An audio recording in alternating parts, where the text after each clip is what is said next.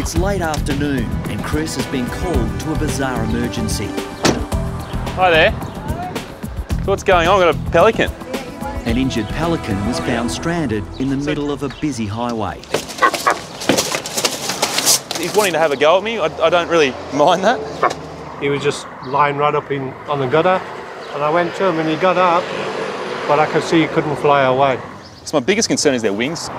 He's having no problem getting them right out. So I'm, I'm happy with all the bones, I guess, from, from here on. Hey, buddy. Everything else I'm not too sure about. Oh, there we go. So he's got some injuries in his mouth there. So I think the, the majority of the trauma is actually coming from this bump on, on the back of his neck here. And that's where the blood's coming from as well. Looking at him, I'd say he's either been hit by a car or, or hit the power lines. And if that's happened, he's probably been lucky to survive. Okay, if you could just grab me Chris tape needs there. to take the stranded bird back to the clinic to make sure there's no fractures in his neck. The pelican is also malnourished. He may even have some injuries that are Internal. internal, yeah. We right? Yep. Tough little guy, aren't you?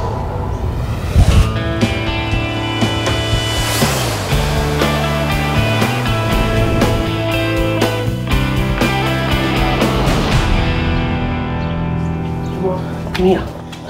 I was fishing, just baited the hook up, and yeah, before the time I could get the, the bait in the water, he swallowed it. So, a bit of a bugger. I didn't catch any fish, but I caught my dog. Harley, a 10 year old American Staffordshire Terrier, has been rushed into the Bondi Referral Hospital SASH after swallowing a fish hook. I actually pulled the line and didn't realise it was actually in his throat. Hope it hasn't wedged in too far.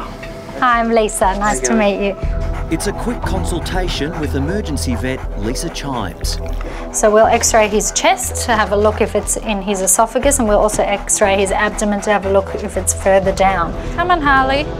If Harley's esophagus has to be cut open, that's going to be awful news for Chad. It's a delicate operation, and the risk is that his esophagus or food pipe may never heal properly, and Harley may never be able to eat normally again. You'd be good for this, Harley. Oh no. No, you don't. All right, bud. Harley. All right. Excellent. it's not going to work, is it, mate? Huh?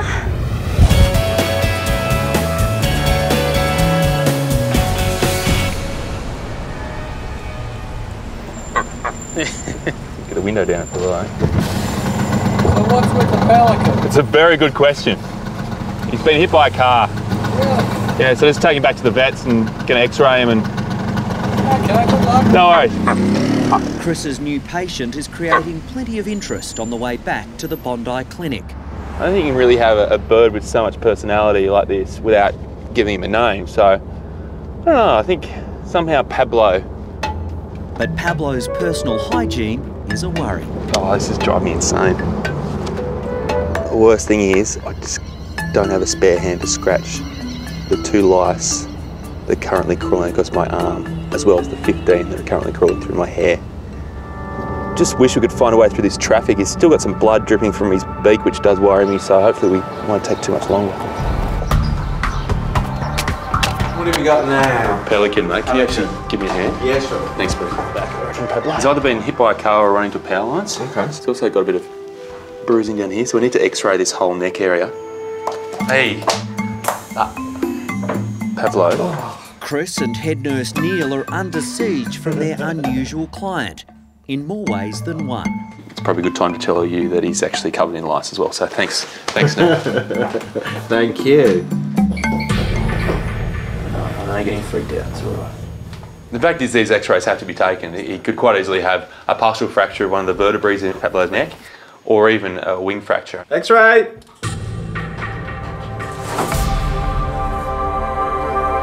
He can't be released if he does have a fracture. Next on Bondi Vet, Harley's fishhook is no easy catch, We'll have one more go, otherwise he would have to go to surgery. and a pregnant Bella is rushed into Bondi in a critical state. Can mother and pups survive? I don't know if we can get them all out alive, but we really have to give them their best chance.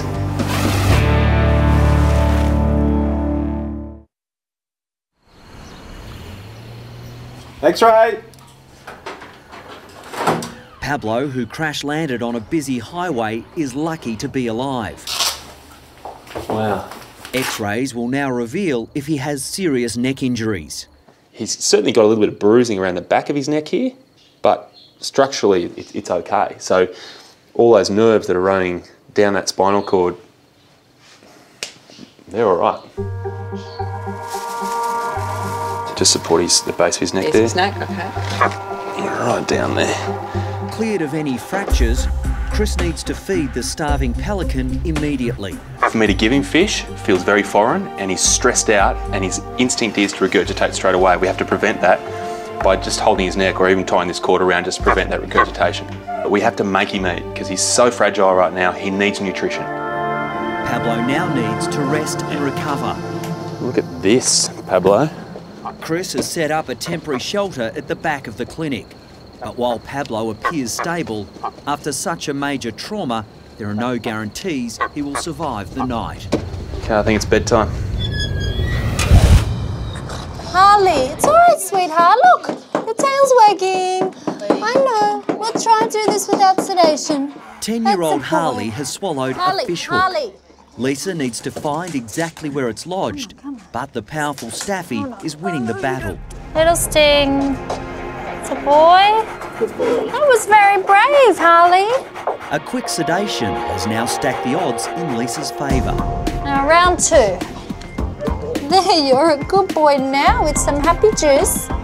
Hey, It's a good boy. boy. Harley, Harley, Harley, Harley, Harley, Harley, Harley. Outside, an anxious Chad is waiting for news. Yeah, I've got two kids, 10 and 8 year old. He was with us first, and then we had our daughter six months later. And yeah, so he's like one of the kids. Apparently, Dad's in the bad books. Yes, I'm always doing something wrong. Always. Oh dear. The hook is in his esophagus. You can see it right there. We can't leave that there. That needs to come out. See what you've done? Look. No comment.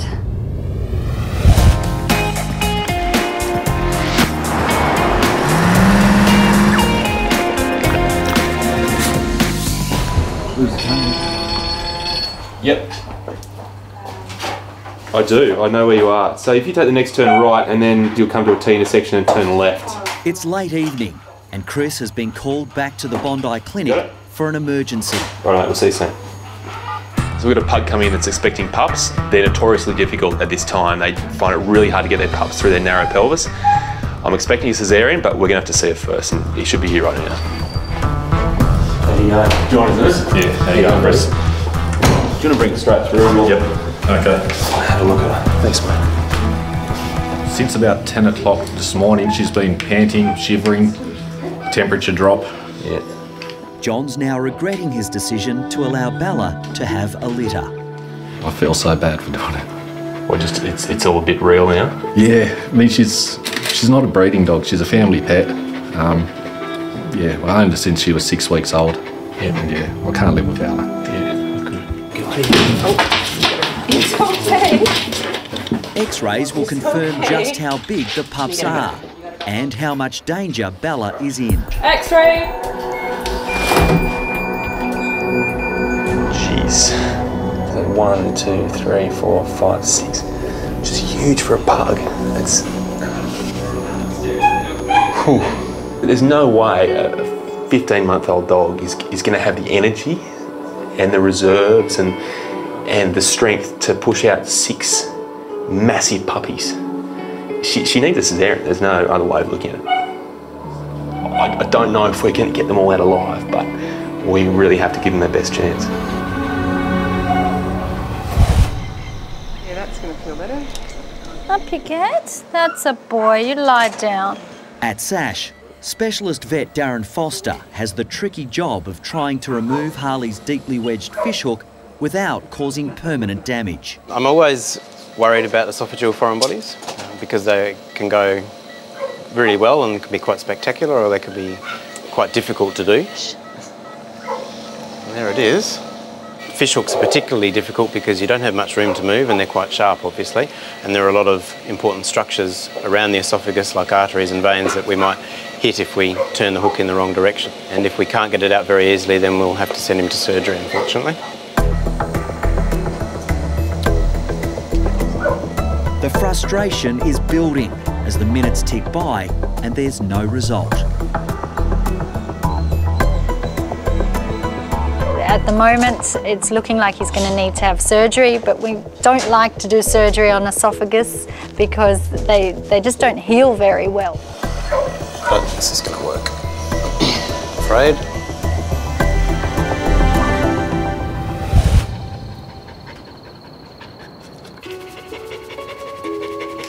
Chris has just discovered that Bella is carrying six huge puppies and needs an emergency caesarean. It's pretty competitive in there, and they'll all be jostling, and sometimes they don't all, all make it. So just brace yourself for that. Right. All right, we'll do our best. As long as she comes through, all right. Yeah. Come on. Right. Thank you. No problem. That's all right. All John can do now is wait, while Chris and his team begin the extremely delicate operation.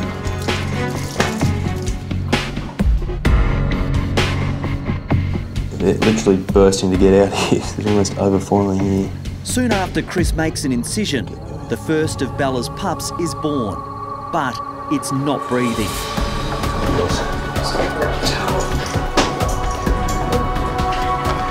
Hey, going over there. Give him a little I heard breath. a little noise already. Tough love is now needed to save this struggling puppy. And there are five more still to come. Come on, mate.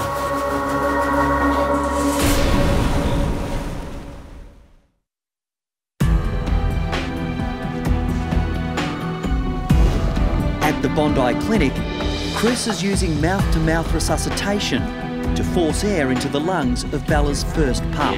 Plenty of rubs to stimulate I'll just go rotate between rubs, breaths. Got a bit of anaesthetic still assisting. Yeah. I'm getting movement. The firstborn is now breathing, but there are still five more pups to be saved. You ready for me? Uh, I'll do. It, I'll do this one. Outside, a desperately worried John waits and hopes. Do you want to start on this one over here? She's starting to gasp, and then I'll start on the one that Chris is on. With so many pups needing urgent attention, even Bondi Vet producer Jane Caswell has been called on to help. Come on, baby. Come on. Keep going, keep going. You can do it. On your shell. Come on, babe. He's breathing now. Yes, that was the first time he's breathing more than once.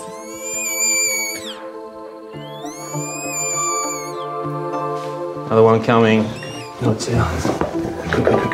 One by one, the pups splutter to life. How many are in here? Just one? Two. There's two here. We got that's number five. Uh, you guys are going to need to get a rotation on these guys because Mum's Yep. got to. The last one. At last, all six puppies are successfully out.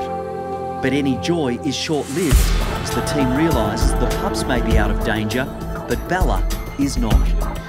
So she's lost a lot of blood. Her heart rate's dropping as well. Her colour's gone from a nice pink colour to, to quite a pale, pale pink. So we're doing our very best to, to treat the, the symptoms of shock that she's going through and blood loss, pumping the fluids through her. But she's a long way from home. She's, she's in a bit of trouble.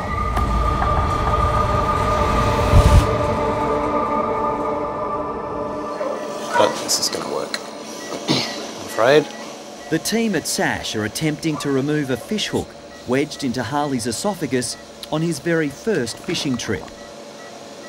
After 40 minutes, Darren Foster is almost ready to give up. They've got it. No, you don't. You got it? They've got it. Just in threat of surgery. You see? It does have a barb on it. I had given up. I just thought I'd give it one more shot. And it worked. So he only has one little hole in his esophagus there, just a little puncture wound, so that should heal nicely. We've seen things from fish hooks to tampons to pantyhose, and Most of the time we can get them out, but there are always the tough ones that get stuck in there and have to go to surgery. And Harley was looking like that, and Harley's a very lucky boy. We're sitting on 70 beats per minute before, we're now up to 74, so we're seeing a bit of a response. It's encouraging, but it's, it's by no means over. It's a tense time at the Bondi Clinic as Chris sews up Bella, who's dangerously weak after delivering six puppies. So we've got three girls and three boys. Wow. And the heart rate's coming up too, so it's all good. So far. A few more stitches and we're done. Her heart rate's come up to 85 now. Her colour's good. She, she's looking like she might just make it. But it didn't look that way for quite a while. Turns out the puppies and Chris have something in common, given it's past midnight. Why is that a significant time? Could it be what special day? Oh, probably my birthday now. Oh, Poor girl. You should be really proud of her. Yep. She did really well. Six live puppies, six out of six. They're tiny. You can pick them up if you like.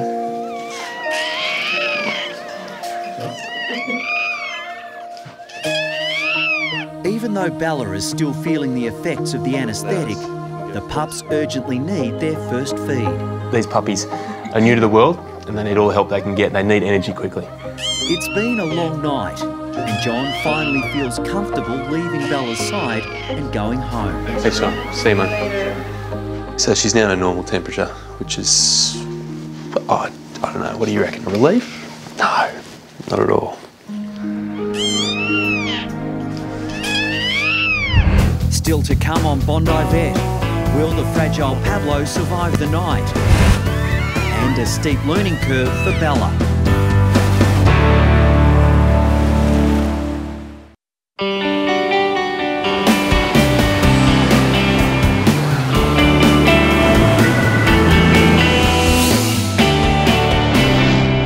Pablo! Good morning, Pablo. A sunbake, huh? The next day, Chris checks in on his patient.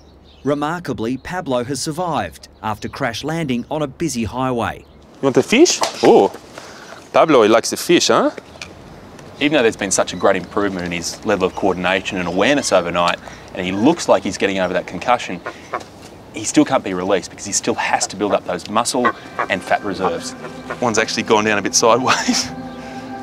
if he was released like this and went back to a situation where there wasn't much food, he'd only last another couple of days before he was back to where he was yesterday, that way. And the fact is, he mightn't be as lucky second time round. Better. Much better. Yes. At SASH, Harley, the world's worst fisherman, is ready for release. Oh, there's Dad! Well, he's Huh? a very lucky boy. That's good. Here's the hook. The dreaded hook. Late last night, the American staffy was just seconds away from having his esophagus cut open to remove a fishhook. Thank Good you. luck. Take care. All right, no more fishing. for No, no, that's for sure. It's a good result for Harley. He's got no permanent damage. He'll have to eat soft food for about a week and then he'll be back to normal. And I think we really gave him excellent treatment here and he just wasn't very grateful. He showed us his opinion of the place as he walked out the door. Cheeky bugger.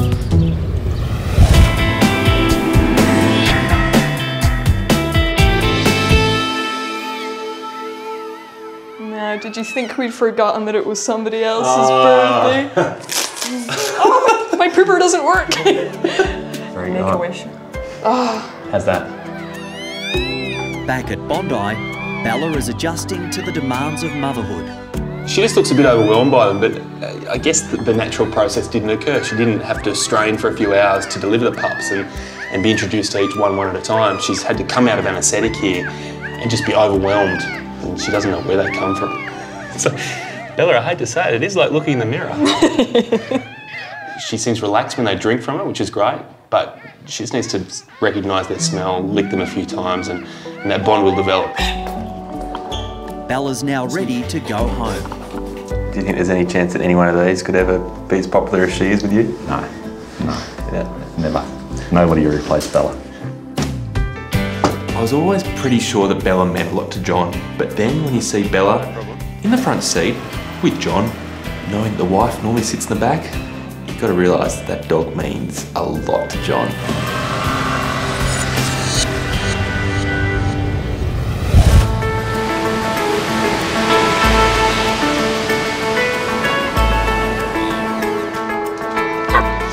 Oh, you know it, don't you? You know it, not just yet. Patience. And it's home time as well for the traffic stopper Pablo. People, um, people don't really accept you, do they? You notice that? Why is that, do you reckon? He's in good enough shape to go back to his seaside address near where he was rescued. There's, oh, he's pooed on me.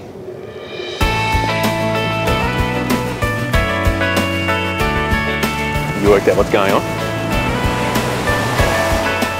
He really looks a lot better since he's been with us. We're bonded, you know. We're man enough to admit it. He just looks a lot more lively too, and his feathers are a lot more wider and brighter. And he just seems more proud in everything he does. He's swimming strongly and just taking it all in, working out where he is. But he'll find the rest of the pelicans he'll be happy.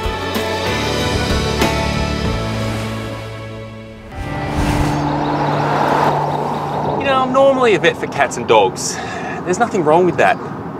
But occasionally, you know, you have to mix it up a bit, don't you? And just how much I'm about to mix it up, well, that's what worries me. Chris is answering a call from senior keeper Tim Faulkner at the Australian Reptile Park. Well, we've got a snake and uh, we've brought her out a winner and she's just off of food. She just hasn't pepped up. Okay. What sort of snake? One of the snakes has come out of its winter hibernation, but is still not eating. Her name is Atomic Betty. Man, that's not a snake, that's a monster. Last time Chris confronted a snake at the reptile park, it was Queen Bee. She's having you for lunch. She weighs in at 35 kilograms. But Atomic Betty tips the scales at a massive 100 kilograms. And she's been off of food? For a period each year, we cool her down hmm. and, and winterise her. Um, now, we've brought her back out of that, bumped the temperatures up, and normally she'd be looking for food.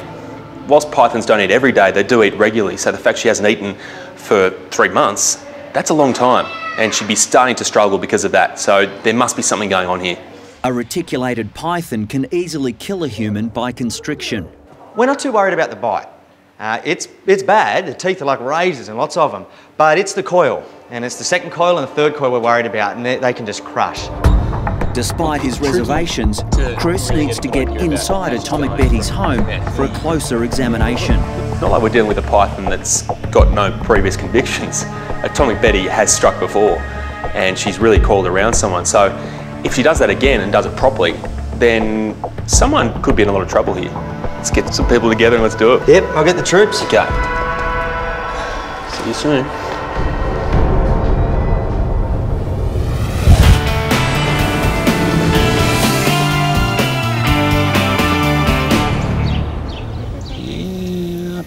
I put some local in, mate. I'm sorry. Bruno, a seven month old Boston Terrier, has just arrived at Bondi's Referral Hospital SASH in a critical condition. And he's actually been run over by his mother.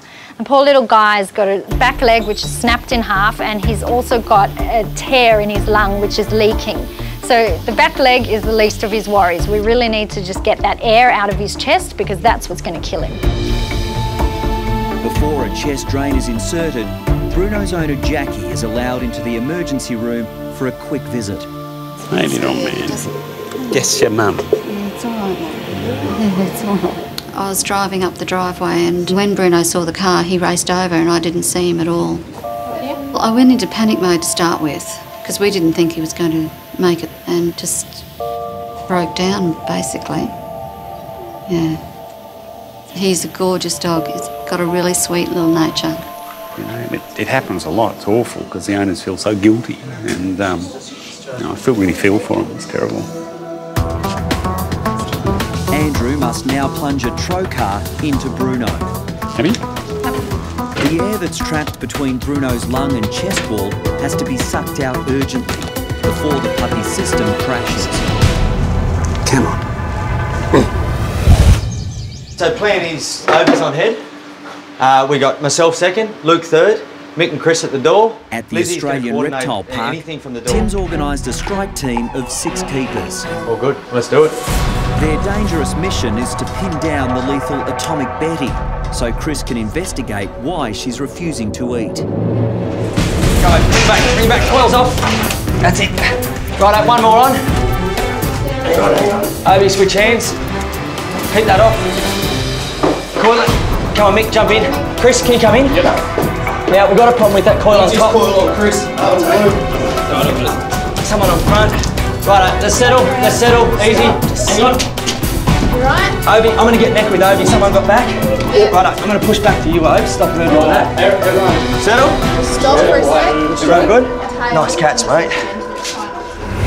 Next on Bondi Vet, Bruno in danger as complications set in. It's a real race to suck the air back out before the animal crashes. And young cousins gravely concerned about their very sick Marie. You have to understand they not only love this dog, they live their lives through Marie.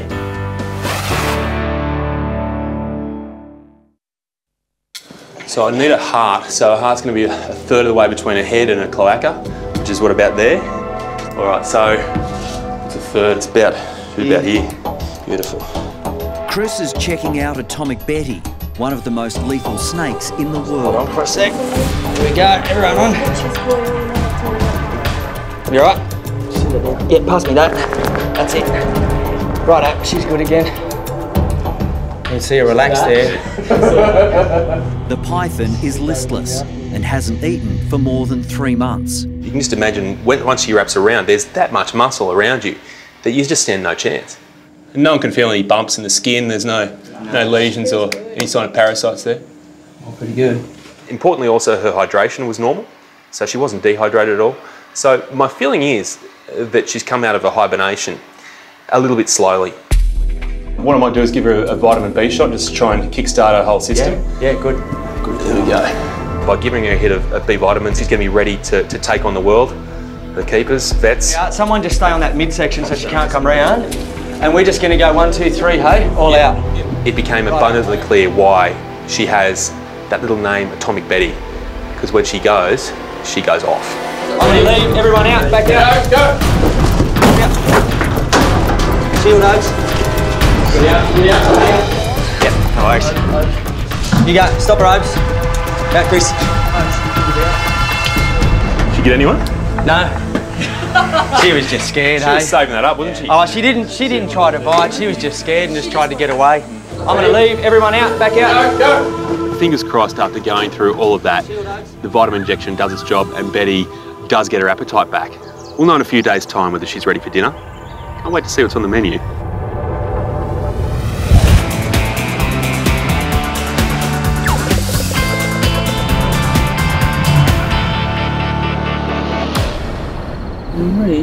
Isn't the normal Marie. I know.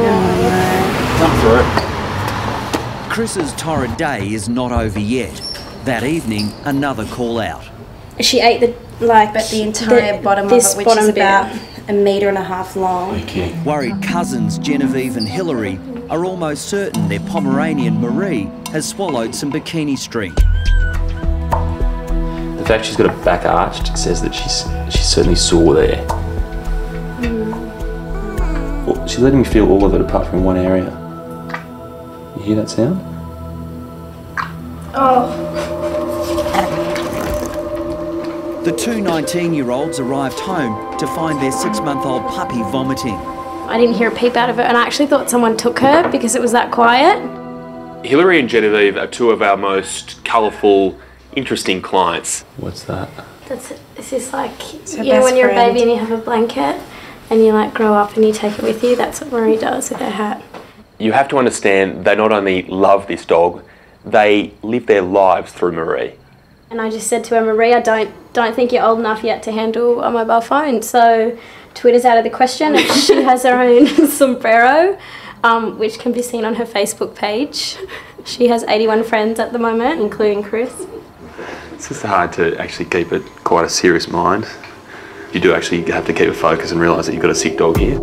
Chris is hoping x-rays will help him confirm if the swimwear string is causing a blockage. It's like a, a, a drawstring. It pulls tight and actually locks that intestine up into a loop. And if that's the case, that intestine can actually die, die off, and that can be really serious really quickly.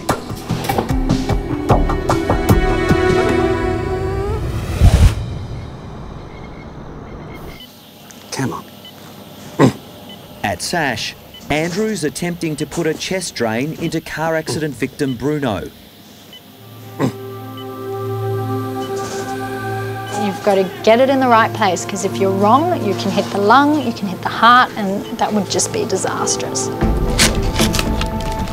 You're actually making a hole in the chest wall. So it's a real race to seal that off and suck the air back out before the animal crashes. Oh, it's dropping again. Bruno's blood oxygen levels suddenly start dropping. If they plummet too far, the puppy could go into cardiac arrest. Come on, buddy. Ideally, his blood oxygen level should be above 95%, and now it's dropping to below 85. We just need to stabilise him quickly. How can you go from 96 to 85? in Two seconds. But only a few minutes later, the tension starts to ease as Bruno's blood oxygen levels begin to climb. 94. That's a good number. Bruno's now being hooked up to a pump that will keep sucking the air out of his chest overnight. There you go, little man. Says, what's going on? He's eight kilograms. He's taken on a car that weighs practically a ton. I mean, he's alive, but he's not out of the woods yet.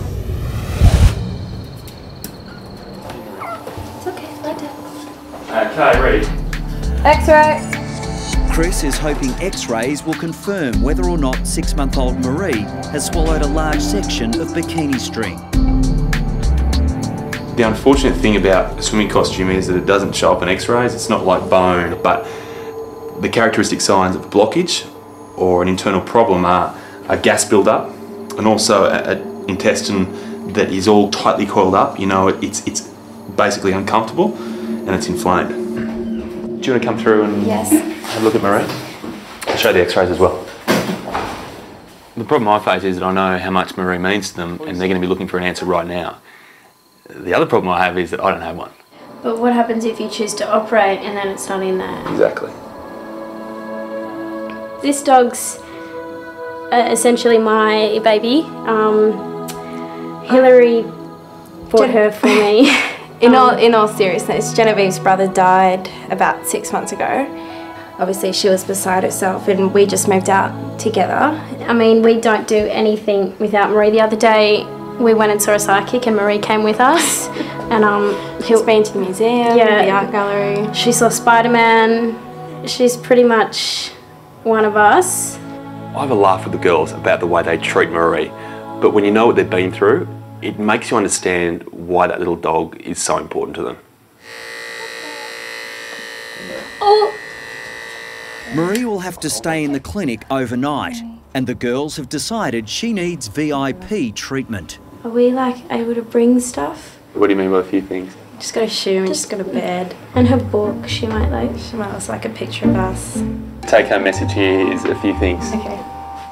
I'll see you soon.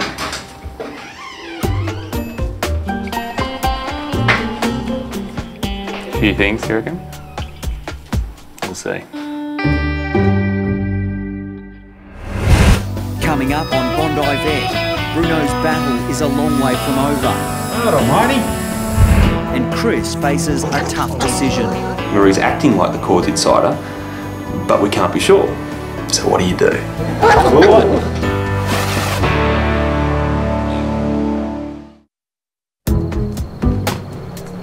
The cousins have arrived back at the Bondi Clinic with their own special care package for their sick puppy Marie. All right, let's go and find a place for it all. Okay. Um, am I meant to be reading that to her tonight, or If you could, we're just. a picture. I, I've marked the page where we're up course, to. come on? She'll sleep. Let's go. Where's she going? Hillary and Genevieve believe the six-month-old puppy has eaten some bikini string. It appears to have caused a serious blockage. Is she gonna say Hail Mary? No, we'll leave the religion for off camera. Good night, Squish. So if anything happens during the night, if there's any change, I'll let you know. But if she remains stable, we'll talk in the morning and then decide whether she goes to surgery. If nothing's changed, she probably will go to surgery first thing.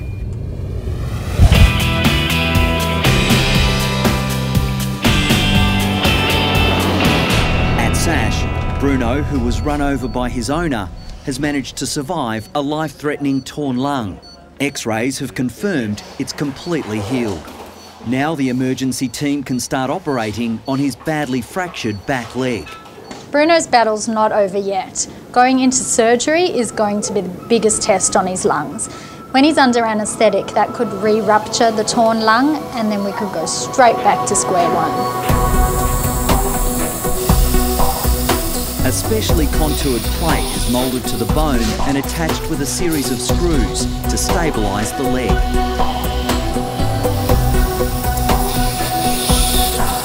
God almighty. It's a difficult operation to get the leg aligned perfectly, but after several attempts, Andrew is finally happy. That's come together really nicely. It's worth the struggle. His future's looking pretty good, yeah. I think um, Jackie will be very happy with, with him in a, in a couple of weeks' time and he'll be running around the place again. Since I'm exhausted, Mum, I need to sleep.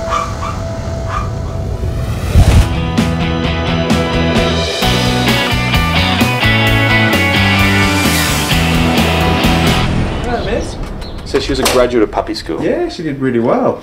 Really? Yeah. Uh, you, you'll understand why I'm questioning that.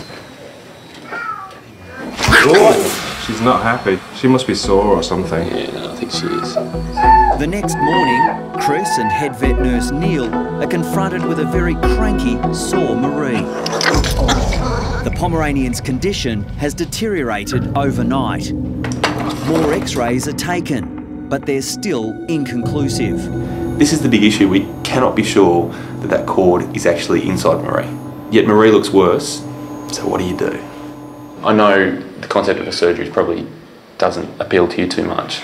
It's a bit daunting. Yeah, but the concept of I'd rather her like go in and be overdone within an hour than be in pain for three days. exactly. That's my thinking. Marie, did we bring you some flowers? Look. As you would if anyone was sick, you'd come bearing gifts. So we bought red flowers, um, the tulips, which are Marie's favourite, and the get well balloon, which hopefully she won't chew and ingest. My only worry is the girls don't truly realise just how serious this surgery is. The big unknown is what we see when we get in there. Is there a cord? Is there not? And if there is a cord, what sort of damage has it done? Is it causing a, basically the, the intestine to die off? If that's the case, we've got a big surgery. Still to come on Bondi Vet. After three months of starvation, will Atomic Betty finally eat again? We're going to offer her a food item today and see if she takes it. She's interested. Look at that tongue flick.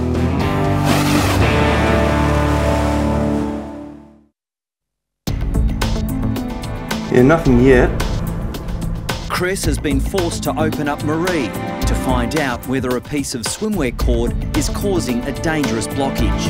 Huh. All right. So there's a little bit of swimsuit actually inside her cecum. Now, if it's been sitting there and, and essentially fermenting and causing irritation, then that may explain why she's been sick. It's almost like appendicitis for a dog. It's proof at last that Marie did make a meal of that bikini. But there is some good news. The thing is, where it caused the problem is actually pretty close to home. It's only got to go down the rest of the colon and then it's out. So rather than making a cut and actually potentially causing an infection, I'm actually going to milk it through, through the colon so it only has it maybe a few centimetres to travel and actually then leave the body. No running, please. With the bikini string almost out, it's now up to Marie to finish the job herself. The wait begins.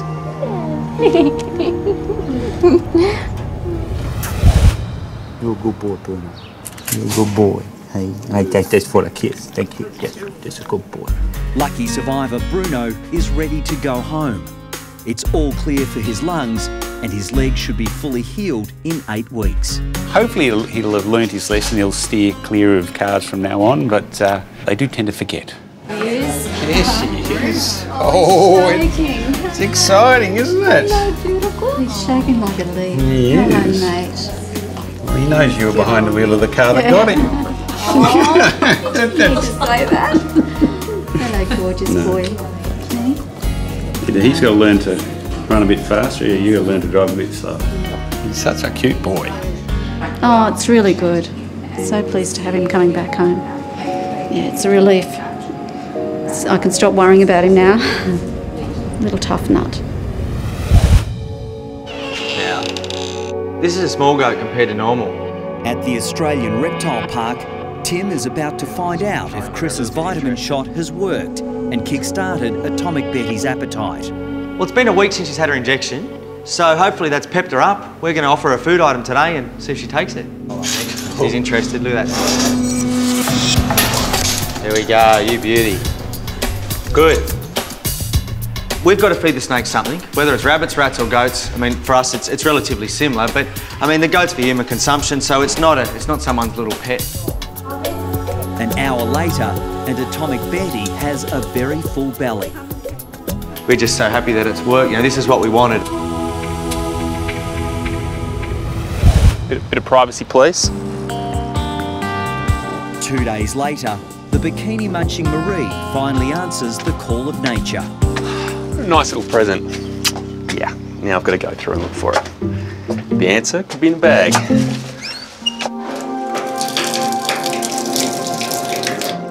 Chris has only found a small portion of the swimwear cord that went missing. Just the thickness and the fact it's got that elastic there. It's swimming costume, without a doubt. Where the rest is remains a mystery.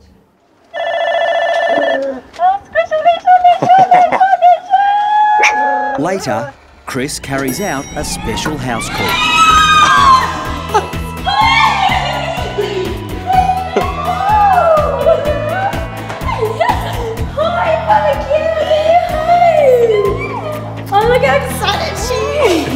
Yeah, just gently, gently, gently. Hillary and Genevieve have bought Marie a new bed for the big occasion. Just seriously though, you do have to keep it quiet because she will pop those stitches out if, if she keeps on running around. She does that a lot. All right, I'll um, I'll see you later. Thank you so Thanks so much, much, Chris. We really appreciate it, and Marie does as well. We'll um, we'll definitely be sending um updates. Yeah, I know. I- I'll miss you all. Thank you, Chris. And- we'll see you soon. You, Marie. Bye bye. Bye. Hi. How you Are going? you? Coming, coming. Let's have a look.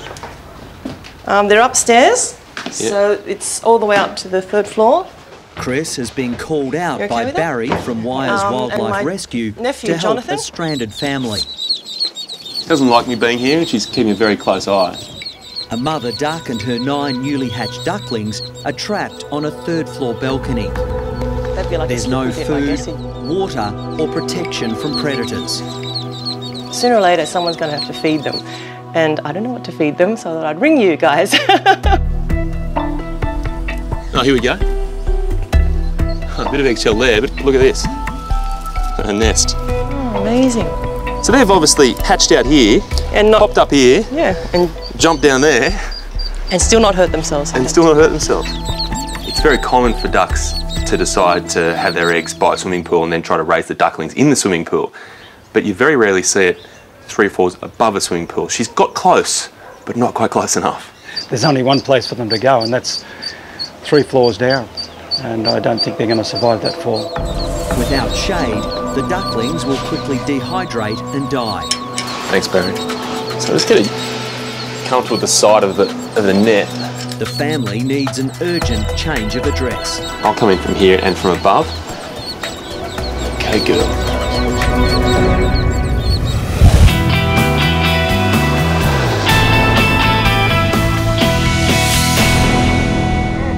Good boy. Good boy. Meanwhile, the Xenos family are preparing to bring in their crippled two-year-old Diesel to see Chris. See how long it takes him to sit? You should see him try to get out.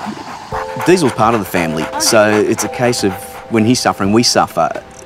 To, to, to see him uncomfortable, uh, yeah, it's, it's heartbreaking. At just seven months of age, the golden retriever slipped and fell and was taken to a vet for what should have been a routine knee operation. Diesel. The surgery was unsuccessful, and now Diesel struggles just to get around. It's really hard because he's still so young and he does want to run and he does want to play and he just can't. Well, he's like a little brother to me, and like I really love him, so we just want him to get better. It, it makes us sad as well. We rang every single vet in Bondi until I found Dr. Chris Brown because Emmanuel and I swear by the show Bondi Vet. So we're hoping that he'll be able to help Diesel and us.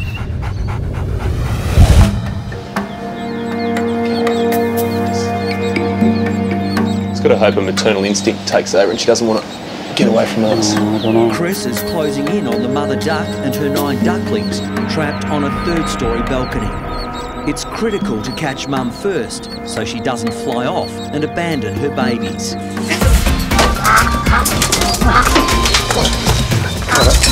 Good one. After a struggle, Chris secures the mother. It's all right. It's all right. But she's not quite finished yet. She had a fair bit of fight. Obviously, the kids aren't really, you know, wearing her out just yet. Big hands can be very handy. The anxious mother and ducklings are now off to the Bondi Clinic for a health check.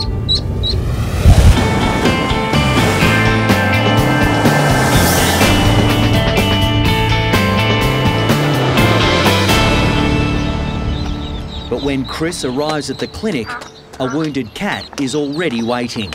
This is Lucky. Yeah. And Lucky uh, is usually very outgoing and has lots of fun. You're safer in there, aren't you? This is not like him. Usually he's the first one out of the cage. Five year old Lucky has been in a fight and come out second best. Owner Stephen is worried that after two days, where the? Lucky is getting much worse. Uh-huh. So there's the bigger one there. Yeah. And he's got a matching one here. But they're very tender to touch as well. So that kind of looked to me like it could have been a dog or another big cat. Either Lucky has invented a new fighting move involving a, a back kick of some description. Kung Fu cat. Or the more likely scenario is that Lucky was running away at the time. I think that's probably which, which doesn't paint a, a, I guess, a bright picture in terms of Lucky's A, fighting ability or B, bravery. But when Chris shaves the affected area, he quickly discovers Sorry, Lucky's buddy. wounds are much more serious than he expected. Hey, buddy. I can see why he's sore. Yeah. Now that we've shaved the area, we can see that it's not a dog bite, it looks like cat claws. I think a cat has actually come in from behind and gone whack, whack. The thing about a cat getting into a fight is the wounds are often the least of your concerns. What is the biggest worry is actually the infection that follows it because those claws actually inject bacteria and those bacteria, once they're under the skin, breed prolifically. Essentially, Lucky's whole body is becoming toxic. Still to come on Bondi Vet, a tough wait for Diesel's family. It's alright. And later, the feisty ducklings try to make a break.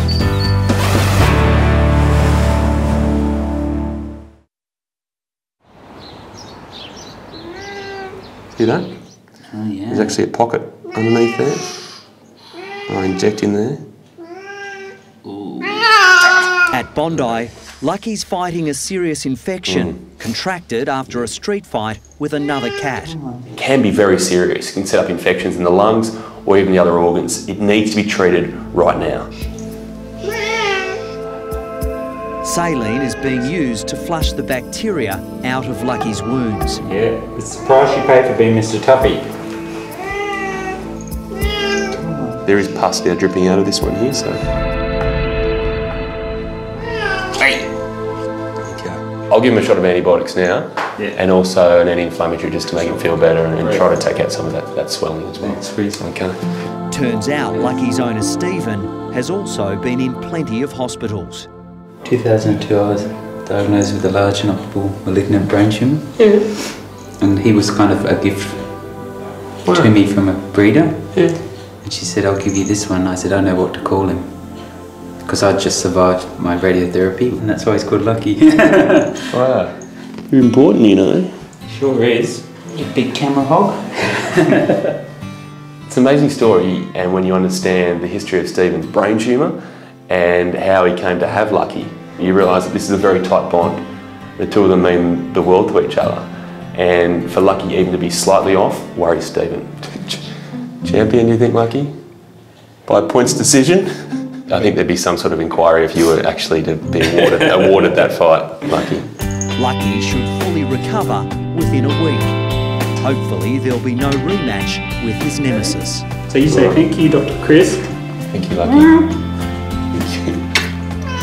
Yeah, good boy.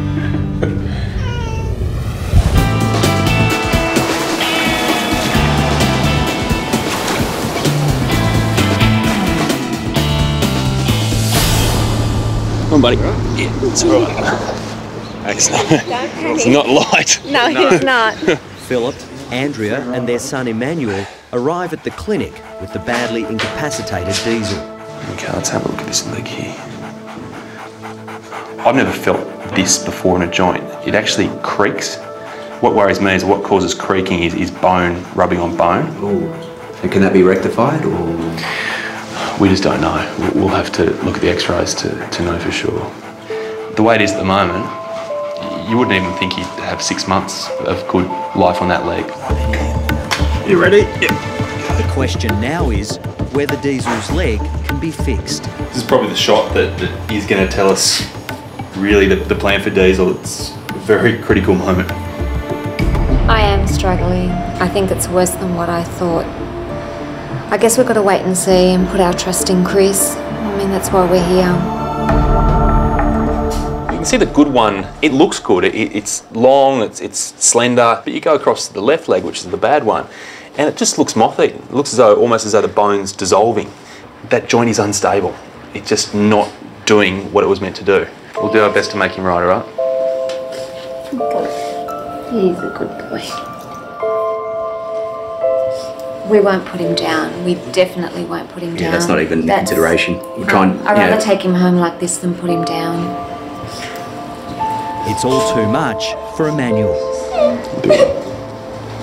It's alright, And you're going to be his best ally. definitely. If you keep happy around him, he's going to stay happy and he's going to have all the energy and all the drive to really fight through this, all right? I'm not sure if he's ready for his own legs just yet. Because of the complexity of the surgery and the equipment required to even give Diesel a chance of walking normally again, I'm going to have to refer him to our specialist surgeon at SASH. Yes, the thing is for me, this family deserves such a good outcome. And I really hope they get it. Come on. Next on Bondi Vet, Chris faces a dilemma about mum and her nine ducklings. I am actually a little bit nervous about the release, but the harsh reality is I can't really control what happens out there in that pond. And can this operation help Diesel lead a normal life? If we are unsuccessful getting him better than he is, I'm not sure that it's fair to keep going with him.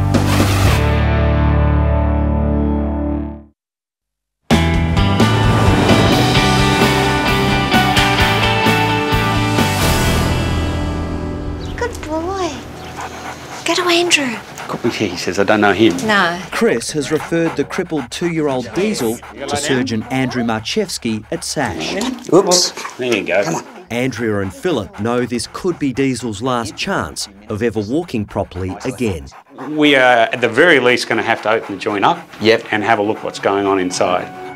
After looking at the x-rays of the damaged knee, Andrew isn't prepared to make too many promises about Diesel's future. For me to say to you, he is not going to have any pain ever again, I can't say that. If we are unsuccessful getting him better than he is, I'm not sure that it's fair to keep going with him. And I, it's not something that his parents want to even think about. Andrea and Philip's son Emmanuel has refused to come to the hospital. The 11 year old is not coping with the thought of his best friend going under the knife. And it was his birthday yesterday, and his birthday wish was for Diesel to be better. Yeah. So hopefully, Yeah. If we can't get him better than, than this, I don't think that's a quality of life for him that's, that's worth persevering with.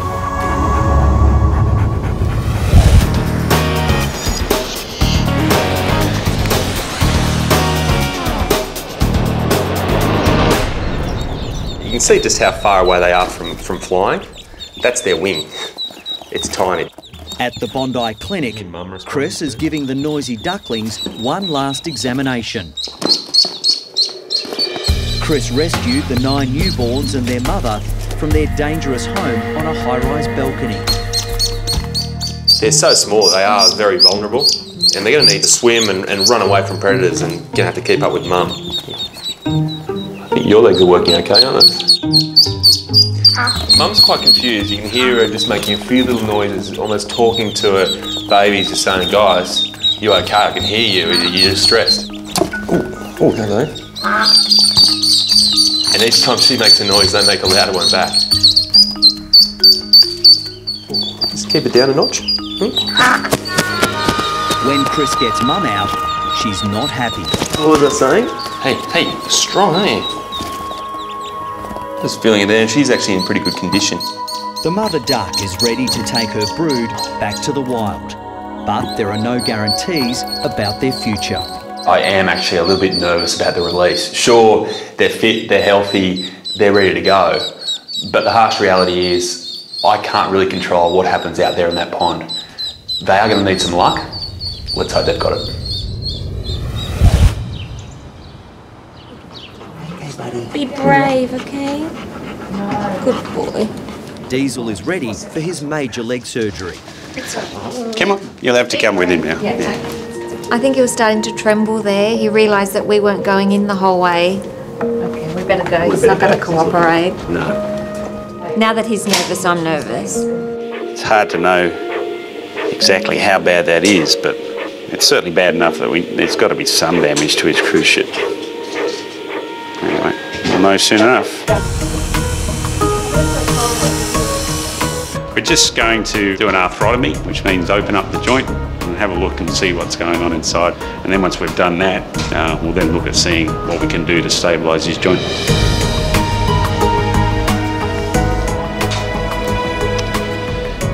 Mm. It's not been a happy joint for a long time. Needle in a haystack. As surgery continues, Andrew makes a surprise discovery. This cruciate is actually intact. The cause of Diesel's problem is not the cruciate ligament as first thought, but a badly dislocated kneecap. Unfortunately for Diesel, I think this finding is actually worse for him. Uh, it's just uh, going to make it even harder to get that knee functional. Andrew now needs to drag the kneecap back into its original groove. After 17 months of deterioration, it's going to be a tough challenge. This I'm cutting off the front portion of the shin bone, which is where the kneecap tendon attaches to the shin. And I've got to move that part of the bone around so it lines up better. Oh, this bone's so soft. Mm. Like butter. Unfortunately, there's a chance this won't work. Next on Bondi Vet. At the release, trouble for the mother duck and her family. And a worrying time for Andrew. I just fear that he's going to blow this thing apart, so. he's scaring me silly.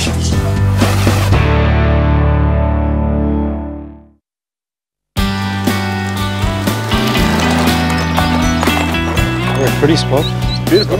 Fair bit of cover and so on. Yeah, so if they don't really like in the water, they can always come out through here. Chris and Barry from Wires are at a park to return the rescued ducks to the wild.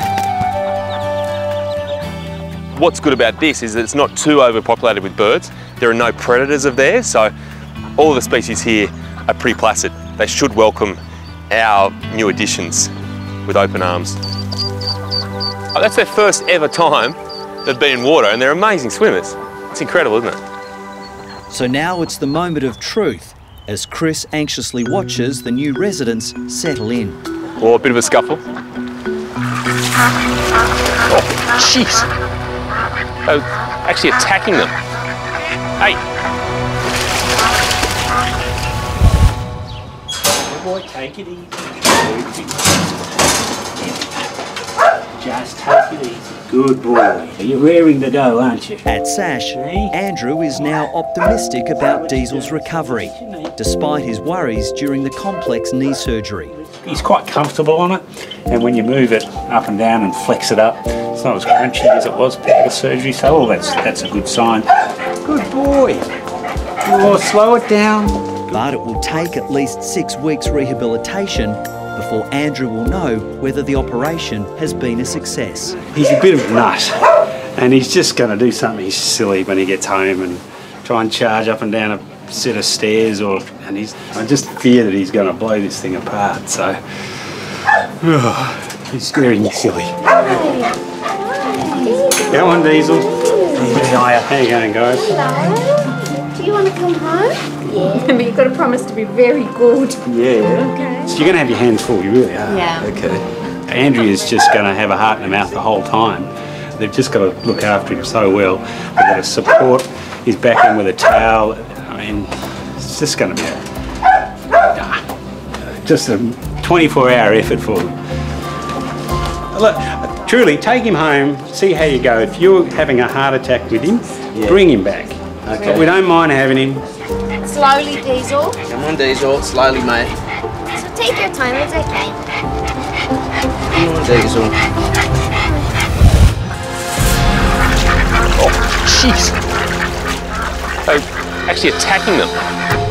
At the lake, Chris is facing his worst nightmare. The mother is under attack and her ducklings are left defenceless. Hey!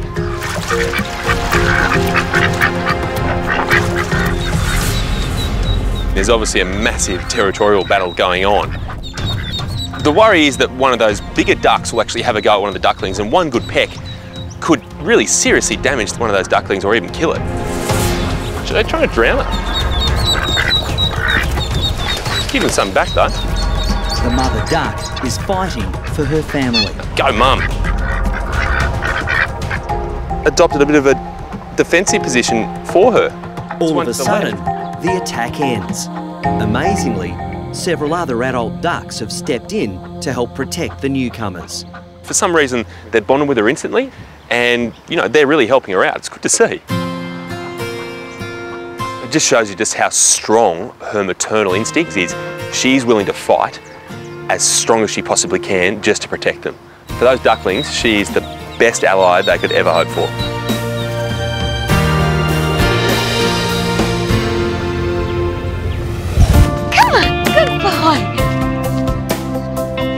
Diesel, who found it difficult just to walk a few weeks ago, is now able to run and play with his family after major knee surgery.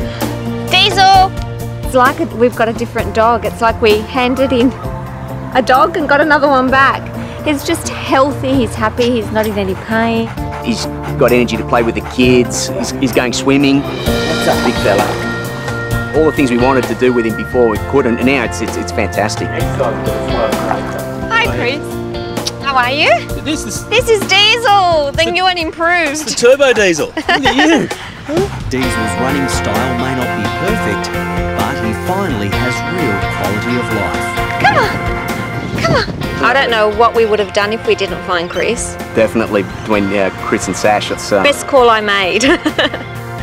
he's having fun. He's having a ball.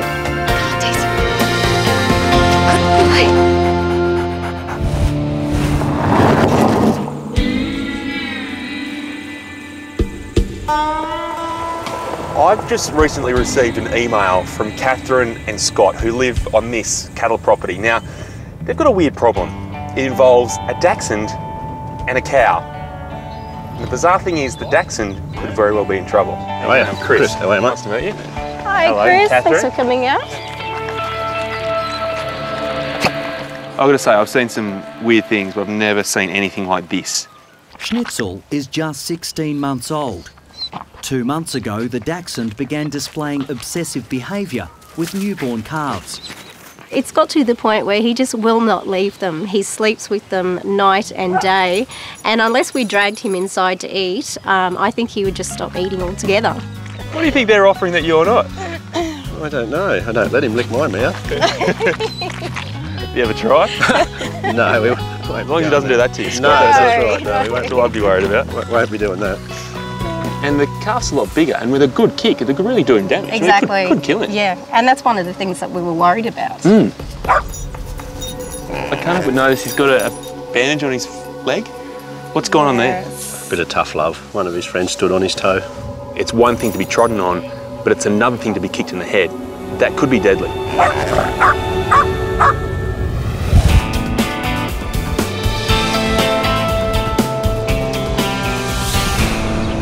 All right. Good girl. Shh. All right. Hey, hey, hey. It's all right. It's okay. Oh, darling, At the Bondi Referral Hospital SASH, Boris has just been rushed in after suddenly collapsing at home. He seemed very distressed, and then I noticed that I didn't think he could get up. He appeared to have, I suppose, equivalent of a stroke or something like that. He just, just didn't seem with it. Oh, good man. Have some of this good stuff. It, it looks like he's having a problem with his balance. His eyes are rolling around in, this, in the sockets and he's twisting, his whole body's twisting and he, and he can't balance. The worst case scenario for Boris is a brain tumour. Lisa's hoping it will be another problem with the brain called vestibular disease. Their body can't work out where it is in space and it actually feels like they're in a roller coaster uh, going upside down in a washing machine and they have no idea what's going on. They're just feeling really dizzy. I don't think he likes you, Schnitzel. Back at the farm, Schnitzel's bizarre obsession is putting him in real danger. They've actually broken one of his toes. Oh, really? Yeah. He's got a few issues, I think, in the mental department. Yeah. Mm. He's probably mad would be the nicest way you could put it. Something really bad could happen to him if he keeps it up any longer. Catherine is also worried about her children. Schnitzel, fine. When Jake goes near the calves, Schnitzel will actually growl at him. Hmm. We're not sure if Schnitzel would ever bite him, but it's, yeah, it's a bit of a worry. We're going to put some faith in Chris. We're hoping he'll come up with an answer for us. That's a boy. I know, everything's spinning. See what happens if you prop him up and... All right, okay, he can't do it. 13 year old Boris has collapsed I know, it's and can no longer stand up. Distressed I've had a owner Anne Boris, Marie and her daughter um, Felicity are waiting like for news problem with his about their old friend. So it's something that we call idiopathic vestibular disease. And idiopathic means we don't know what causes it. Now, there can be other more nasty things in an older dog that can cause this, and things like a, a tumour in the brain. So if he doesn't improve, then I think it would be a good idea to look at doing further testing. Okay, I'm really hoping that it's the, the, the common disease that the, all the old dogs get and they, they tend to get better and go home and, and as if it never happened. And um, there is a small chance that it is something more nasty, but let's think positive for now and, and see what he does over the next two or three days. Okay. Some tissues. Thank you.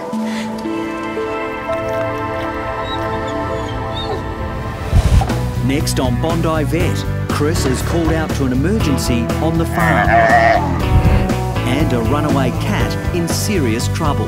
I'd rather prefer him breaking his leg than being dead.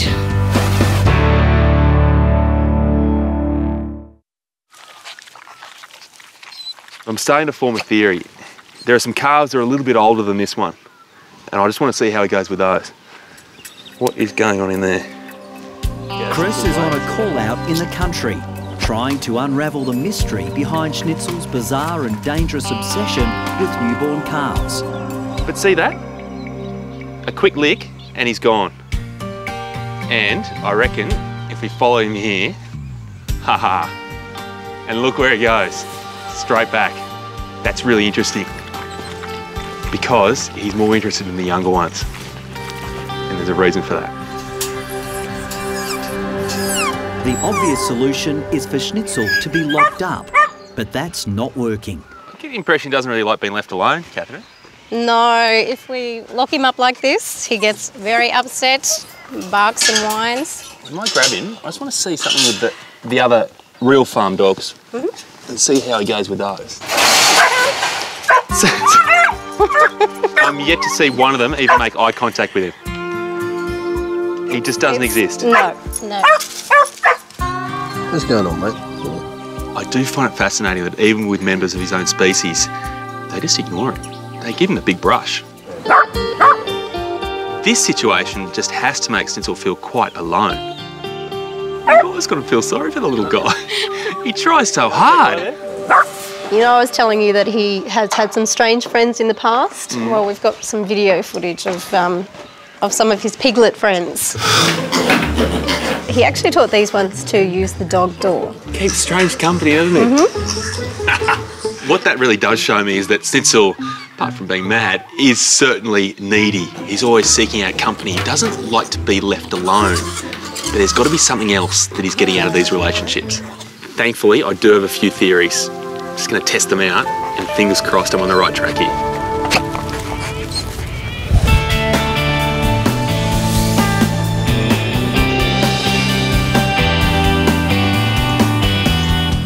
SASH, Lisa is now convinced that 13 year old Boris is suffering from geriatric vestibular disease.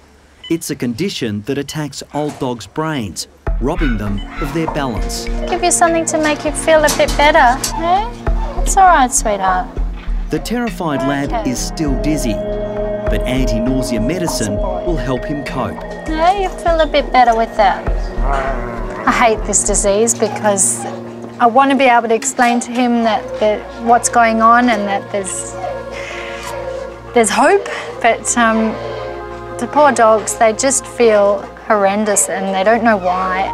Rest is the answer. Recovery can take between two days and two weeks. I just want him to sleep and then calm down, and then I can have a better assessment of him.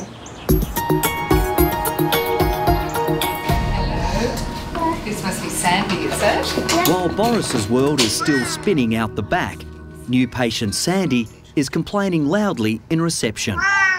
We've just found him after a, a couple of weeks of being missing, and uh, we looks like he's um, been hit by a car, and he was trapped under the neighbour's house. Come on, sweetheart, I'll get you out. Incredibly, the three year old Siamese survived a badly broken leg and no food for two weeks.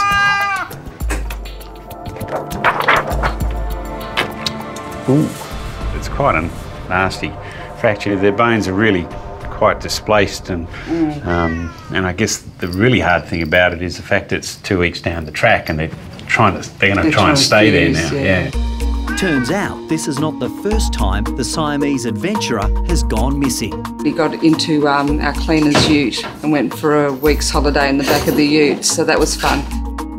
There's going to be a lot of fibrous tissue around that and scar tissue, and it's going to make it very difficult to loosen things up and get the bone back in the right position. I'd rather prefer him breaking his leg than being dead.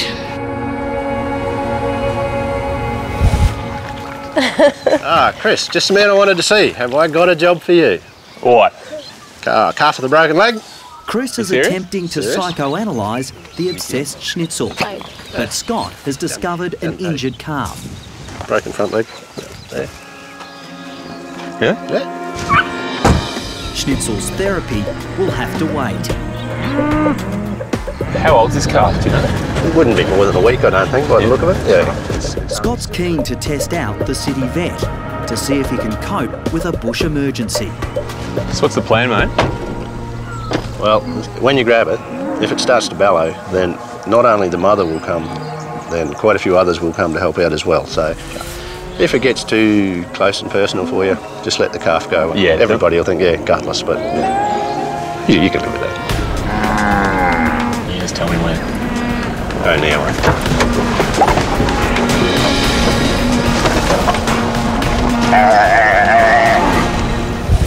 Still to come on Bondi Vet, high-tech surgery for Sandy. It's a case of uh, cruel to be kind. And a bush emergency for a young calf with a bad break. Mum behind us keeping a pretty close eye on proceedings.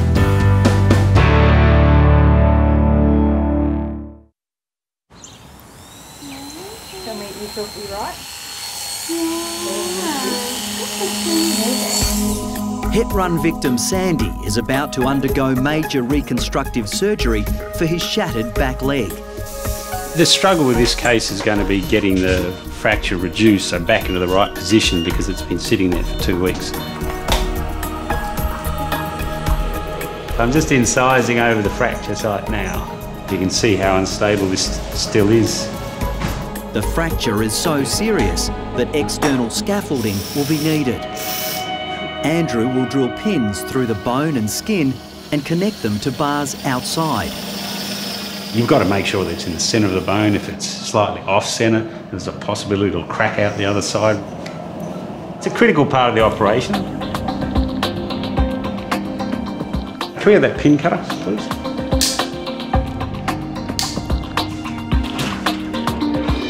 No, I'm pleased with that. The results look good, but Sandy, the intrepid adventurer, will have to put up with the scaffolding for at least eight weeks.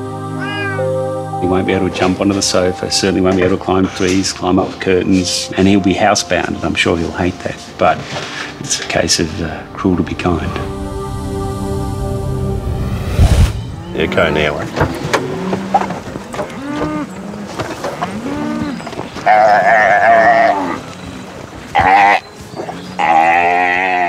Meanwhile, out in the bush, no such state-of-the-art equipment for Chris. Obviously been stepped on there. It's unstable too, it does move immediately there and also a little bit laterally. And while ever those bone fragments are moving on each other, they're not going to heal. No, no. Well, you see them when they carry them, a lot of time they will actually flap from side to side, and that's that just about makes you grit your teeth. It's got hurt. Yeah, exactly. It's got mum behind us, keeping a pretty close eye on proceedings, and she um. Come on. They do get distressed when they know that their calves are distressed. If, if this calf is actually the survived. Chris needs a splint to keep the heifer's leg stable. A piece of poly pipe from the back of the ute does the job. Soaring? It's not on you. You can relax. This is how you do it out here, is it? Very inventive, huh? How do you reckon the owners of one of the poodles back in Bondi would handle it if I'd set them home one of these on their leg? Well, you may not get your bill paid, eh? So you've just got to go with what you've got. Well, it's not the typical way a vet would normally fix a fracture. That's effective. I didn't exactly expect to be doing this, so there's no plaster in the bag. Oh, I thought you were always prepared. there you go, girl.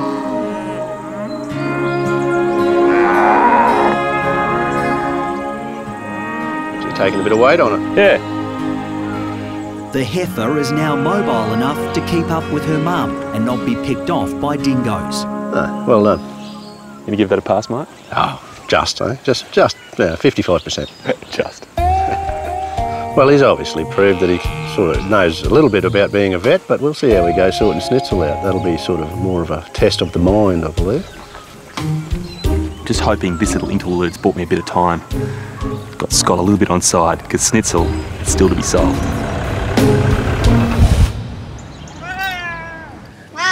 Is that right? baby. Oh. What are you doing? Oh, no scratches. Hit run victim Sandy is recovering from his operation, but is showing no gratitude to his surgeon. No, we're naughty. All right. Do it. Outside, Sandy's extended family have just arrived for a visit, including twins Thomas and James. Got pictures. The Sandy. Good boy. Good Sandy. How you going? Got Sandy. Yeah, we got Sandy here. You gonna give Sandy a kiss? Did you want to show him your pictures? It's been one of the hardest two and a half weeks. Yeah, you just, just have this cloud hanging over your whole life because, you know, some, someone's missing a member of the family.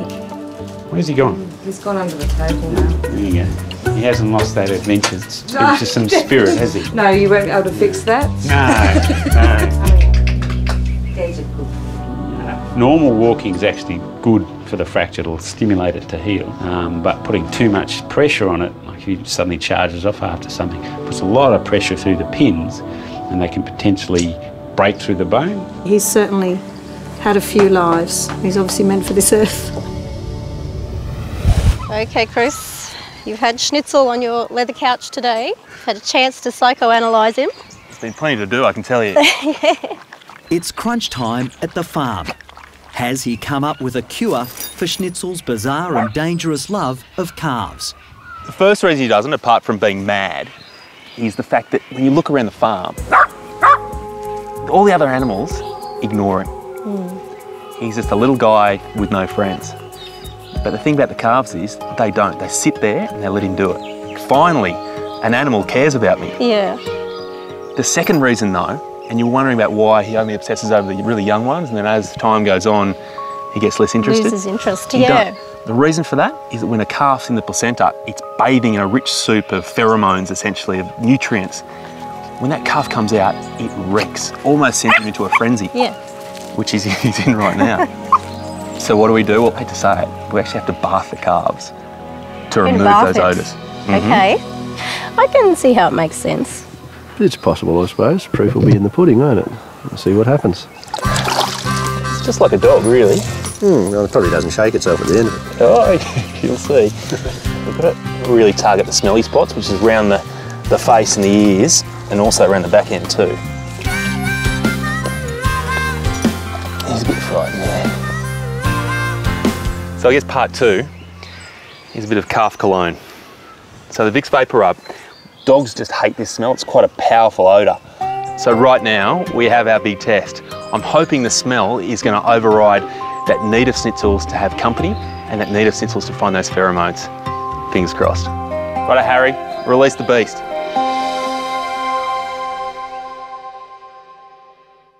Righto, Harry, release the beast.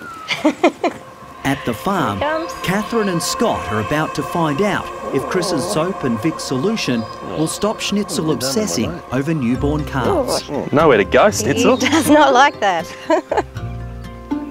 Schnitzel. Don't come to me, I did this to you. Taking away your mate. you want to be a people dog now, do you? Bite him, Schnitzel. One more sniff? Ooh. He's a rotten bugger, isn't he? You know, he's ruined it. Go on, Schnitzel. What about your friend? There you go. Success.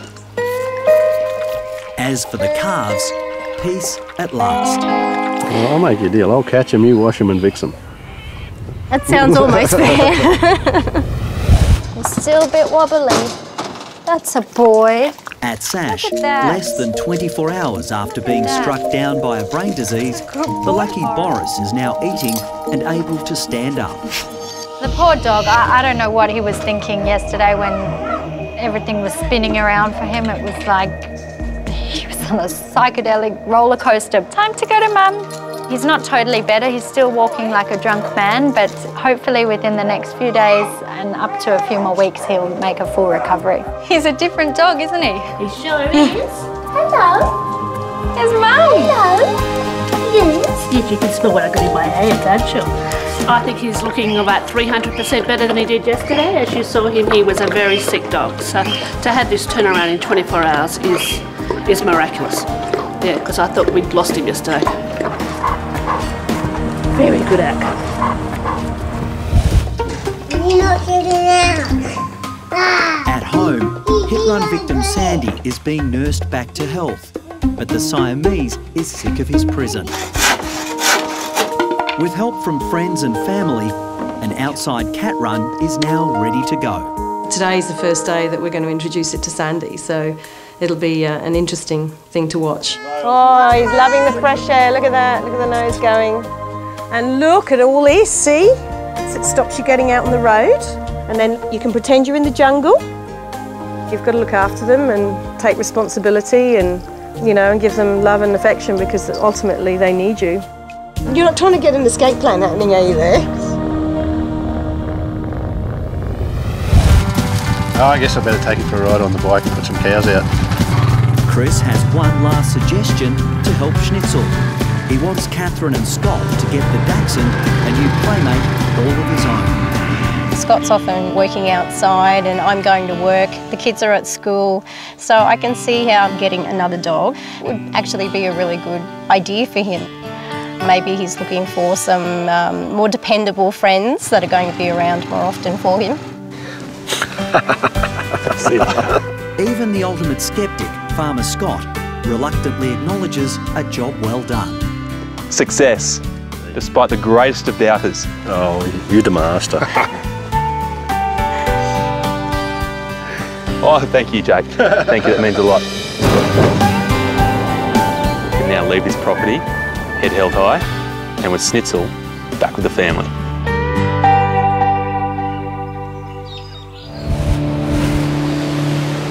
Got this message from the Bondi lifeguards, right? Now, they reckon they've got a rabbit. Of course they've got a rabbit because there's so many rabbits just grazing on the beach here. Now, this is, has to be a setup. Dino. Hi, mate. How are you, buddy? Good, Chris. We've been waiting for you. Yeah, I bet, I bet. So, the rabbit. Rabbit's up there on uh, on duty. What the hell is this? Maxie, this is nice. I like this. It suits you. It's got ears like me as well. It's got ears. How'd you find it? Just down North Bondi near the outdoor gym there. We just like running in the bush and kept running through our legs. It took us about like an hour to catch it. The lifeguards were actually alerted up to the lost bunny at 7am. Their first rescue of the day. Yeah, if it had gone on the road, it would have been a pretty sad sight. But yeah, thankfully it didn't, and uh, it's worked out really well. I think it pissed on me. The bunny appears to be 12 months old and looks too placid to be feral. Now she's a Bondi rabbit for sure. So what are we going to call her? She had, she had the old Von zippers on. What about Von? Von, Von. Von the Bondi rabbit. Give it a kiss, Maxie. That's nice, isn't it? I'll, um, I'll be in touch. Thanks, mate. No worries. Von is now off to the Bondi Clinic, where Chris will find out if the lost rabbit has been microchipped. How did you get here? Are You going to come clean?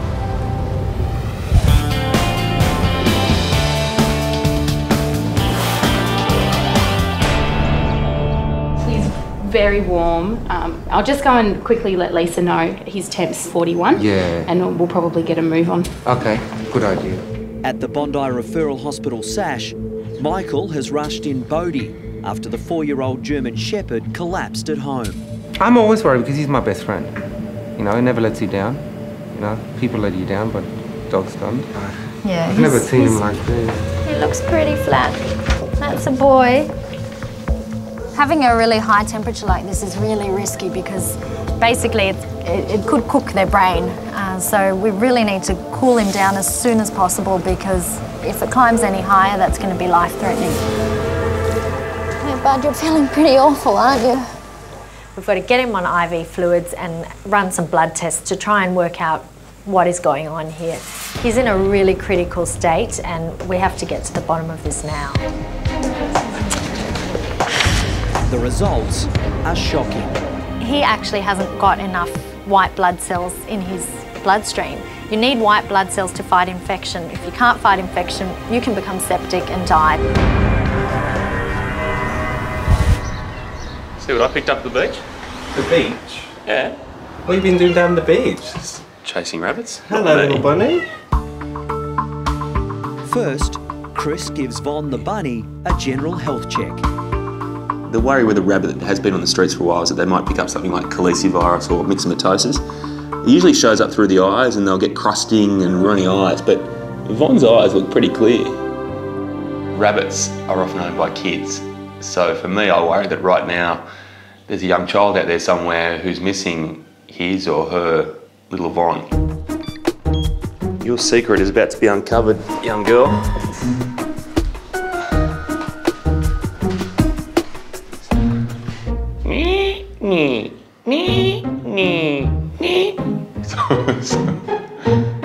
So there's no microchip, which makes our job of finding an owner a little bit more difficult, but we're not going to give up. One, two, three.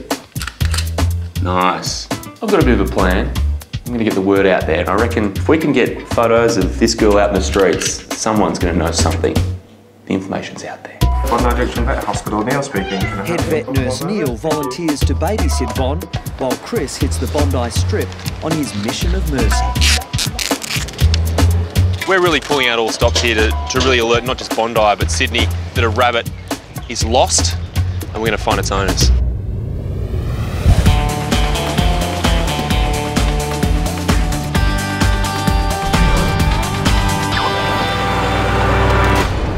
That night, Chris is called back to the clinic for an emergency.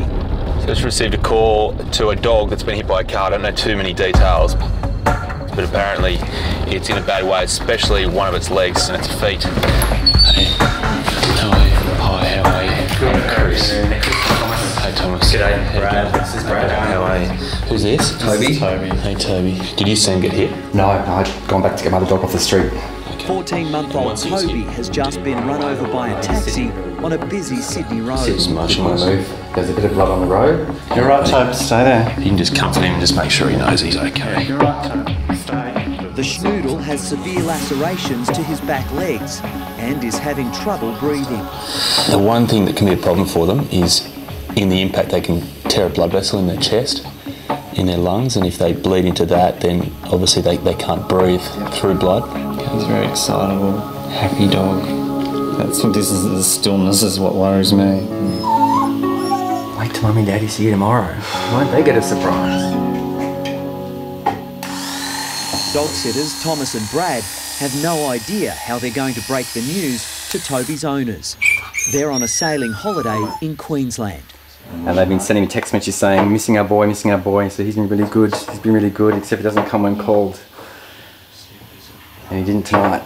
Our priority right now is, is not so much his legs, not so much his injuries, but addressing his circulation, just making sure he can breathe, making sure he can pump that blood around his body, because if that doesn't happen, then we could be in trouble.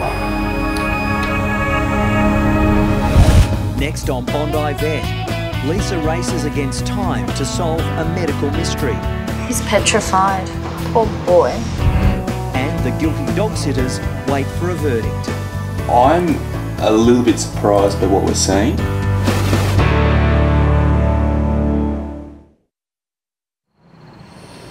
His gum colour's uh, okay, which which is positive. So if he is losing blood, he hasn't lost a lot of it. 14 month old Toby has been hit by a taxi. He's struggling to breathe and has extensive leg um, injuries. One of the big problems with an impact with a car is that they can essentially tear part of their lung, which releases all the air and stops the, the pressure they need in their chest to, to breathe properly. Just to make sure he, he has that negative pressure in his chest. So we're going to put a needle into his chest and just suck out any air that, that could be a problem.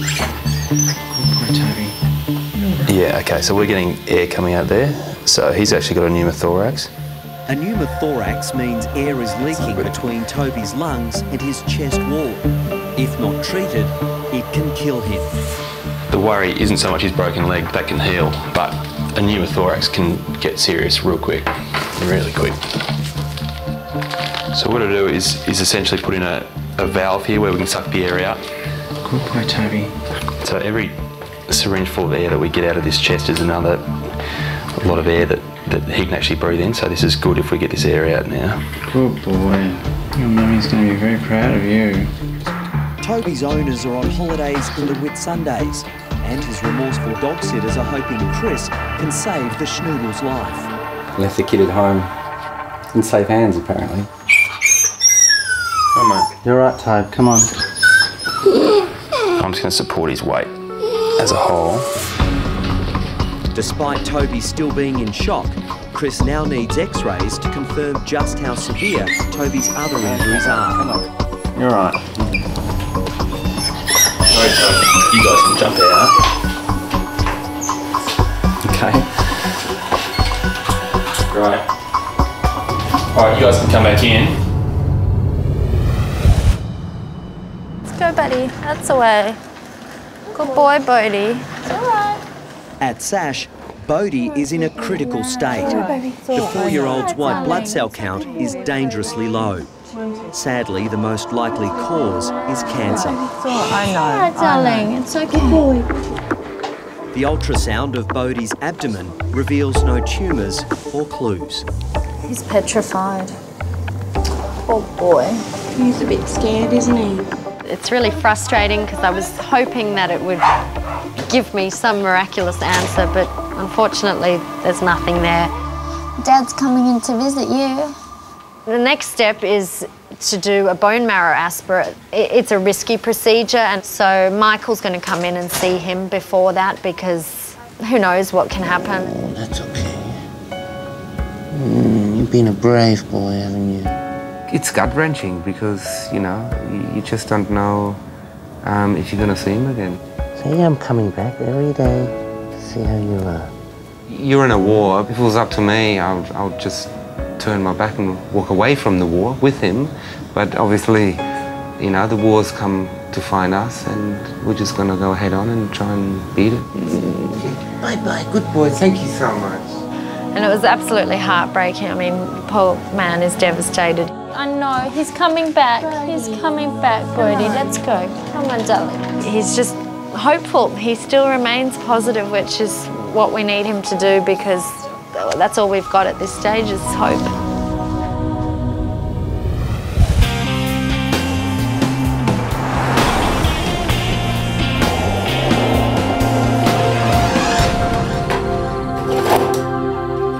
Toby's x-ray results are ready.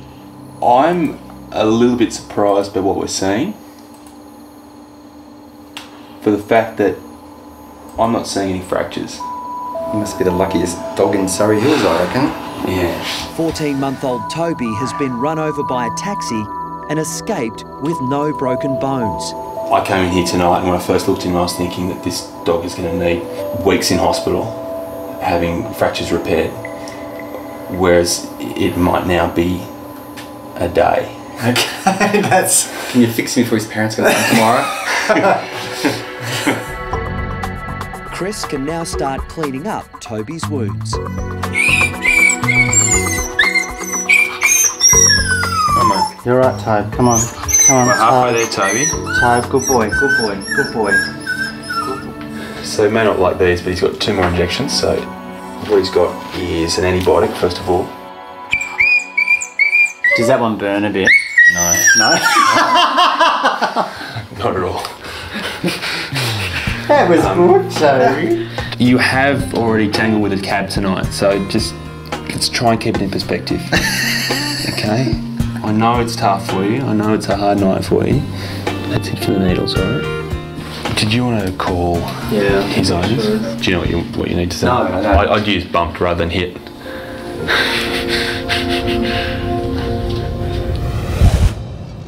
That's a boy. Some oxygen for you.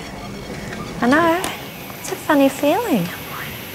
You're a good boy. Bodhi's just been fantastic through all of this. I mean, his, his temperament is pretty amazing and he's been poked and prodded and has still wanted to give us cuddles, so he's just a lovely dog. Sleepy sleeps. Bodhi is about to undergo a risky bone marrow test. Earlier tests show the four-year-old has no white blood cells. The mystery is why. Poor little dog. Medical specialist Sophia Zanis uses a hand drill to extract the bone marrow sample. I'm just going to gently feel for the top of the bone. So I suppose what we really need to know is if Bodhi's got cancer or an autoimmune disease. Neither of them are very good. I mean, I suppose we've got some chance of treatment with certain autoimmune diseases, but most of them are pretty serious and they don't actually respond well to treatment. So it's, it could be very sad for Bodhi, but, um, but we'll find out. This is the only way we'll know. Look at Bodhi. Oh, yes, he's gonna see you tomorrow, puppy. Oh, it's okay. We're gonna get you better. Oh, darling.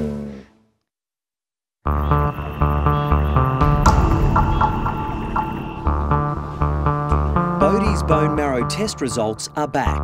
The good news, it's not cancer. The bad news, there's still no answers. This has actually turned into a medical mystery. Bodhi's critical, he's having a plasma transfusion as we speak, and we still don't know why this is happening. because time is running out. Lisa has decided to use a new super drug. And what it does is it tries to stimulate the bone marrow to produce white cells. Dad's here. It's pretty new and it's quite expensive and we don't know if it's going to work, but we really don't have many options here and we've got to try whatever we can. Really? Oh, Big Bear. He's so glad to see you. Michael has brought in his son for a visit. Bodie and Jasper have grown up together.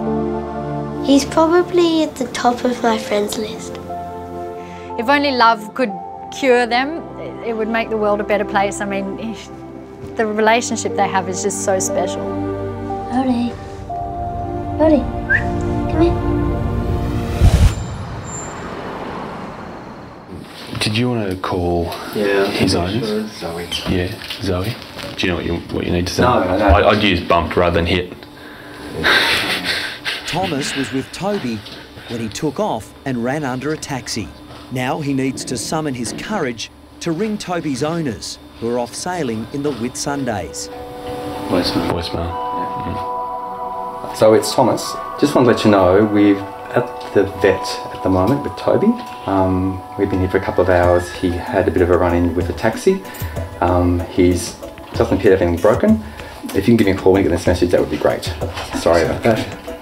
And he's okay. He's okay. He's, okay. Sorry, he's actually okay.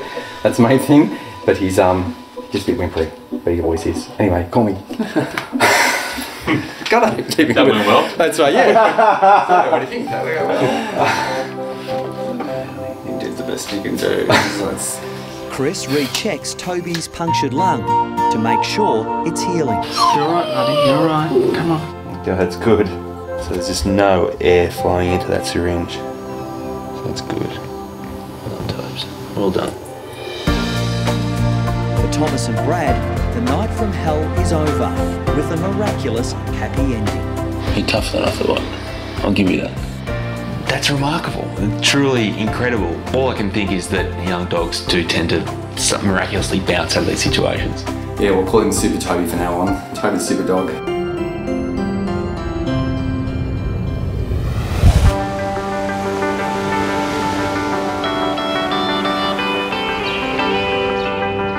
Oh, yummy!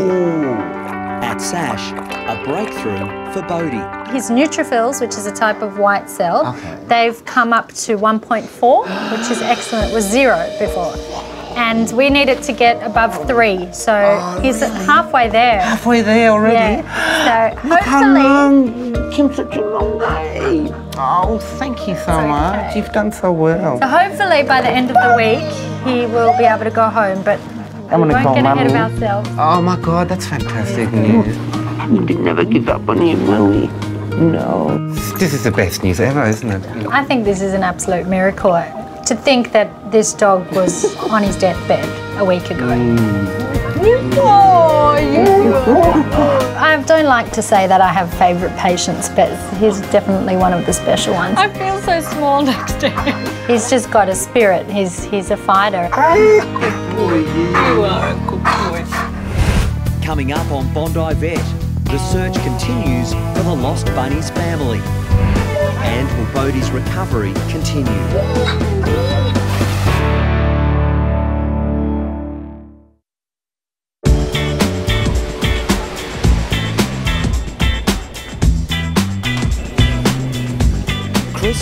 On the Bondi beat, trying to track down the lost Bunnies owners.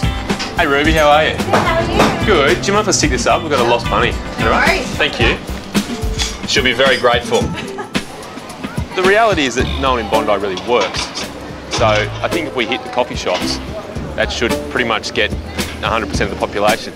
I mean, a weekday, what do those people do? They don't work, do they?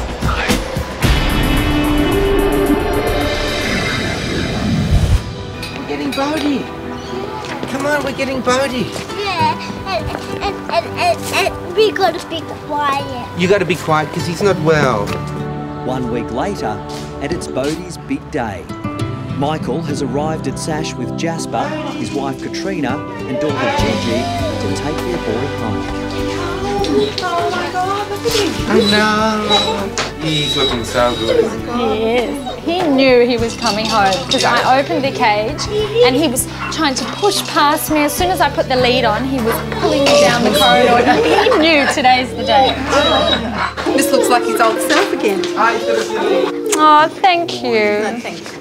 And no, I've got such mixed emotions now because he, I'm so happy with how well he's doing. I really thought he was going to die, so we have to be grateful for that. But we still don't know what caused this, and we still know that he can relapse, and that we just have to go step by step, day by day.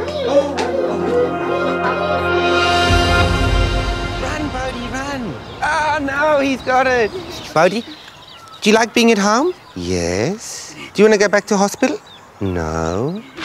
The great thing was that Bodie went home and he had three wonderful weeks with his family. Good boy, Bodie.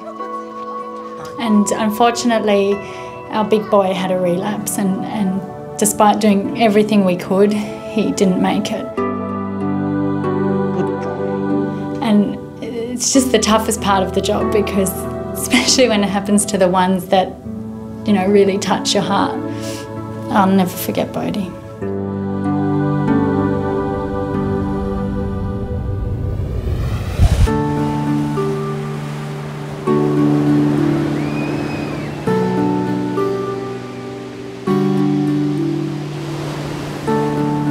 Now, Dino, we've been having words. Hello, She's pretty excited. Yeah? I think this is a good move. There's a new lady in my life, eh? Despite Chris's efforts to find Vaughn's owners, no one came forward. But a hasty adoption has been arranged. Yeah, no, it is nice. It's lovely. You know, it's sort of providing a home for a, a lost soul. Now, Vaughn, if you're going to go swimming, you've got to swim between the red and yellow flags. Down this end of the beach, that's for surfing.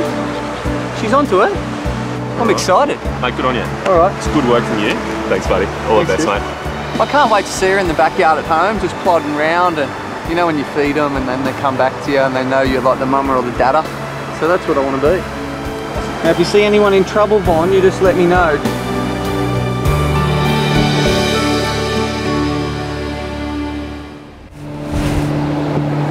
It's not a call you get every day. We've just been called out to a dog that's been stuck in a fence. Now, it's apparently been there for a little while. Police rescue at the scene, trying to get it out. A neighbour tipped off police about the emergency. So he's trying to jump through these things here. Yep. Um, he's made a mess, that's all his blood. He's been hanging there for a while. Do we know who this is? This is Woody. Woody.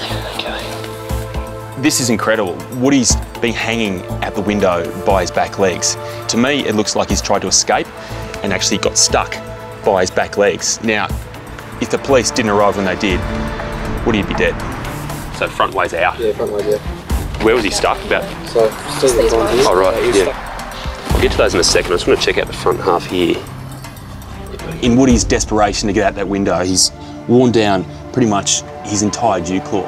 And that's where all that blood's come from. But to do that sort of damage, he must have been hanging there for hours. Oh, Woody, what have you done to yourself, buddy? Chris is concerned Woody may have suffered brain damage from hanging upside down for so long. He may have other internal injuries as well, which we don't know about yet. A steroid injection is administered to help boost Woody's blood pressure. Really hope this works. 'cause If we can't manage to get more blood back to Woody's heart, his whole circulation is going to collapse. I hate to say it, if that happens, he just won't make it.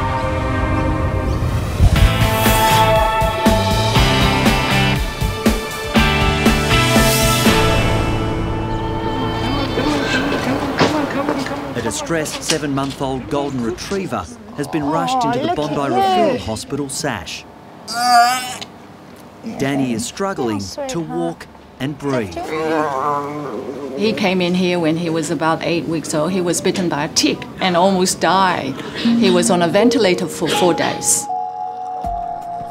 And we were so worried he wasn't going to make it, and we all became so attached to him. And I'm just so worried about him being back here so soon. This time, owners David and Rosaline are convinced a plastic object is stuck in Danny's throat. Oh, sweetheart. He had a feel, and he said it's It's a something. long plastic. If Mr. Lamb hadn't felt something stuck in Danny's throat, then I would be absolutely certain that he's got a paralysis tick. Okay, let's get an x ray. Danny's just a baby, and it's cruel that he has to go through something like this again.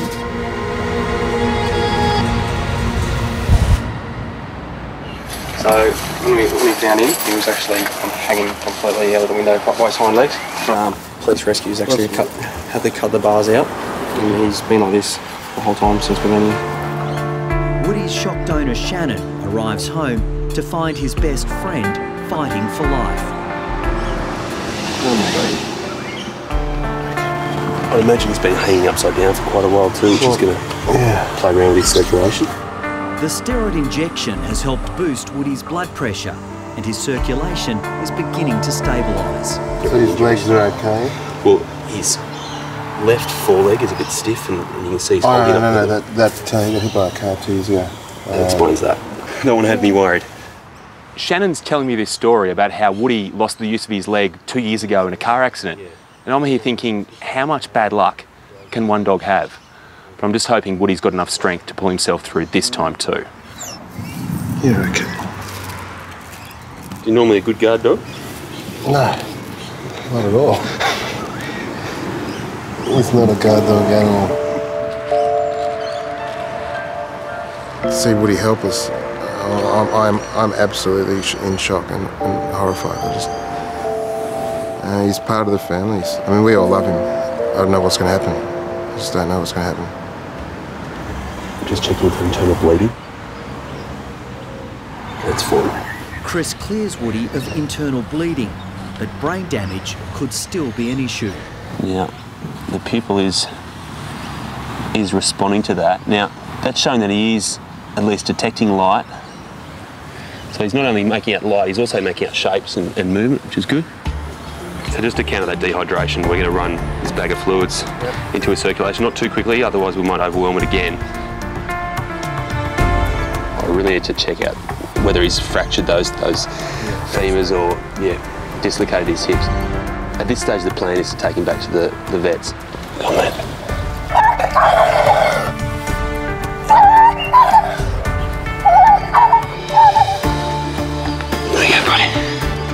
Poor Woody, he's in so much pain.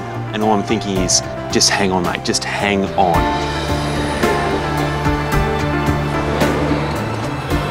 It's all right, mate. It's okay. Been through a lot, mate, I know.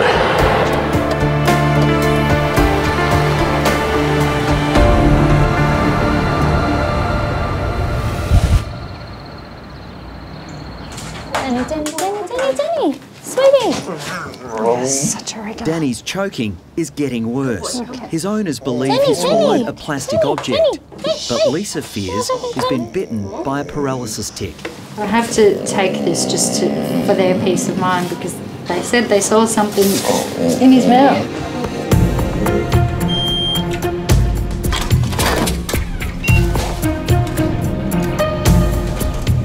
Oh, it looks pretty good.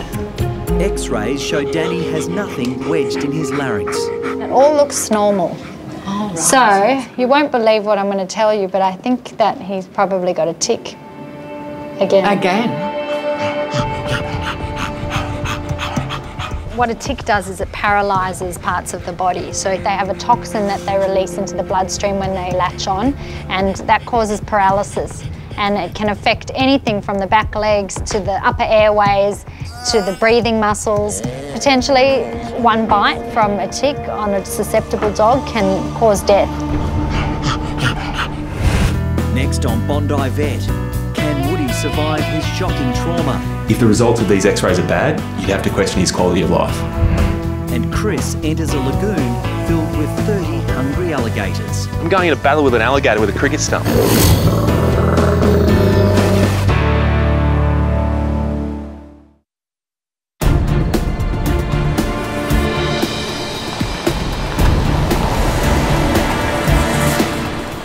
Lift.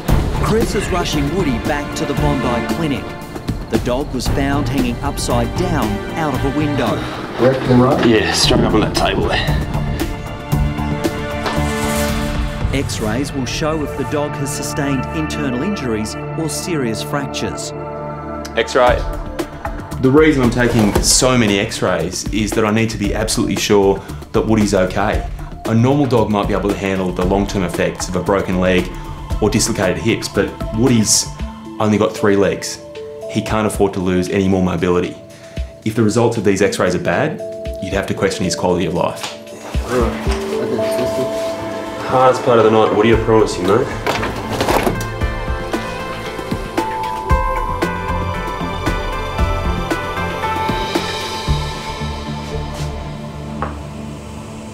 No. Your dog's lucky. Nothing. His hips are in place. Good. No fractures of the femurs. His kneecaps are sitting perfectly. You're a lucky puppy. You're a very lucky puppy. Hmm?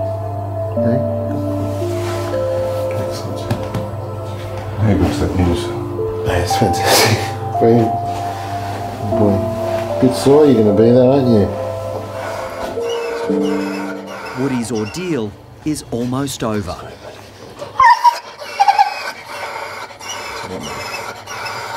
Sorry about that, Woody. I guess it's only now when you get a chance to actually breathe that you realise just what Woody's been through tonight. It's all, buddy. It's okay, mate. Do what's comfortable, mate. Oh, there you go. He must have just been so close to death when that neighbour saw him, and thank God they did, and they made the call, and we got him out. Incredible night. Don't take on those bars, all right? Definitely don't fit through those.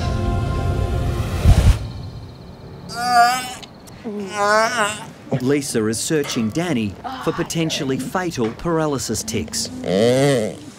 Danny has deteriorated rapidly since he arrived. I mean, he's becoming more wobbly. He's lost his ability to swallow. Look at that, that's so different now. Within minutes, a tick crater is found on Danny's cheek. Looks like a uh, crater. It does. And the fact that it's on his head and he's got these signs of gagging, it, it would all fit in. Yeah. Hey, sweetie. Lisa is now convinced of her diagnosis and immediately gives Danny the anti-serum to try and stop the toxin spreading through his body. Danny boy.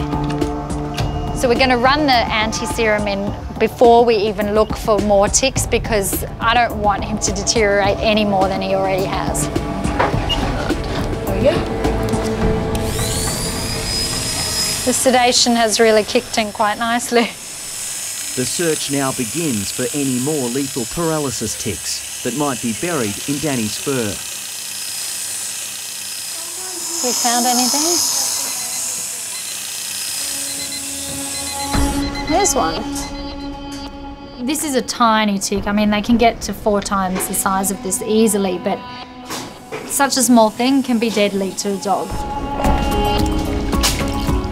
A tick dip is being given as an extra precaution. It's a good bath. Danny will need to be monitored around the clock to make sure there's no life-threatening relapse. I just hope we've got it early enough that he doesn't have to go on a ventilator because that would just be awful.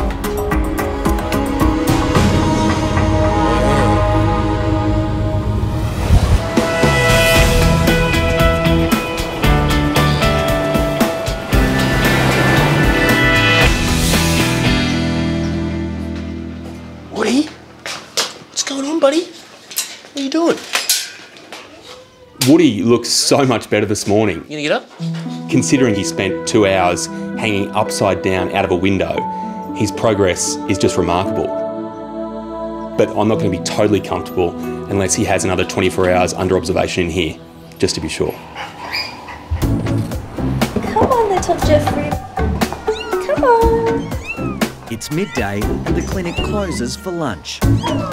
Vet student Laura has let the kittens run amok. All of them are in the adoption program and looking for new homes. This one's Bradley. Hello, Bradley. Hello, Chris speaking. But in the middle of the mayhem, there's an SOS Yeah, call good, for How? Chris from the Australian Reptile Park. It's A bit of a favour to ask. We've got a gator here called Alfie who's potentially swallowed a bottle. So, any chance of you coming up today?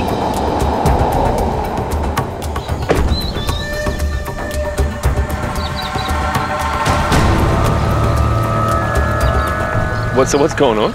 Well, we've got Alfie, our, our American alligator, or one of. Uh, we had a visitor come up and say that he had a plastic bottle in his mouth. They thought. We come down a few minutes later, and there's no bottle. The worry is if he swallowed it, it's gone into his stomach, and if it pushes through to, into his intestine, then it'll cause a blockage. From there, it can actually be fatal very quickly. So it's a bit of a race against time to get in there, if it is in there, and actually remove it. This is all um, well and good, Tim, but can you tell me why I've got the little ones? Yeah, well, they're the, they're the beginner's sticks. It looks like a cricket stump. I'm going in a battle with an alligator with a cricket stump. Next on Bondi Vet, tick victim Danny is still under threat. If you can't swallow, then you can inhale it, and that can cause a big infection in the lungs. And will Chris go beyond the call of duty? I hope he's frightened. I am.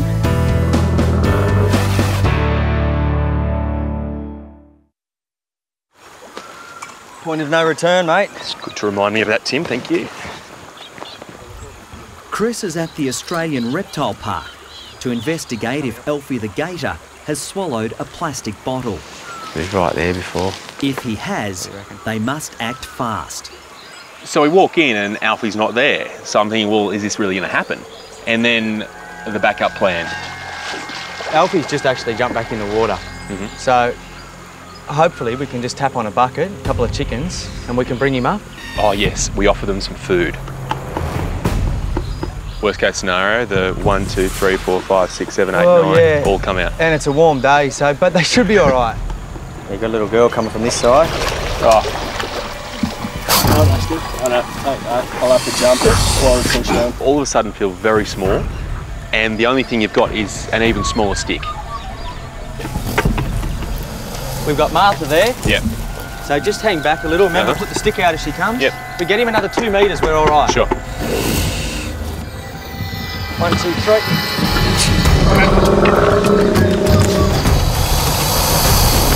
You all right, Oaks? Happy? It's tail. Yeah, mate, could you come and help, Chris? Just put a bit of weight on that. Lizzie will watch you behind for any gators coming up. So we can just get him to open up a little bit. Come on, mate, open up. We've got the stick in there. Now, we get this pipe in. There's that beautiful moment when they've subdued Alfie, the pipe goes in, and then it's over to me. So, And there's just a few mils of PVC between me and those beautiful crunching alligator jaws. And that pipe's being tested. It is coming up. well, it hasn't cracked yet. Now's going to be the test. I hope he's frightened. I am.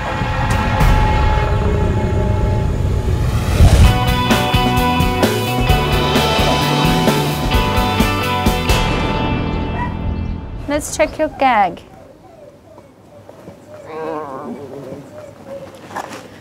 Not that great, buddy. Danny has survived the night after his second see if you battle with swallow. the paralysis tick. But there are still worrying signs. Still not great. Tick paralysis can affect different dogs in different ways. His main problem was that he couldn't swallow. And if you can't swallow, then that means your food sort of just sits at the back of the throat, and there's the risk that you can inhale it, and that can cause a big infection in the lungs. Danny has had pneumonia before when, when he had tick paralysis, and it took him uh, over six weeks to recover from that, so we just don't want to go there again. Until Danny's swallow reflex is back to normal, the hungry puppy will stay on a drip and will not be allowed to eat or drink. I'll use the left arm so I can still write with the, with the right. On the banks of a lagoon surrounded by 30 alligators, it's Chris's moment of truth. The thing about an alligator is their jaws are made for crushing.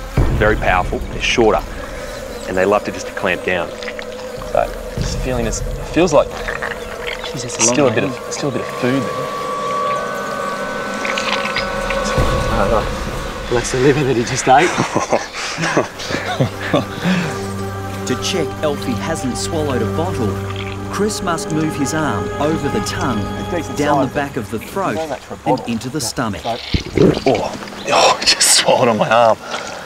Oh, that's a weird feeling. Oh, it's, it's amazing that with all that force, once you get past those jaws, it, it, everything's pretty relaxed until you get these occasional contractions that just clamp down on your arm and try to force it right in there where they want it. Chris needs to move fast as the restless alligators begin to take an interest. What the hell was that?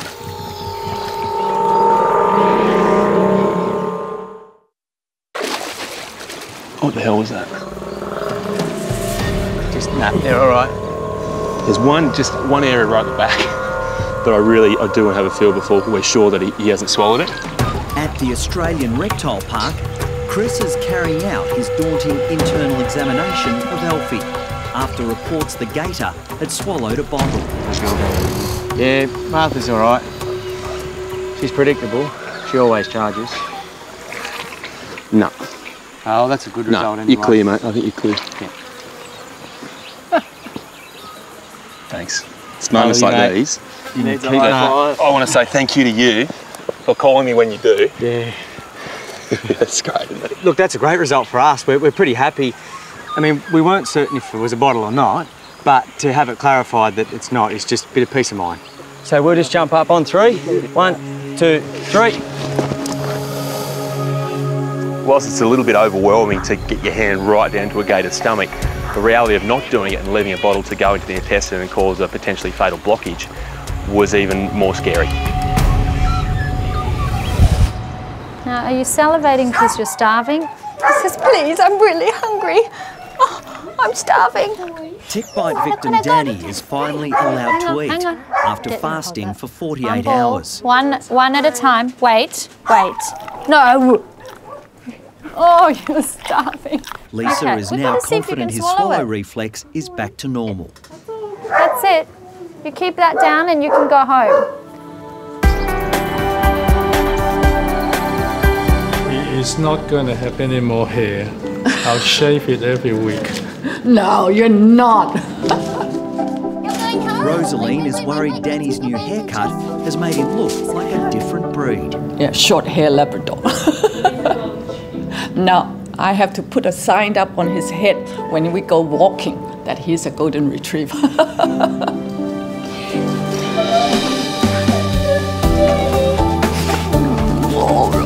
okay, okay, okay. Yes, yes, I miss you too. He looks a bit like a Labrador, don't you think? Don't ever say that. Don't say that. okay. no, we're just teasing. You're a golden retriever, aren't you? Danny's just gorgeous. Hopefully, he'll be back for a visit for cuddles. No more ticks, and they're under strict instructions to check him every day.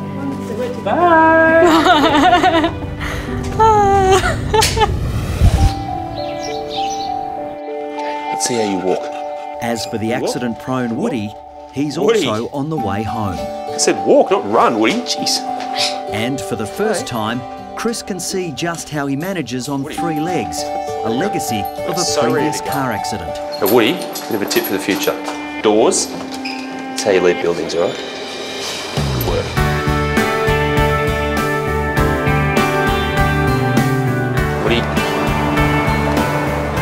You just recognise this place.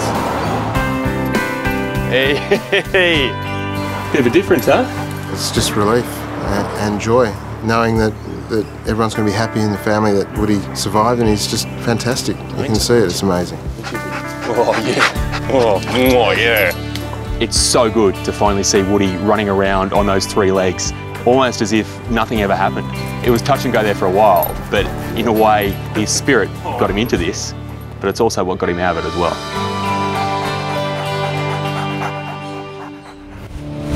If you have a look out here, this is where he's escaping from. He scales that? Yeah. How? Chris has received a plea for help from the There baffled was something Stefan. there and he somehow scaled up the drain pipe. His dog Splodge is constantly escaping. Uh, one of my neighbours gave me a call at work and said, Stefan, are you at home? I said, no, I'm at work. Why? And he goes, your dog is on my roof. On your roof. My first impression of Splodge is he's tiny. How does he get up on roofs? Is this for real? The only theory we have, um, and it sounds crazy, is that he uses the vine. Well, what's this here? Looks to me like that's where Splodge has actually scratched at the bark. Stefan's never been able to catch his dog in the act, but Splodge is quite happy to show off his acrobatic climbing abilities in the garden shed.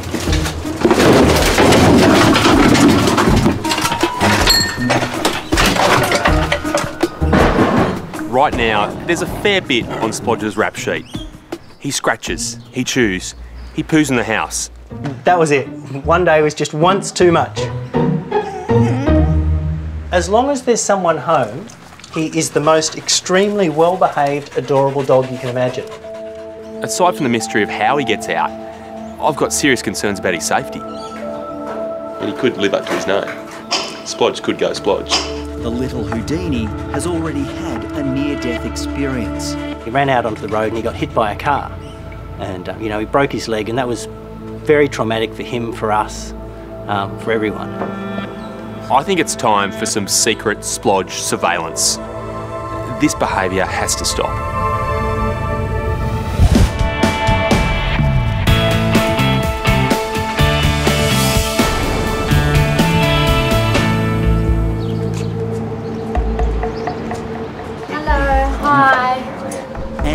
His daughter Emily have just rushed to the Bondi Referral Hospital SASH. I might pop her on the floor actually, 'cause then I can see if she can stand. Their much loved four year old Labrador Chino is suddenly experiencing uncontrollable seizures. There you are, Tremor.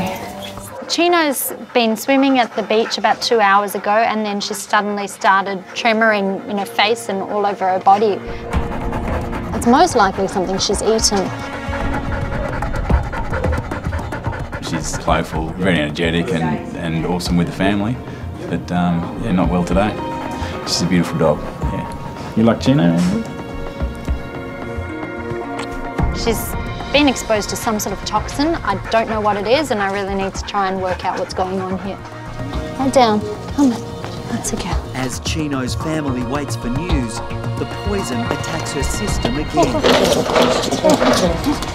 It's okay. Okay, this is the plan. I'm going to put multiple cameras around the backyard. They're going to capture his every move. If he leaves the backyard, we're going to know about it. Chris is trying to find out how Splodge is managing to escape from home. We'll see just how smart you are. I just cannot wait to find out how he's doing this. I just can't see how it's possible. I think you're in a bit of trouble, Splodge. Stay. We go. All right. Never thought I'd say this, Splodge. Don't behave. Look after yourself. So we'll sneak around the front, right, and we'll watch the monitors from in there, okay?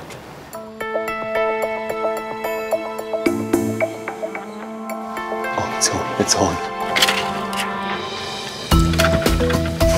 You're kidding. So he's holding himself up with the vine, like almost as a, as a safety strap. My God! No way. He's incredible. How is he doing that? Next on Bondi Vet, Lisa turns detective to find out what's threatening Chino's life. The toxin is just raging through her system. And a mercy dash to the clinic as Chris fights to keep a tiny kitten alive. I know, I know.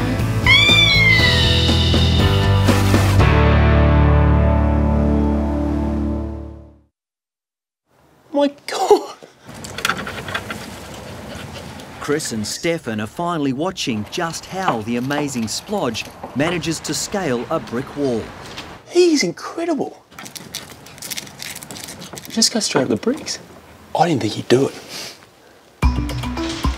And then he's closed the bricks vertically.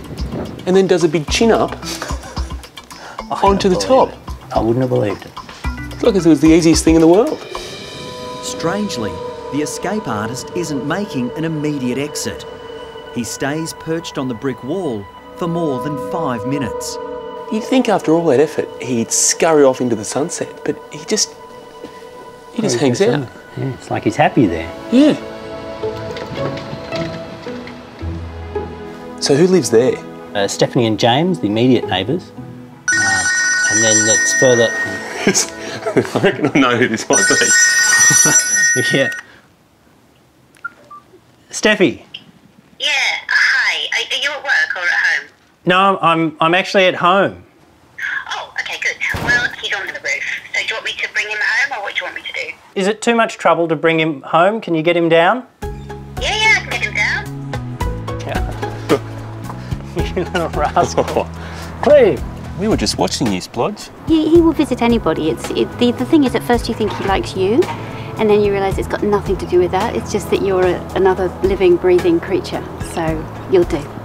So I, th- you know, I think I think he's really cool, actually. Mate, I reckon we've got to make this time the last time.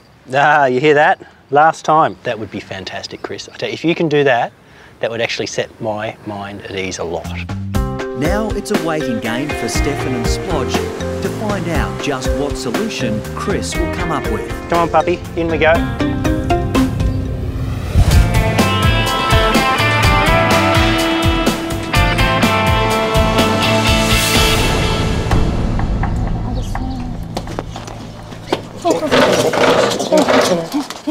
At SASH, Chino's tremors are getting worse.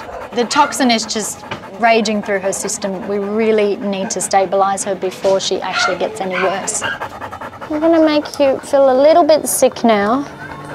I've just given Chino an injection of a drug called apomorphine, which is a drug that makes them vomit quite quickly. And I'm hoping that she's going to bring up something that's in her stomach that can give us some clue as to what's going on. So we just have to now wait for her to vomit.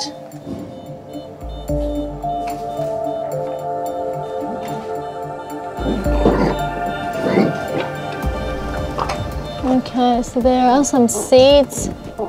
Lisa needs to quickly identify these seeds before Chino's condition becomes critical.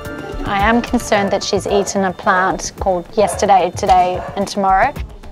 This plant, which is also known as Brunfelsia, is highly toxic to dogs. I am concerned that those might be the seeds. Hi Andrew, it's Lisa calling. What I want to know is, is there a plant in the area where she has been this morning? It's got purple and white little flowers all over it. Ah, okay. Andrew has confirmed that Brunfelsia is growing in his garden. Chino now needs treatment urgently. It is extremely toxic plant. It affects the brain and she's absolutely not out of the danger zone yet.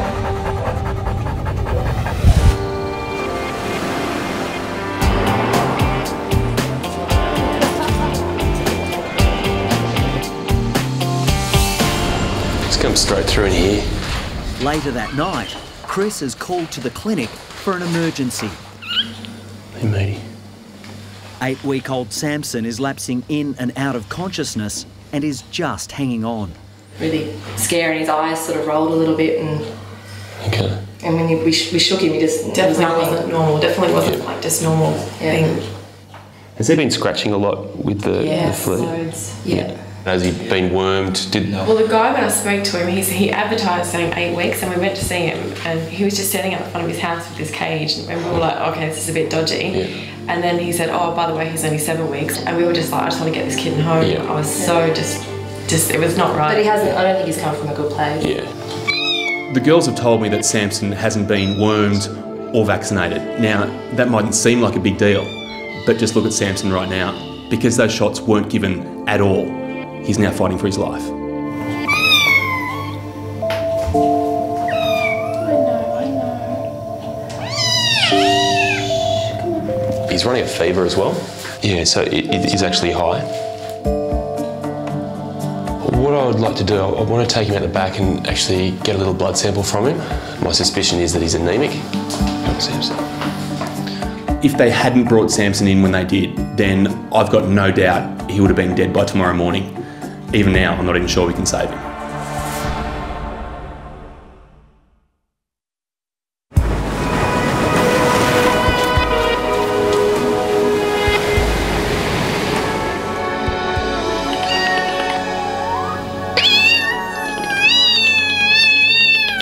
Because of the state he's in, he's got very low blood pressure, so the veins pretty much disappear as you put the needle near them. Chris is taking a blood sample from Samson to find out what's making the kitten so dangerously ill. Now, about a mil is, is what I'm after here, oh, and we've got that there. I'm sorry, Samson. Sorry about that, buddy. So these little tubes store the blood, and then we spin them down, and it separates the blood cells from the liquid part of the blood, and it gives us a very good idea about whether he's anemic or not. Yeah, it's not good. For a kitten, the normal level is between 30 and 45. Samson, though, comes in at 21. So he, he's significantly anemic. It's pretty shocking to think that in this day and age, people can sell a kitten that's young, that hasn't been vaccinated, that hasn't been wormed and is underweight. I mean, it's grossly irresponsible, and unfortunately, Samson's paying the price for it right now. Let's see. The tests confirm Samson is infested with worms, and much worse, lethal blood parasites. The parasites are killing off his red blood cells and causing the kitten's life threatening anemia. Untreated, they'll kill him. We feel really bad because we feel like we've done the wrong thing by him. I'm really worried that he's not going to pull through. Reverse. I don't know how good she'll be. With the poisonous plant identified, Lisa's giving Chino an enema to eliminate the toxin from her system. That's a girl. As long as the seeds are inside her digestive tract, they're still toxic. So it doesn't matter if they're in the stomach or in the, they're in the colon, we need to get them out. All right, darling. I know, I know. That's a girl, that's a girl. Okay. You right, Steph? Good girl. Oh, there are a lot of seeds here. Oh, what a good girl. I have never seen that many seeds come out of an enema. I mean, they were just shooting across the room and all over me. Colonic irrigation. I have some colonics. People pay a lot of money for this, but um, Chino's getting it as part of her package. Oh, look, there's some bigger seeds Oh, there. wonderful. Good girl, you'll feel better, darling. I know you can't understand that. Are you enjoying this? We have a spectator here. Okay, so we've run a few tests and, and got some results. His issues aren't small. I guess that's that's the first thing. He's quite severely anemic, so his red blood cell count is at 21 when it should be between 30 and 45. So he's it it is quite low. Tiny Samson is fighting for his life after being ravaged by potentially fatal blood parasites. I'm a bit shocked, to be honest. I know. I, and we just thought he was a little bit sick. I didn't realise it was so intense, and like, I'm so glad we brought him in. Yeah. We've only had him for a week and we're already madly in love with him. He's, you know, he's a part of our family and I couldn't imagine life without him. None of us could. Oh, I think he knows. The most important thing to do for Samson right now is to replace what those worms, what those fleas, what those parasites are taking away, which are his nutrients. So we're going to give him some fluids, actually under his skin rather than intravenously. It's a good amount, isn't it? Yeah. We're going to treat him for his fleas. And we're going to use a spray that's going to kill the fleas straight away. You like that? You don't mind this bit, do you? This is a high energy nutrient supplement. It also has some iron in there as well. Do you look at that? Yeah? Oh, you're coming around to it, aren't you? Oh, you like that? you can have the finger as well. With a little help from the Nutrigel, Samson swallows the tablets that will eradicate the worms and blood parasites. It's, it's the chunky stuff, isn't it? Yeah. Tastes a bit different to the last one you had, isn't it? Got him a beauty. Now that I've treated Samson, I've essentially done everything I can. He now needs to rest. He needs to build up those energy reserves so that he has a chance to see it right through to tomorrow. See you in the morning, okay? Next on Bondi Vet, Chino still under threat from the poison in her system. Oh, it's yucky. And has Chris come up with a solution to stop splodge? This will work. Good puppy. I hope it does.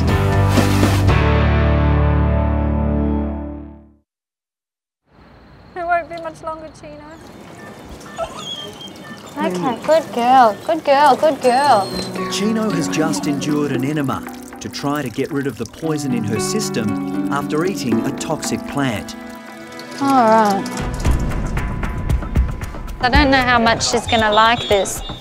Now the Labrador is being force fed one last treatment. Oh, it's yucky. The charcoal binds to any toxin that is still in her gut, so it's going to prevent anything that's floating around there from being absorbed.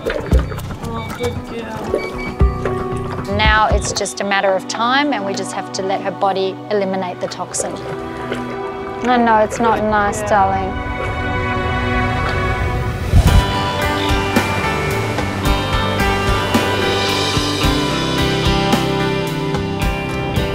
So we're going to head down to Bondi Surf Club here and grab our solution to all of Splodge's problems. Chris has come up with a left field solution to stop Splodge, the incredible escape artist. The tiny dog has already been run over once, and his owners are worried next time Splodge won't be so lucky.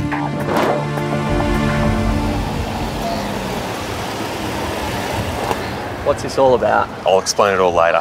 Is it in here? It's in here. I'll give you a hand. Righto. Heavy, isn't it?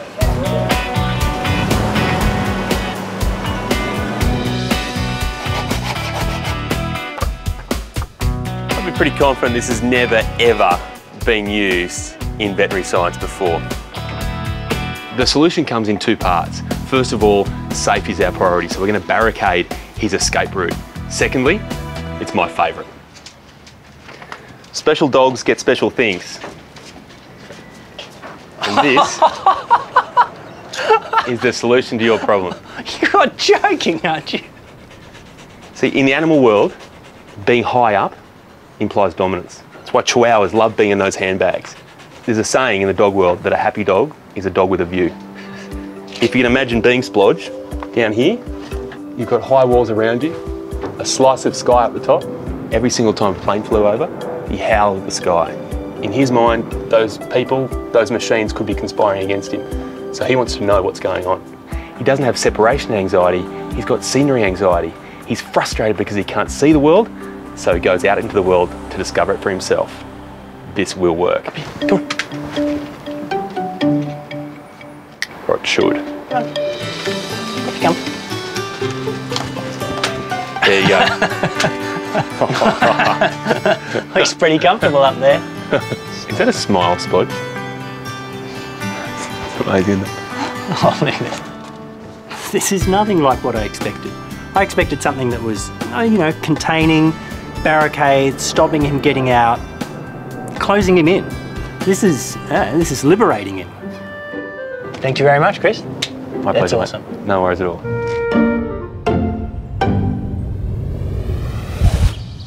Hey Chino, it's home time. Who's there? 24 hours after surviving a terrible scare, the poison is finally out of Chino's system. Believe it or not, she's usually a bit more energetic even than that. She had thousands of these seeds. Before Chino goes home, Lisa wants to be certain Andrew knows the danger plant to look out for. Thanks, Lisa. No worries. Thanks very much. You want to say thank you. Bye-bye. you to Lisa? It's a very happy ending for Chino and Andrew's over the moon, but it's, there's a lesson there. People need to know that if they've got a dog and they've got Brunfelsia growing, they need to rip it out.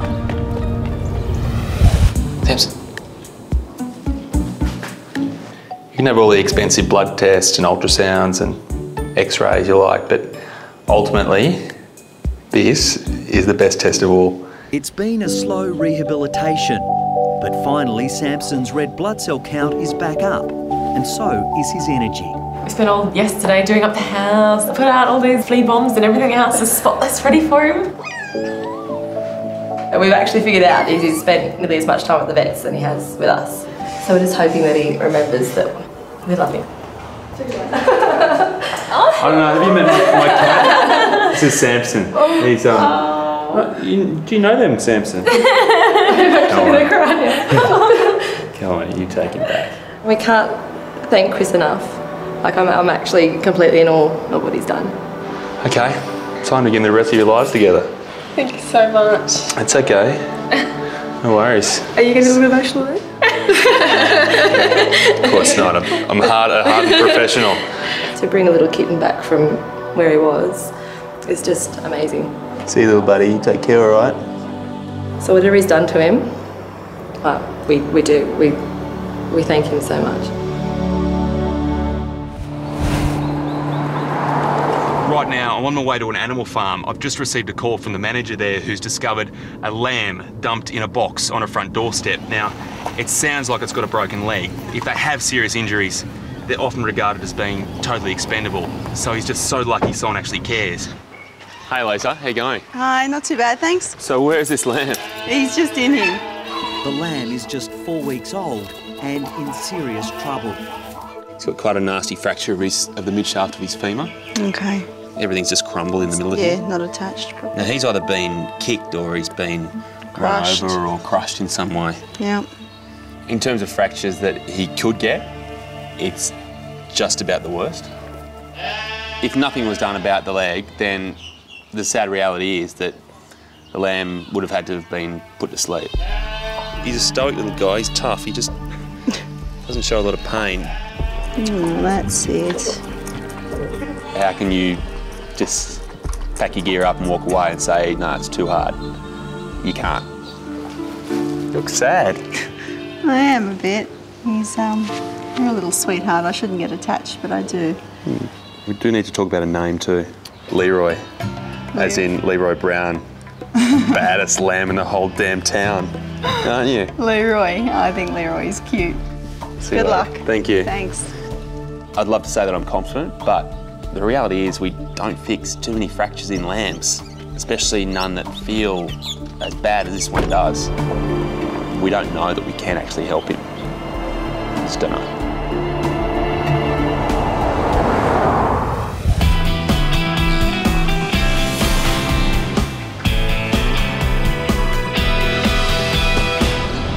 Serena, Yep. there's the paperwork for Master. Thank you. This big dog has just come and taken a massive grip around the top of his chest and, and has literally torn the skin open. It's just awful.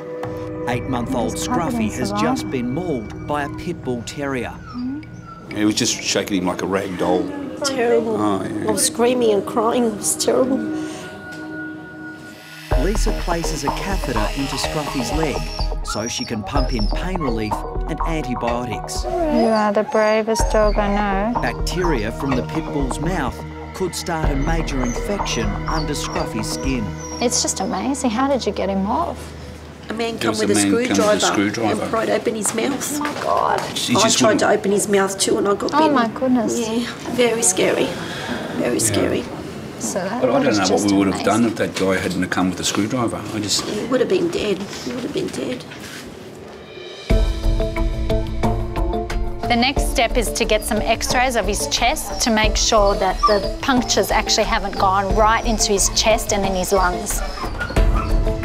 Okay, so the chest x-rays actually look pretty normal, which is good. His lungs are nicely inflated, um, and I can't see any signs of it actually puncturing the chest. So that's good news for Scruffy. So he's had some strong pain relief, so he's going to be a little bit drowsy. And you can give him a cuddle.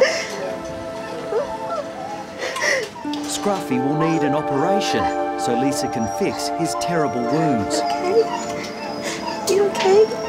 But until the little terrier is stable, a general anaesthetic is too big a risk. The next 24 hours will be critical. Isn't? I thought he was going to be a bit lifeless, but he's all right. Yeah. Okay, we're going to look after him. Hopefully, get him back to you as soon as we can.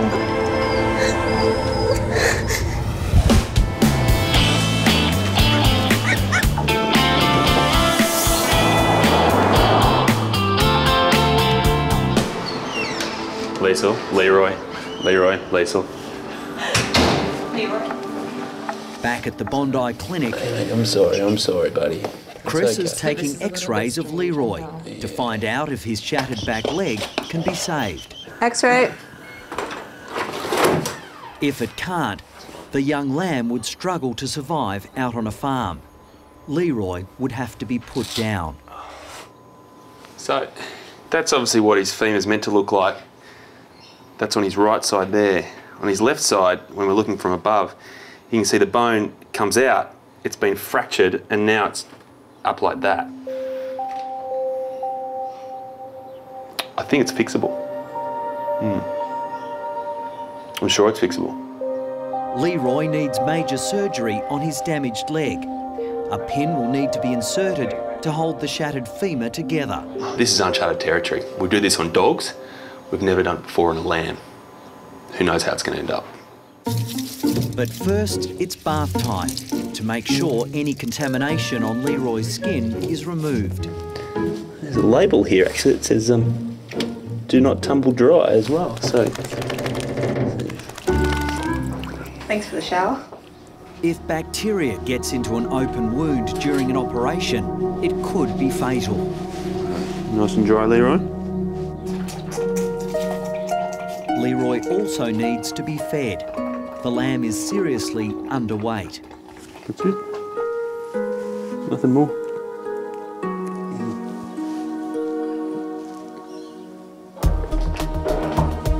The only nagging worry I have is that we may fix the fracture here, but if there's been significant nerve damage, then the function may never return. The fact is Leroy has to be able to walk if he's to go back to that animal farm. Otherwise, it just doesn't look so good.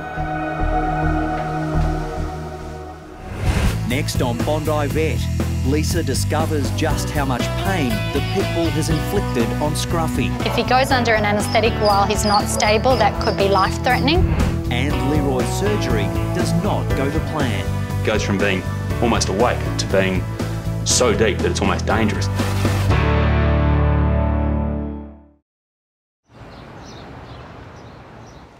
Chris is about to operate on four-week-old Leroy's shattered back leg.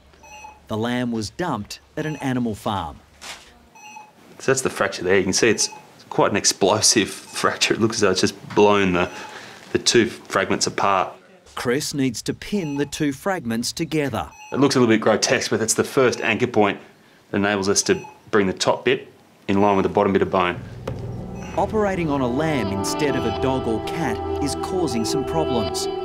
Chris is struggling to judge the right amount of anaesthetic for Leroy. We've had a few scares where he's just goes so deep all of a sudden that uh, you've got to really check that he's breathing. He's still got a heartbeat, but he likes to hold his breath for quite a while. He's a bit of a daredevil under anaesthetic and likes to scare us. How's he going there, Jules?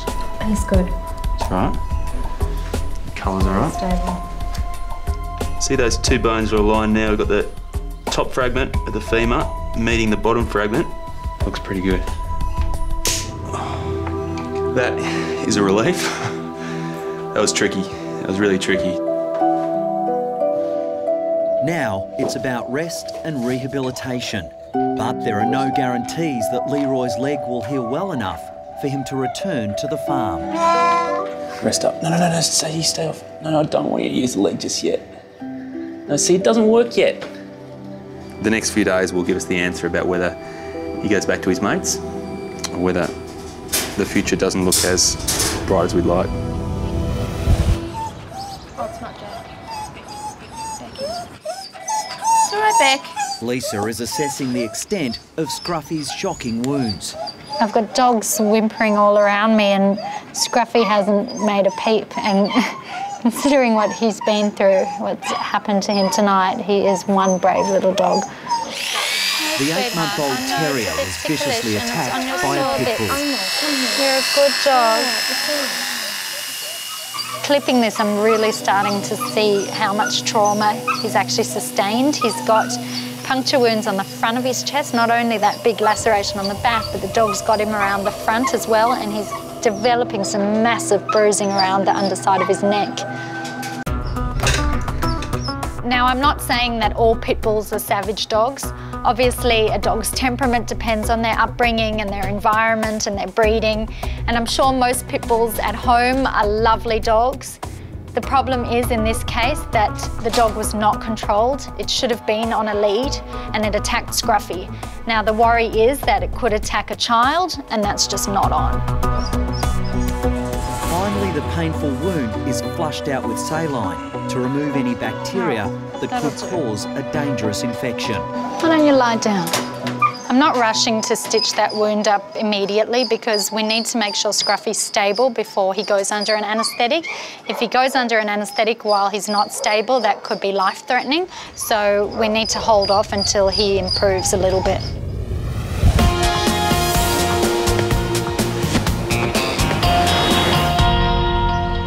Chris, are you around? Yeah. We just got a little pup here.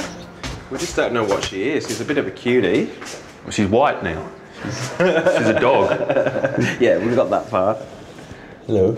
At Bondi Clinic, the subject of dog breeds has also become a talking point. This little girl is, I think, about 12 weeks old, and um, she's up for adoption, and I'm considering adopting her. My main worry is to find out if there's some pit bull in her. Um, I believe they're not all bad, but um, I'm just still concerned about that type of breed of dog with a young child. I'll give you my opinion. Bull Terrier cross Kelpie, but there is actually a way to be exact. Really? Yeah, so we can actually take a DNA test Wow. and, and the truth will be revealed. A $120 DNA test will now decide Snowy's future. There's a very serious side to this test. I mean, from Sue's point of view, she needs to know that Snowy is going to be safe and a good dog to have around the family. But from Snowy's point of view, it's even more dramatic because a bad result here and she could be heading straight back to the pound. After the break on Bondi Vet, the ordeal continues for brave Scruffy. We've just got to monitor the area for any signs of infection because that's going to be our biggest risk at the moment. And will Leroy ever be able to go back to the farm?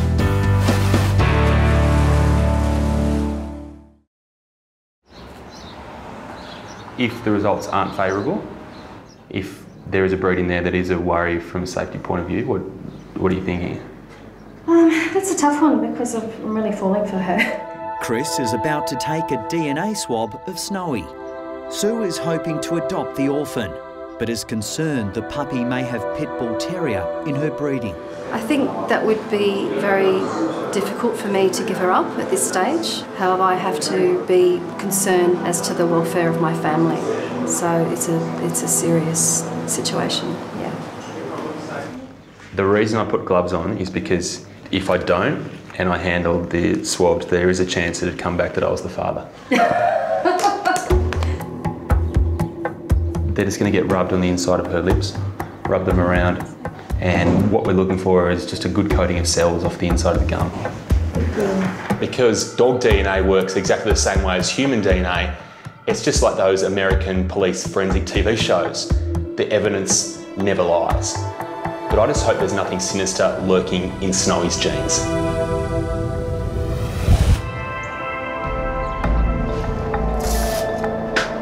You go sleepy buys and you wake up and you'll be all stitched.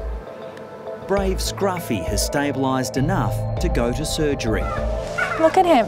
It's amazing. It's just unbelievable. The eight month old terrier suffered shocking wounds after being attacked by a pit bull.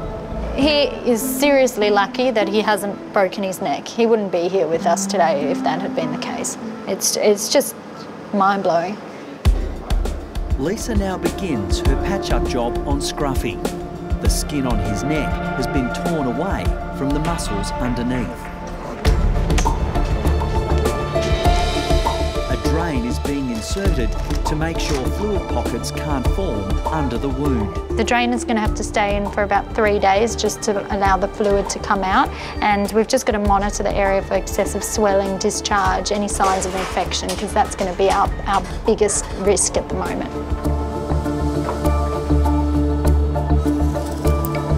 Ah, oh, it's now. Oh, look at your tongue. Put it back in your mouth. Put it inside. Oh. Oh. Scruffy will now be put on a long term course of antibiotics, but Lisa believes there may be much tougher healing issues. Oh boy, dogs can really change after something like this. You know, one traumatic experience can be ingrained in their mind forever, and there is a chance that they'll never be the same dog again. Your tongue's still out. You're sticking your tongue out to that pit bull. Hey, saying ha. Have a rest. Have a rest.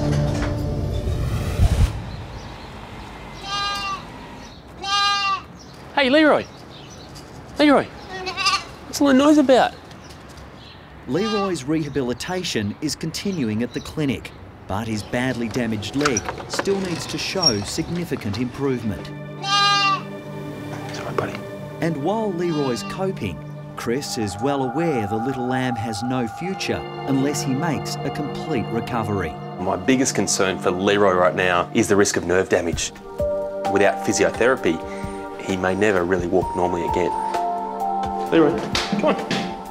And as strange as it might seem, walking around the clinic and following me is actually part of his physio. How you doing there?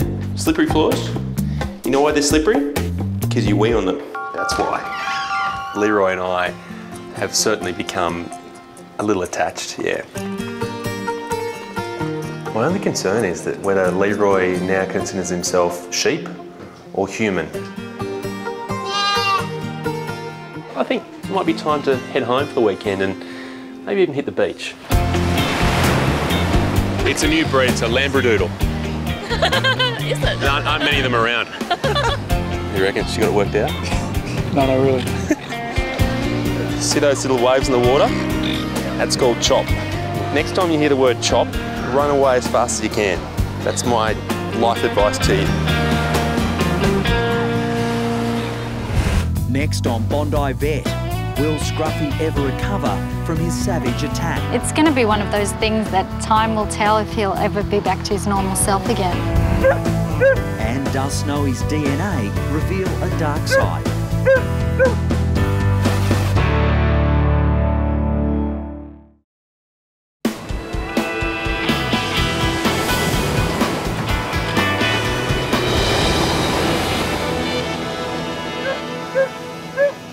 Snowy's DNA results are back. Sue and her son Orlando are anxiously waiting to find out if they can keep their pup. Sue, meet the distant relatives. Hello. oh my goodness. So Snowy is a Staffy cross Whippet. Wow. But Part see- of it doesn't. Yeah, that doesn't surprise me in a way. Really? Yeah. Okay. Because I can see that the long back and the Yeah. long, long skinny tail. Yeah. And the colouring is, is, yes, it's very you, Floydie. Yeah. It is. and He's not the father, um, though, we should point that out. but I guess the important thing is, from you, especially Yeah. your perspective, Yeah. safety, no people there. No, no. Um, no that, that's a bit more sort of peace of mind for us. If Orlando's friends come over to our house from school, you know, that she's going to play well. She's not going to get vicious in any way. It's all, it's all good, you know. The tricky part is coming up with a name for the cross. I mean, Whippet Cross Staffy, there's an obvious cross there, which is a Whiffy. Whiffy. But, you know, do you want your dog to be Whiffy? So this result is not only good news for Sue, it's incredible news for Snowy as well. Snowy has a home, and a very good home. This is huge relief for me, for sure.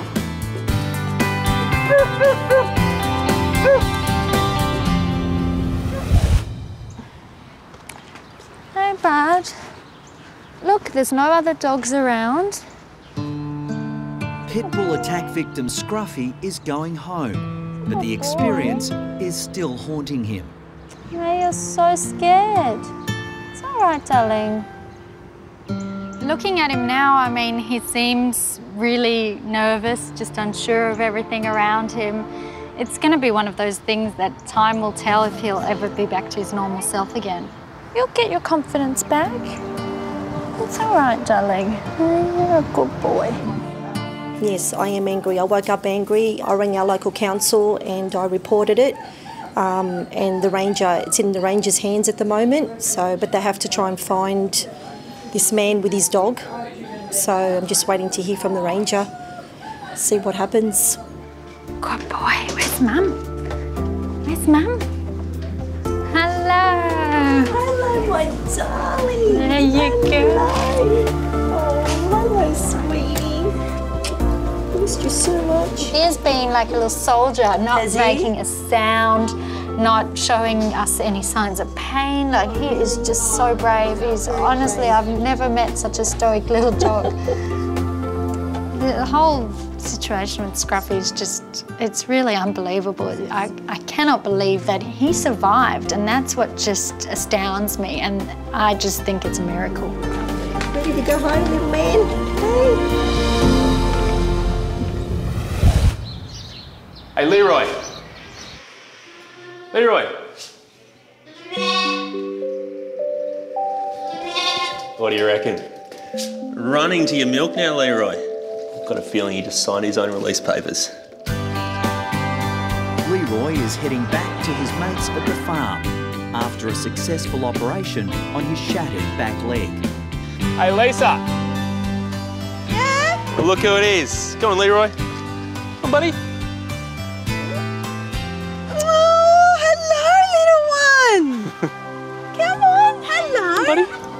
See spots here? That's what you are. Hmm? You're a sheep, Leroy. My only regret is that we washed him before we brought him out here. I think we should have roughened him up. If you haven't noticed, he glows. He's so luminescent white. See you, champ. I've really been fighting forming that bond, but he's Leroy Brown. He's part of the family. Where are you going? Leroy? Leroy, I'm sorry, buddy. you gotta stay here with me now. It's your new mum. It's going to be hard driving off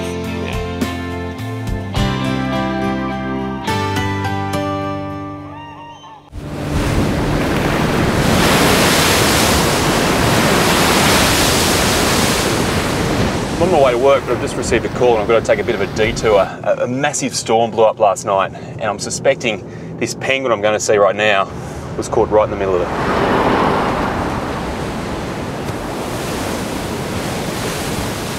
Hello. Go in here and No worries, thank you. American visitors Dan and Ashley have found an injured penguin washed up on Bondi Beach while they were going for a late night swim. I'm just going to have a little look at him, and I just don't want to stress him out too much right now. We figured he might be in a little bit of trouble, kind of the way he was walking, the way he was using his wing and stuff, so uh, we couldn't really leave him there, so we decided we'd grab him. Your name for him? We've been calling him Harmon. Harmon. So was he unable to move when you when you saw him? No, he wasn't unable to move. He just seemed like he didn't really want to. Didn't really want to move that much. He just seemed like he was kind of struggling. And he did move. He's not meant to be in a bathtub. so in his mind, he's freaking out right now. Harmon must be terrified. I'm thinking the poor little guy normally lives in a penguin colony on the northern side of the harbour. And during last night's storm, he's been tossed around and blown way off course. That explains how he ended up being washed ashore at Bondi at 3am. But it doesn't explain why he's so weak and why he's left himself so open to predators.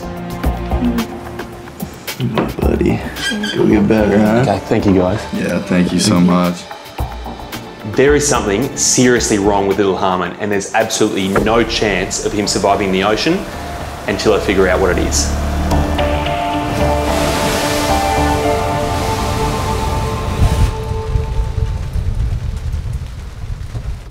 Oh my god, so embarrassing.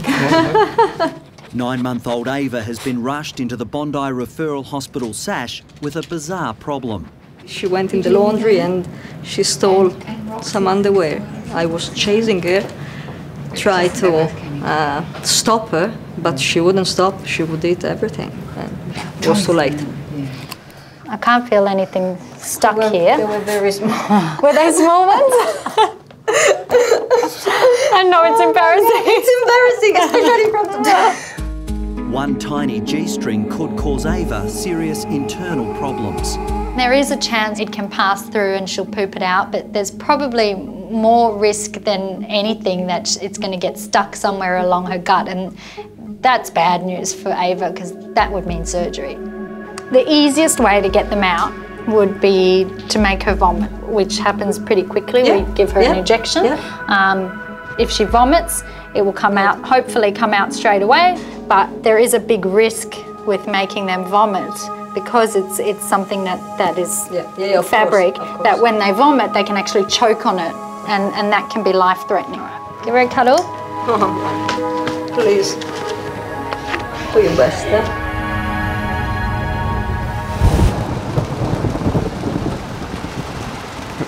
Back at the clinic, Chris is trying to find out why Harmon is so weak. So I'm sitting here checking his heart, which, which sounds okay. Notice his eyes are actually quite sunken, so he is certainly dehydrated. And that comes from the fact that he hasn't eaten really, certainly today. Birds, like penguins, get their water through their fish, and if he hasn't eaten, then he hasn't drunk either. Pretty small, aren't you? I reckon you might be young. Young kid not able to handle a big surf, huh? Is that what happened? As he checks the penguin's weight, he makes an alarming discovery. Give me a second. What is that? Can't be. You see this? That's a tick. Look at it, it's been feeding off little Harmon here for at least a few days, and all the while that ticks are feeding, they're injecting their saliva, which has a toxin which paralyses them. But it paralyses them from the back forward. Why couldn't he stand up on the beach this morning? Why couldn't he run away? Paralysed legs. Just got to be careful to get all of the tick. And that's it right there. It's a big tick. Big tick. A paralysis tick on a dog or a cat? Absolutely. But on a penguin? It's got to be some sort of first.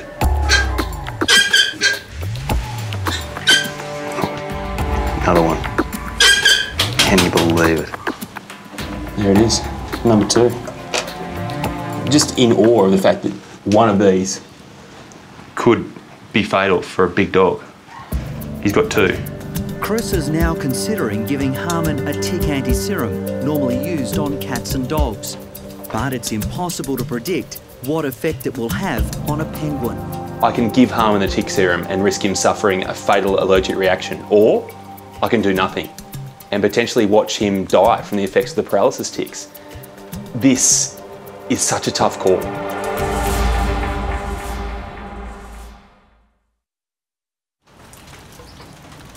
Lauren, this is Ava. Hi, Ava's swallowed her mummy's G-string. Lovely. So mummy's very embarrassed about it, but I think we've caught it early, so hopefully we can get her to vomit and um, get it out the easy way. Okay. Nine-month-old Ava is about to get a shot of apomorphine to help her bring up the underwear. The biggest problem that can happen with making a dog vomit up something that's soft and large is that when they're vomiting, it can become stuck in their airways, so they can choke. So we need to have a catheter ready, an anaesthetic ready, because if that happens, we've got to anaesthetise her straight away and get that thing out. All right, Ava. Just a bit noisy, sweetheart. Just a bit noisy. All right, sweetheart. Oh, I know. Oh, I know. You're a good girl. You're a good girl. These always freak me out at the best of times because it can really go pear-shaped. All right, Ava, Ava, Ava, Ava, Ava, Ava. The soul bit's over. The soul bit's over. Actually, not really. I'm gonna make you feel a bit sick soon. Really worried, really, really worried. And I just hope that uh, she could vomit, and uh, and that's all. That's all I hope. I'm sorry. I hate giving them this. It's not it's so mean. All right, gorgeous. Now we wait.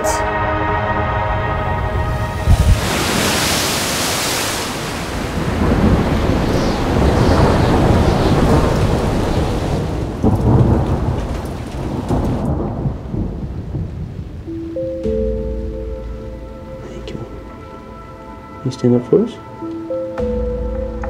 Harmon is now feeling the full effects of the tick paralysis. The penguin can no longer stand up. Harmon is getting much worse, so that's really made the final decision for me. I'm gonna move? I just don't think he's going to survive without having that anti serum. So I'm just going to have to take the risk there could be a potentially fatal allergic reaction. Right, fingers crossed. That's all you've got. Harmon will now be monitored constantly to make sure he has no adverse reaction to the serum. Chrissy, there. While the penguin oh, rests, really? Yeah. a phone call alerts Chris to an emergency case about to arrive at the clinic. All right, Kurt, come straight through. All right, so what's happened? He's been stung by a blue bottle in the mouth and it's 100%. Down at Malabar trying to stick him off the rocks. Came back like this, like I thought he had a twitch or something. Picked up a stick with a blue bottle on it and then he was shaking his head. So definitely stung by a blue bottle. Blue bottles are a constant danger on Australian beaches. Along the line of the blue bottle tentacle are a whole lot of stinging cells. Now these, once they detect skin or the inside of Kaiser's mouth, in this situation, they fire a little arrow and that arrow contains a toxin. Not only is that extremely painful, the worrying thing for me right now is that this is going to start to shut off that airway. And in a boxer like Kaiser, there's not much room to start with.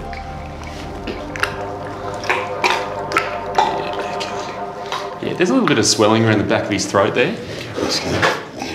It- that lymph gland is just the slightest bit enlarged actually at the moment. What I might do straight away is give him an injection of corticosteroid to try and um, basically reverse the effects of any allergic reaction he could be having to the sting. Do you mind if I take him out the back to give him this? No. I just need to get someone to actually hold that vein up for me. Yeah, no, that's alright. He's alright. Thanks, mate. I won't be a second. The worrying period for me is the next 10 or 20 minutes. That is the time when it could shut down the airway altogether. There's no reason why a blue bottle sting to a dog in that mouth or throat area couldn't be fatal. Oh, mate. Is he alright or what? Touch wood, eh? Next on Bondi Vet, complications for Ava the Anteater. Honestly, my heart skipped a beat. I was really anxious. Oh, baby. And Chris keeps around the clock watch on Harmon. We just won't know if that anti-serum is going to work for at least another 24 hours.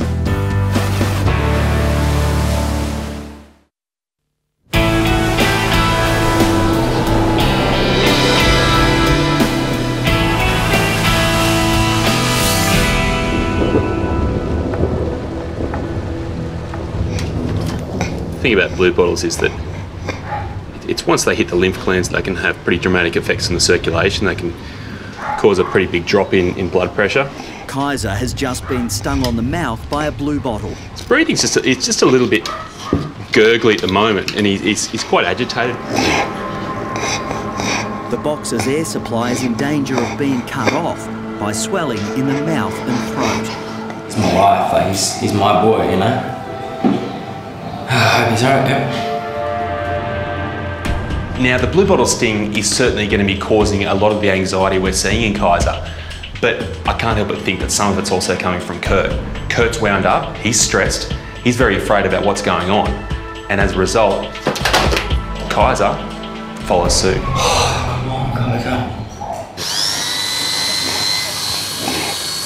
The more stressed he becomes, the more oxygen he actually needs.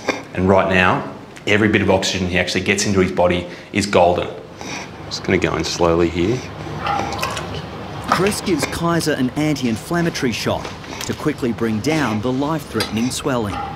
That's relaxed in there a little bit too. You can see the effect that's had. You see he's just breathing a little bit more comfortably. Yeah, just waiting here, I just felt physically sick, like semi still a bit shaky, you know. Um, like, like I said, I'd sell everything for my dogs. You know, any one of them, like they mean everything to me. Kaiser is lucky. Within half an hour, his breathing has stabilised. Oh, you're relaxed, aren't you? Look at that. Kurt is still stressed. He's so in love with Kaiser, he's about to get a tattoo of the boxer. Oh, I know that I want him forever on my body, like I mean, you know what I mean. It means, yeah, it means the world to me. Yeah. Hmm. Yep. Where is he, Kaiser? Oh my god. It's Kaiser, boy. Hey, Chris. There you go. Is he alright or what? No, he's fine. Yeah? He's going to be okay. Yeah. Sweet. He's not- 100%. yeah, I mean, he's a little bit shaken by the whole thing. Mm. The big boxer. Good on you, buddy. I'm seriously like, you don't understand, like, yeah, like freaking out. Yeah, that's fine. I, I could tell that, don't worry. I like this lifesaver. I'm really struggling to think of a time where I've felt more appreciated in my life. But at least he's saying thank you, and that really means a lot. She's already starting to lick her lips, so she's feeling nauseous, so the vomit's going to happen pretty soon. Nine-month-old Ava has been given a shot of apomorphine to help purge the G-string she stole from her owner's laundry. I know, sweetheart. Oh, I feel so mean doing this. You feel nauseous yourself. Mm. Here we go. Here we go. Good girl. Good girl. That's a girl. Hmm. It's not ideal. When Ava vomited the first time and there was nothing there, I honestly, my heart skipped a beat. I was really anxious. Lisa's now worried the tiny spaniel won't be able to bring up the underwear. The next option is emergency abdominal surgery. Okay, maybe the second time lucky. Come on, sweetheart.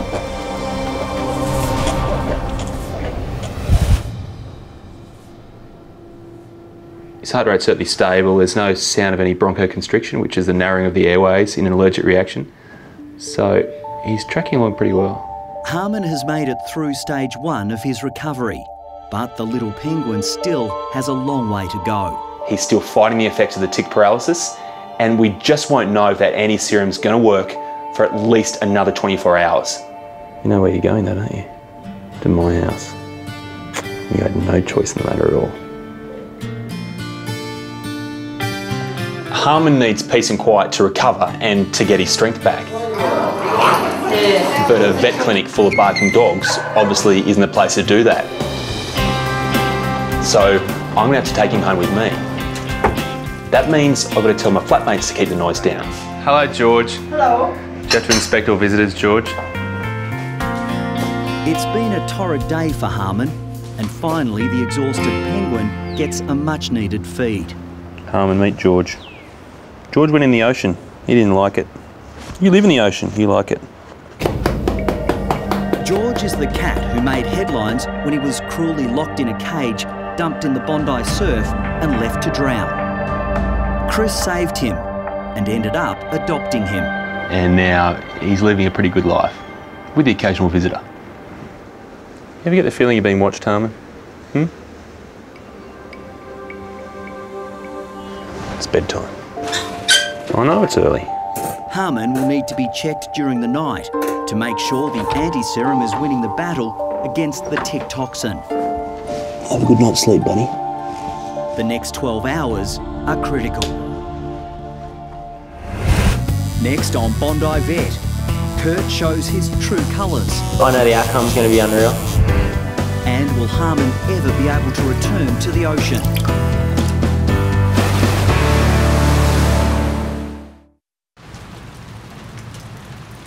Here we go. Here we go. Good girl. Time Good is girl. running out for Ava, That's the little girl. spaniel who swallowed her That's a owner's girl. underwear. Come on. If she doesn't throw it up soon, the only That's answer is emergency surgery. Come on. Oh, there we go. Good girl. Oh, I'm going to oh, get some gloves and just make sure. Honestly, I've never been more happy to see a G-string. Good news. They match your top, I see? they match my top. They match your top too. Yeah, that's right. I've Everything given them. I've given them a rinse. Thank um, you. and she, she, they came out really easily. So. Thank you very much. Ava is ecstatic to be reunited with Monia. But in the future, can the naughty puppy resist her owner's lingerie? She's obviously happy. She's going to have to learn her lesson now, lock up the underwear, lock up anything that Ava can get to. She's got a ferocious appetite, and I really don't think she's going to grow out of it. you stick to dog food, huh? No more underwear. You see? No. But I hope that she's learned the lesson. Hmm? Have you? Maybe.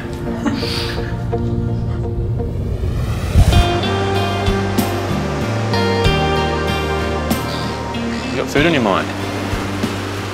Matt finger. That's not a fish. That's a fish. Here you go. Next morning, Harmon is desperate for more food. That's an improvement, isn't it? Yeah, it- it's it's coming. It's a good sign that he's winning the battle against the tick poison in his system. This is why I'm quite keen to get him on his way soon. This is behaviour he'd normally display around his mum. He's begging for food and he's thinking I'm actually going to regurgitate the food seemingly through my fingers. That's penguin saliva. Easy into it, easy into it. it's salty. He's pretty much ready to make the journey he was trying to attempt during that storm. So we're going to do it for him. But in a bit of a scenic way.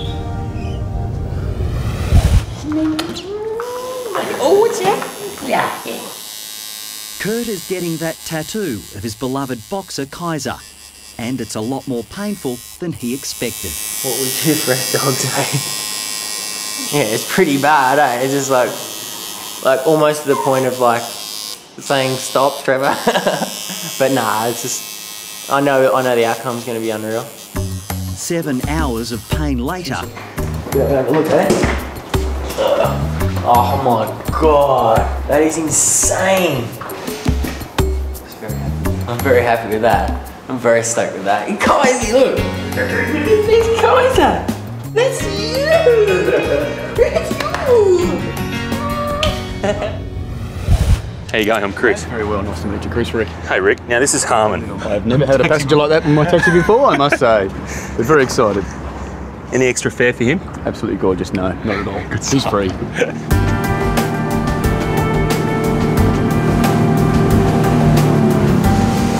This. It's alright, isn't it? Look at that.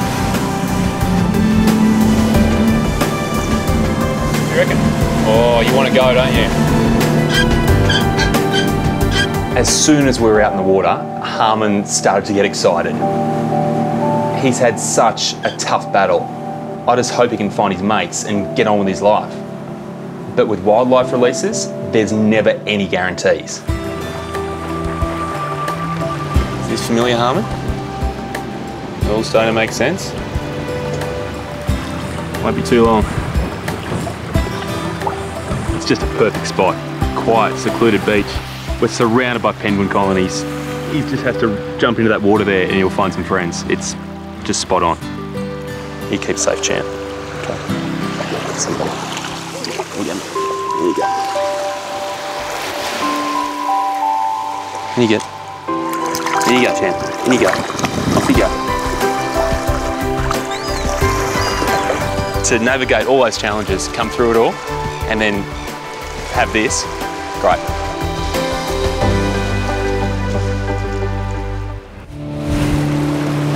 Last swim at Bondi for a week. I guess I better enjoy this one. Chris is flying to Fiji with his father Graham, a vet of 42 years' experience. We've got a massive veterinary care package that we're taking to Fiji today. Where is he? Is he still down at the beach? Why we're going there is that Dad was in Fiji a month ago and discovered there's only one vet for the whole of Fiji. They've got a lot of animals, and a lot of animals go without care for that fact. It was important we made this trip before, but now, after this massive tropical cyclone has ripped through the Fiji Islands, it's even more critical. Our timing couldn't be better. We're taking over all the equipment they don't already have, which is a lot, and hopefully make a difference over there. Thought you'd have it done by now. More or less finished here. While waiting for you. Dad and I are good mates and we get along. We get along for short periods of time. That's why I'm bringing the surfboard. Having a dad that's a vet, when you're a vet yourself, it's just this constant nagging voice, questioning. Is that how you do it? It's not how we did it in our day. Keys? I gave them to you. Oh, You're yeah. joking. No, it's keys. You've got them. I don't have them. I thought you What gave them to you. You did not give them to me. Nothing's changed. What you swearing to, huh? I've never worked for Chris as long as this, so it's going to be really interesting to see how we get on together. Found them. One week, huh? Hmm.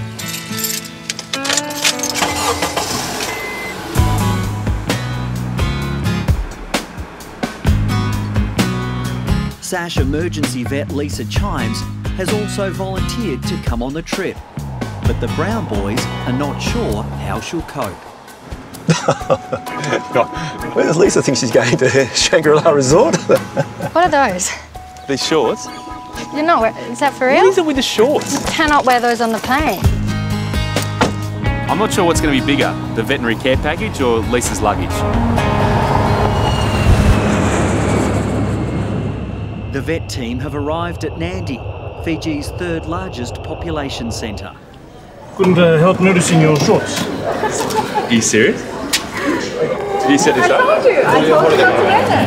A bit too, uh, bit too flowery for uh, Fiji, eh? But anyway, on this case, on this occasion, I'll let you.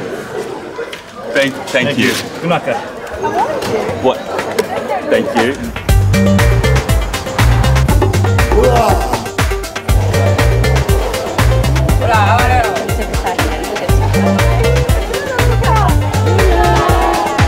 Graham has already seen the SPCA vet clinic in Nadi, which is run by two volunteer vet nurses. But for Chris and Lisa, the basic premises are a reality check. Oh my god, That's, I just can't believe the condition here. This, this is a vet hospital. They've got nothing. It's incredible to believe that these vet nurses here managed to run this clinic because you're so undermanned, you're so under-equipped. You must just have so many, so many situations where you, you feel like throwing your hands up in the air. But to the credit of Lynn and Sue, they don't do that. Well, Christmas Day, isn't it? see what we've got. Acrobats inside. It may hurt. What we're giving in these packages is so small in comparison to the passion and the commitment they actually have inside them already. The reaction from Lynn was just, it said it all, didn't it? yeah, it's brilliant, thank you. Yeah, I really don't know what to say. Oh, so I'll start getting emotional, so it's better somebody else say something, really. no, that's brilliant, thank you. That's stuff that we no longer have use for back home, and here it's like gold. It just warms my heart.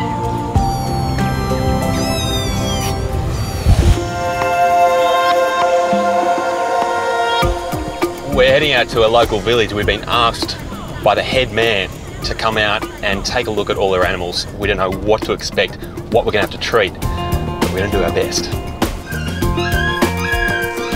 Never seen anything like it. We've got an outdoor vet clinic under a mango tree. So we'll see what we can do. Most of the operations today will be desexing, but without anaesthetic machines, even this routine surgery can be risky. We don't have any clippers here. Old school. Blackie is Chris's first patient. She weighs just seven kilograms. The worry for me is, given the fact she is so skinny, it's very easy to overdose her. So we just have to be so careful with every drug we use. The surgery can't start until Blackie is completely under. No, she's feeling that. She's just moved her head.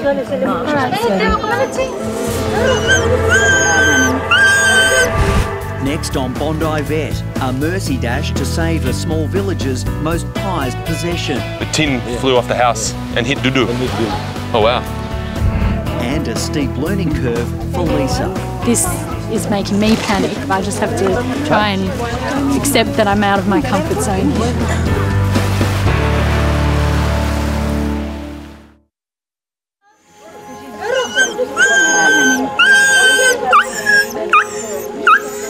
I don't want her to feel any pain. I don't want her to wake up in the middle of Chris doing this, so it does really get my heart rate up and make me very anxious.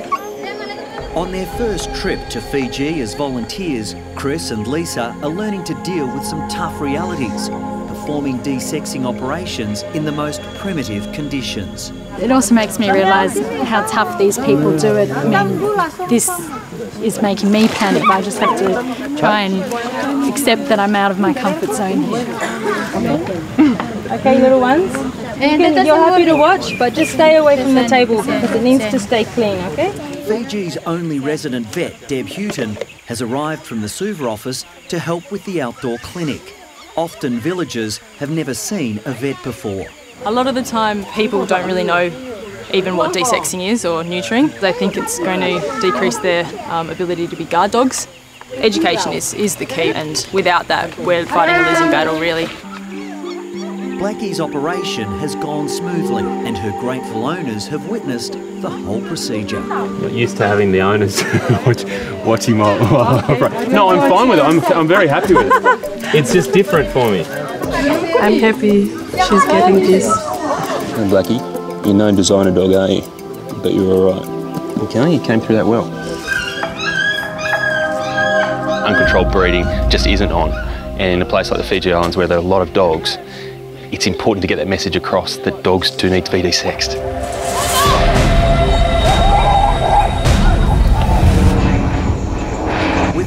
Little vet care available in Fiji, the Australian team are in demand. An SOS call has come from Taveuni, one of the remote northern islands savaged by a terrifying cyclone only a few days before.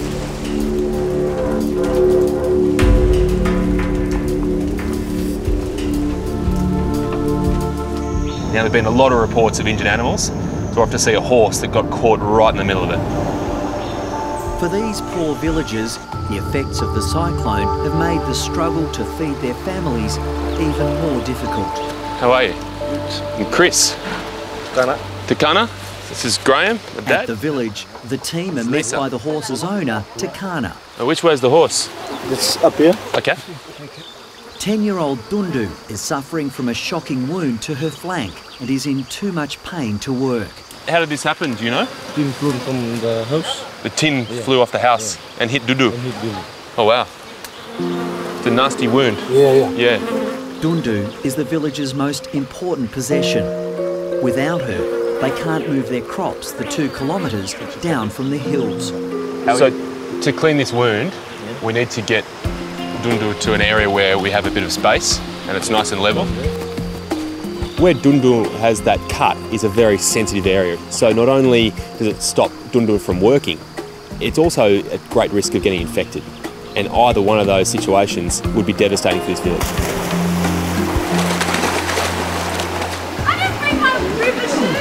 River shoes. Princess? No. For Lisa, the field work in Fiji is proving to be a constant challenge. Well done. Wow. That was the express crossing. well done.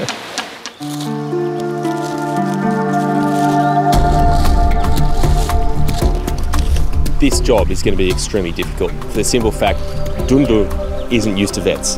This whole situation is so foreign to her. She's not going to trust me, she's not going to know what I'm doing there. This might sting a bit.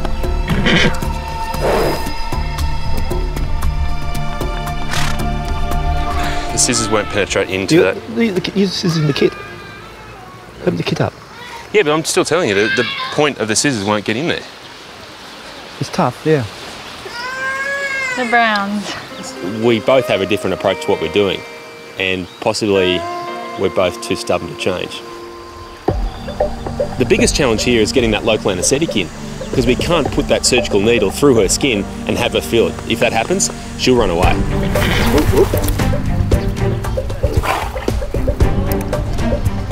problem is that when the wound has occurred, as it's started to try to heal itself, it's, it's actually flattened and stretched out. And so the skin's actually quite tight. So to bring those skin edges back together and stitch them is going to be quite difficult. It's going to take quite a bit of force to bring them in. Easy. We're almost done, which is lucky because the local anaesthetic's almost worn off. And she's starting to jump when this needle goes in, so as soon as we can get this last one done, the better off we're going to be. You are oh. done. Good girl. Dundu now needs two weeks rest before she's back to work helping the village. Even though Dundun works hard, she certainly gets some pretty quality R&R time. Kicking back by the beach, going for swims, and in all seriousness, that salt water is quite good for a wound. It will help her to heal.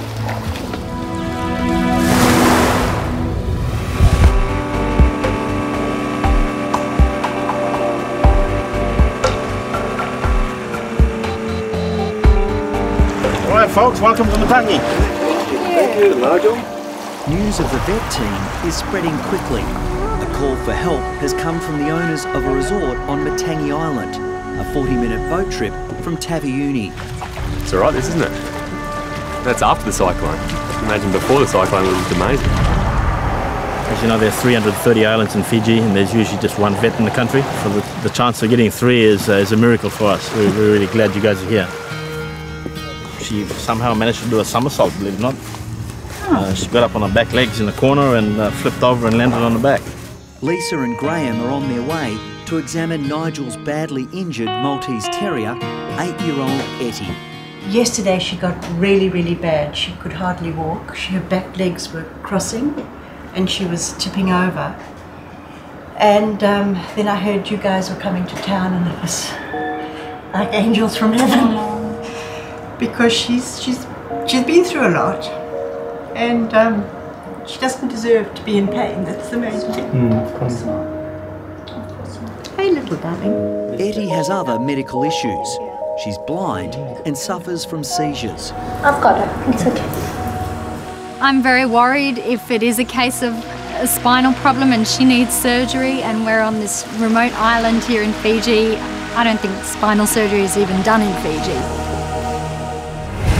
After the break on Bondi Vet, Chris comes face to face with a frightening patient. In a confined space, she could just corner me and I couldn't move. And can Lisa and Graham do anything to help little Etty? It would absolutely be terrifying. It's okay.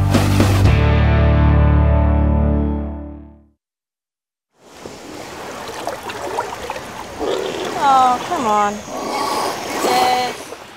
She's just had a bath. On Fiji's remote Matangi Island, Chris is being really introduced hot. to his got a bit of gargantuan on. patient, Miss Piggy. She doesn't like men. She just has never been keen on men.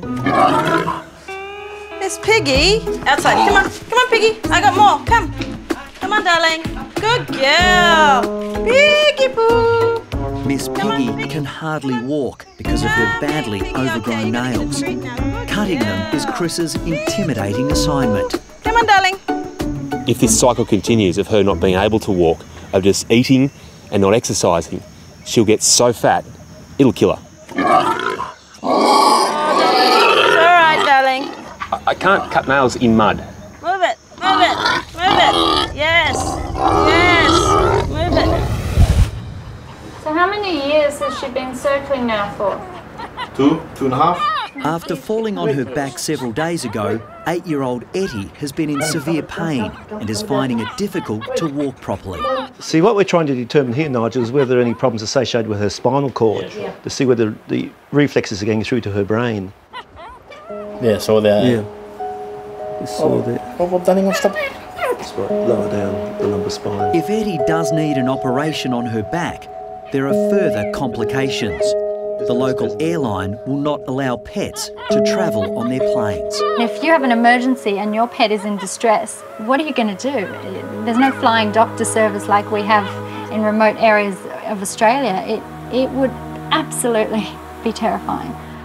She's precious. She's she needs care, and we're blessed. We are blessed to have her and able to give her a decent sort of home. This little room here be better or take her inside? Meanwhile, Miss Piggy is finally on the move and about to be barricaded so Chris can try and cut her dangerously overgrown nails. It's okay. It's okay. Lie down. Butter and bread and jam, please. Whatever you got. Just eat slowly there, all right? Because we, we just can't keep up with you. Right, there's something in her mouth. She's distracted enough that I can actually get the shears in there and, and trim these nails. I'm with you. Well, you're a jolly good piggy. Eat all the biscuits and shut up. I'm with you. Keeping the food supply coming is the matriarch of Matangi Island, Christine's mum Flo. We have to make sure that she doesn't bite. Hey, hey, hey, hey, hey, hey. Don't do that. Yeah, yeah. Just take your little backside. Hey, hey, hey. All right. You want Miss Piggy? Here's your bread. Oh, you bleeding.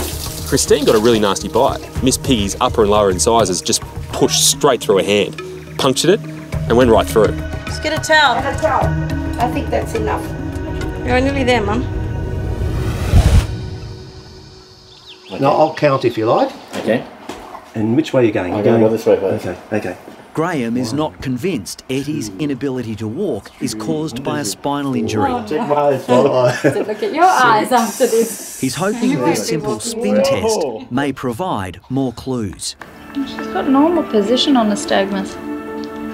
I'm going to say something that's going to be different to what you're expecting to hear in terms of what's wrong with her. Sure. Okay. So what we actually think is going on is that she's got a problem with her brain. It's, it's almost it's like a meningitis. Hmm. So they get it's called GME, and basically they get inflammation in their brain. GME can be life threatening, so there are cases where we give them medication and they don't respond. Best case scenario is that we put Etty on cortisone and she responds. Hopefully, she'll stop circling, she'll be able to walk normally, she won't fall over. Um, she may never be a normal dog, but we want to get her to a point where she has a good quality of life. Thank you. Thank you very Thank much. you, Nigel. Okay, Thank you. Thank you for coming. thank you. Okay, you respond to your medication now, and that's an order. Doctor's orders. Okay? Yes. she says yes. Absolutely. Next on Bondi Vet, the battle for supremacy continues. And the ultimate surf safari. They're great waves. They even make me look half decent. That's how good they are.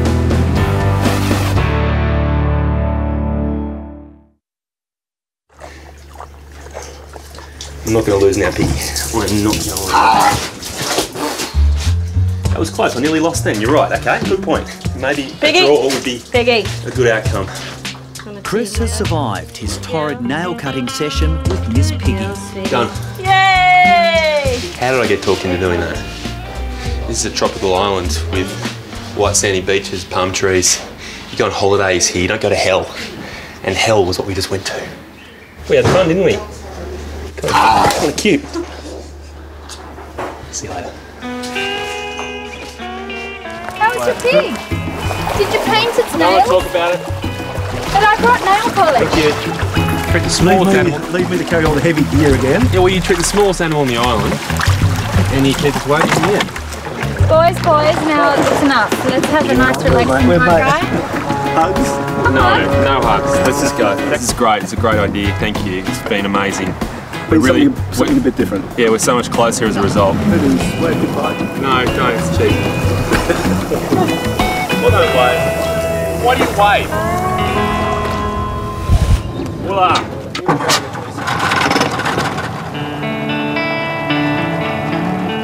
It's the vet team's last day in Fiji, it's going to be a change of pace and scenery. It's been a pretty full-on week, so I think it's time to enjoy a little bit of R&R. So we've actually been invited to the world-famous Namotu Island. I didn't bring that surfboard for nothing, so might be time to get it out and see what it can do. Okay, go ahead, hop out.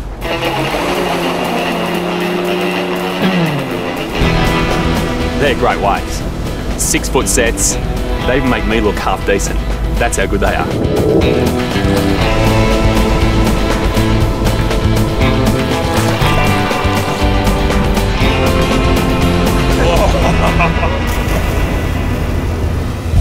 I've found this trip very confronting. Fiji's animals are in desperate need of help here and the Fijians need to learn how to look after their animals. They need education and they need volunteers, vets from around the world to come and help them do that. You'd love to be able to change everything to help all the animals on all the islands, but you just hope that by doing a little bit here and there, you do make a difference to those animals' lives.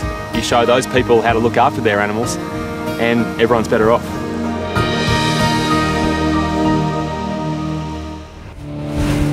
Hey, how you going, Rebecca? I'm Rebecca. The other Rebecca's the owner Okay, of the two dog. Rebecca's. How you going? going? Chris. I'll get here as soon as I can. Six-year-old Hang on, Chris. Willow has just dragged herself into an exclusive fashion boutique.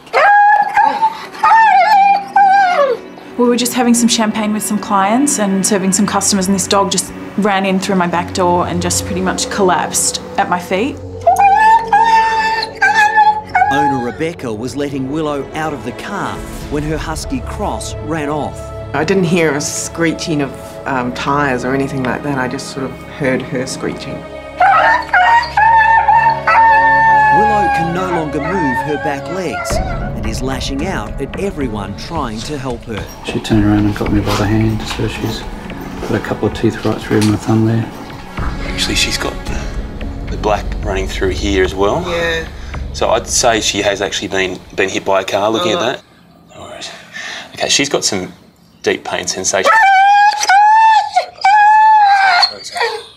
So she can actually sense that there, which is good.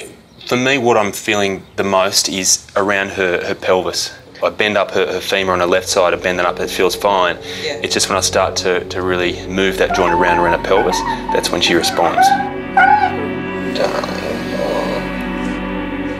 She's very loving and she is very bossy, but she's amazing. I love her to bits. Hey Willow, oh no, buddy. Hey Willow, I'm sorry. A combination of anti-inflammatories and pain relief is helping stabilise the traumatised dog. Hey puppy, it's alright. Willow's not a, a savage dog. She's just snapping because she's in so much pain. The cruel part is that I've got to get her up just to get her back to the clinic so we can x-ray her. It's going to hurt the most, I know Willow, it's alright. She's not going to like it. I don't want to put her through that, but we just have to work out what's happened when that car hit her.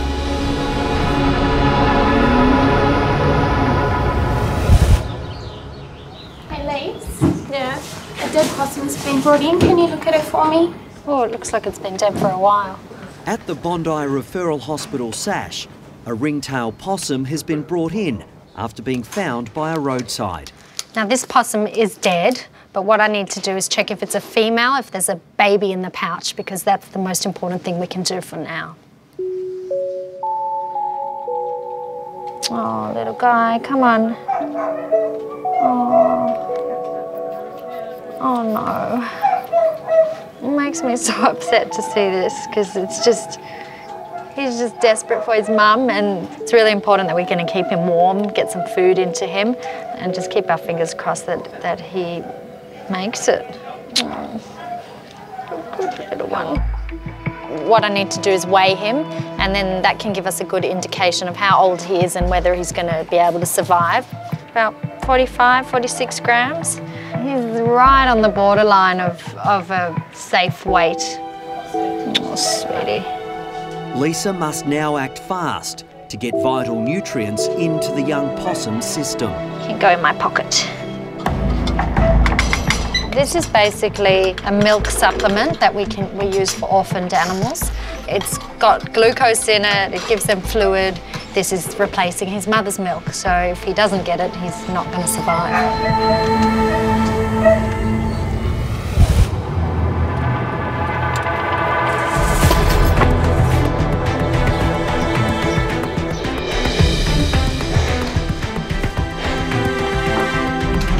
Okay, so we'll give her this stronger pain relief, uh, and then hopefully that'll then relax to the point where we can actually x-ray her. Okay.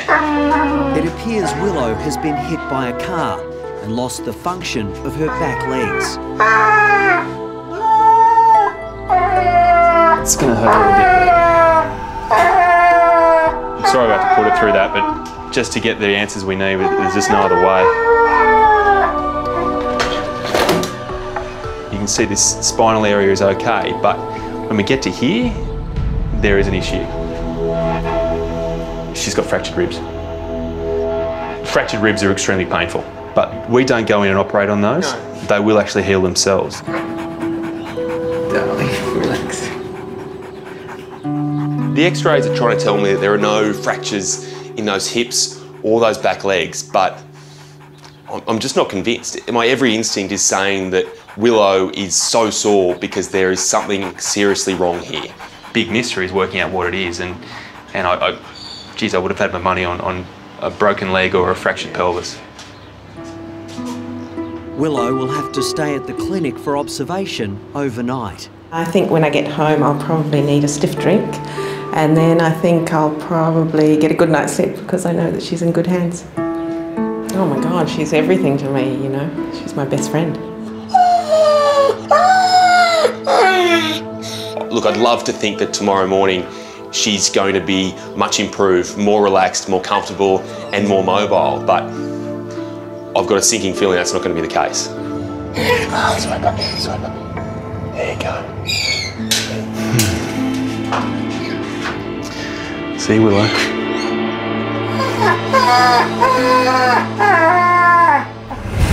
Next on Bondi Vet, Chris to the rescue as a large snake moves into a suburban swimming pool.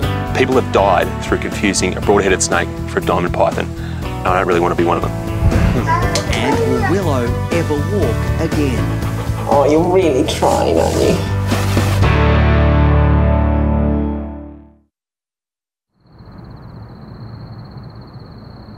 It's a girl boy. Mm, I think it's a girl. A girl?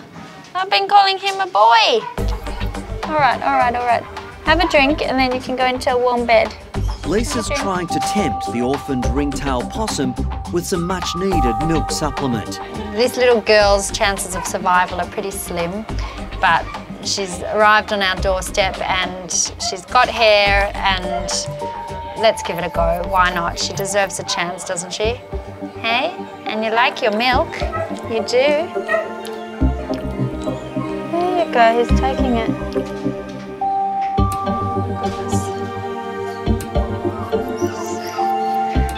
So tiny. Our goal is with her to get her off to a wildlife carer because they're equipped to look after these little guys 24 hours a day, and that's going to be her best chance. Come on, have a little bit more. Specialist wildlife carer Beverly has just arrived and is waiting to take custody of the orphan. Oh, she's so adorable. I must say, I'm getting a bit attached. Well, I think we'll have to call her Lisa. Little Lisa! Lisa the possum is adorable and it is sad to say goodbye to her and it was difficult when I was putting her back in the pouch and the little tail was holding onto my finger. Tail. There you go. They've lost mum, they've lost all the immunity that they would get from mum, and um, they really struggle. Yeah. So we just hope for the best.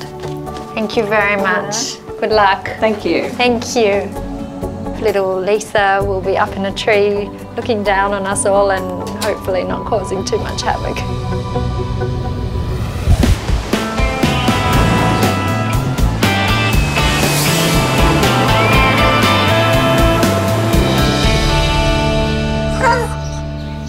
Wow, it's really. All of the body is recovering hmm. apart from that one area, that one very critical area, which are these back ah. legs. The next day, car accident victim Willow still can't walk. Oh, you're really trying, aren't you? Honey? I couldn't imagine my life without her, actually. Yeah. All right. Just a couple shots, girl. 12 hours on from the impact, Chris is hoping a fresh set of x-rays will provide more answers. X-ray. Well, let's have a look. Oh no. So she's got a fractured pelvis. You can see it there, that bone's lifting right off. Now, that's the old one there, taken on the day of the accident with just no sign of any fracture at all. But what's probably happened is she's had a hairline crack here and then the muscles have just forced it apart and leave it open just like that. So this is going to be an extremely tricky fracture to fix. Willow is going to need to go and see Andrew Marchevsky at SASH. It's an extremely painful procedure, especially when she's already been through so much. I'm just really worried, and I've been sort of feeling guilty and sad, angry, you know. That's what sort of worried me, that she's not going to be able to run with her dog mates and trying to be strong for both of us.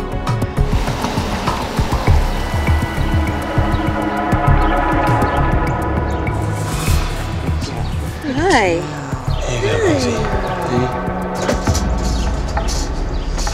You'll be fine, okay? You be brave. And you be brave too. Thanks, Chris. All I right. really appreciate it. Stay strong. Thank you. Thank you. Thank you very much. Bye. See you later. See you, Willow. Say bye, Willow. The operation to restore Willow's mobility will be long and difficult. Specialist surgeon Andrew Marchevsky is cautious about the outcome.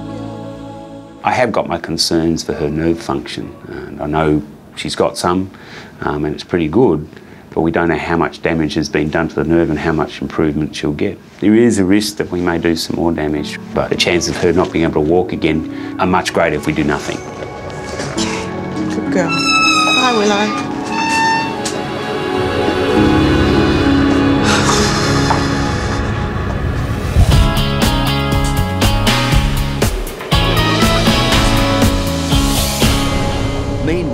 Chris has just been called out to a very different emergency. Normally, a trip like this to see a snake would be to the Australian Reptile Park, only this time it's to a suburban swimming pool. We don't know what type of snake, all we know is that it's six foot long and it's been in the pool overnight. It's going to be cranky.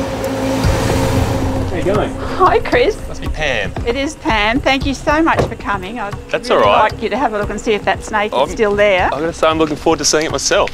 A snake was discovered when Pam was having a swim with her grandchildren. Just as we were about to leave, Sophia looked over and just near the skimmer box there, she said, Nana, what's that thing? And I looked over and I thought, oh, that looks like a frog. Then I looked closer and I thought, no, no, it's a snake's head. Why would he come in the water? Good question. First of all, it, it's quite hot, so Yes. he's, he could be quite dehydrated. The other thing is that um, he could be trying to shed his skin. Right. If it looks like I'm really taking my time here, I am, and there's a very good reason for that. I'm still not convinced as to what sort of snake we're dealing with here. There are two main possibilities. First of all, a diamond python, which is what I'm hoping for. The second possibility is a broad-headed snake. They're venomous. They look very similar, they're a little bit shorter, but people have died through confusing a broad-headed snake for a diamond python. I don't really want to be one of them. After the break on Bondi Vet, a marathon surgery for Willow. It's bloody hard. And will Chris outsmart the rogue intruder? Oh, no, no, don't do that.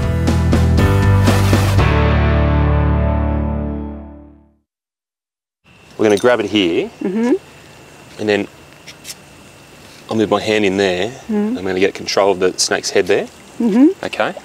And then you can use it, that bag as protection if you like. It'll go in there and then away. Right. It might move a little bit more than that. Ah, let's go. You've got to be brave. Okay.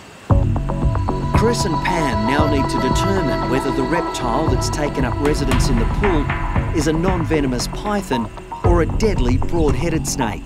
Is it looking more like a python? Yeah, it looks more like a python to me. Going on the markings and the length, he's got to be a diamond python. It's good news, don't get me wrong, but there's a lot of snake here to deal with. Oh, Chris. Wow. Wow.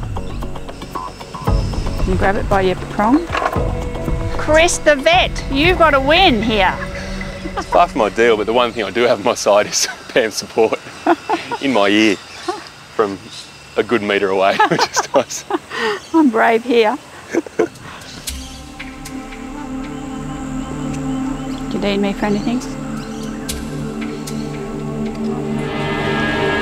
Oh, there he is. Quick, can you grab him?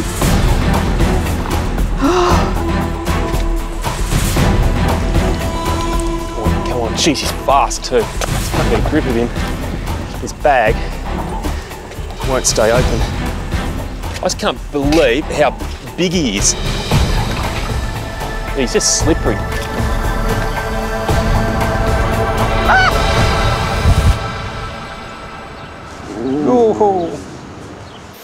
There you go, Shook. Now you can tell us. Now you can tell us. Car accident victim Willow is having a CT scan before the operation on her badly fractured pelvis. So this is a 3D reconstruction of the CT scan. What's interesting is that this is the fracture going up through there, and so this part is fractured away from that. Um, that's the other side, and that's quite normal. That'll be our challenge for today. We'll, we'll sweat over this one, getting it back in the right spot. Andrew will insert a combination of screws and metal plates. If the screw's a little high, you can end up in the spinal canal and damage the nerves that go through there. And if it's too low, you don't get enough bone and it's not secure enough. I'll just come your side.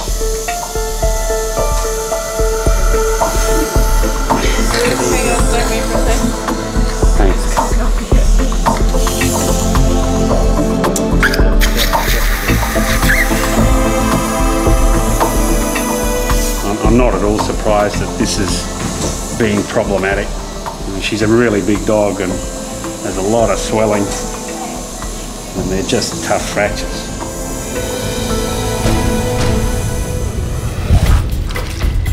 It's slippery, that's the thing, isn't it? That's the problem.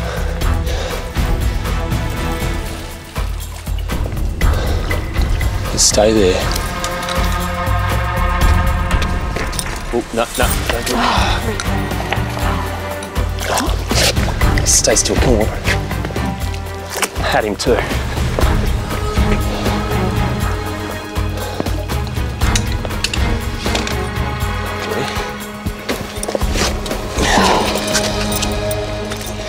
Chris. Well done, Pam. Oh, I thought that'd be easier. I really did. I was wondering when you were going to fall in the pool, actually. Oh, goodness. Look at that. The reason he's in your pool Yeah, is because he's trying to soften up his skin right. to lose it. Well, I didn't think we'd have to go to the point where you had to hold the bag. No, I you did. it, you did it very well. I did it!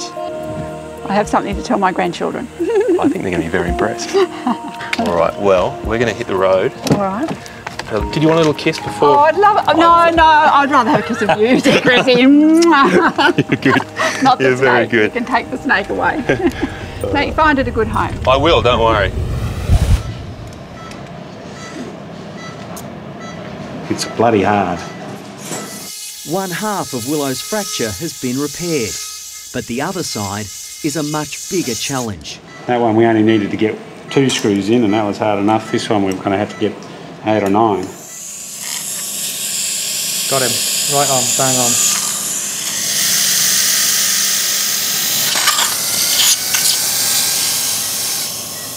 Uh, well, we've got all the screws in. I'm just doing a last minute tighten to make sure they're all nice and tight. After five hours, the surgery is finally over. It was difficult to get the fractures back together. Um, ultimately, we got it really nice, but it took a long time. Ah. Pretty sure she got rear-ended. Right. She just got smacked And yet, when the she came running back to me, I thought that she'd got into a fight with a cat because she had a, A graze scratch. across her. if only. Well, no. yeah, I wish. A, a jaguar Yeah. is, is the only cat that's dealt with her, I think. Hi, darling. Oh my god. Hi, sweetie. I was just like freaking out. I, I mean, you don't want to think the worst, but at the same time, you can't help it, you know? You just think, well, what's taking so long? This should have been over, you know? We've got her through this part of it, but there's a long recuperative period. Now, If this is a human, you'd be in a wheelchair for six or eight weeks and doing physio, so Beck's going to have to do a lot of hard work now as well. Oh man, a week ago, if someone had told me that this is what I'd be going through, I would never have believed it. You've been so brave, haven't you, darling? Next on Bondi Vet, the python is out for revenge. Hello. Can we, can we talk about this?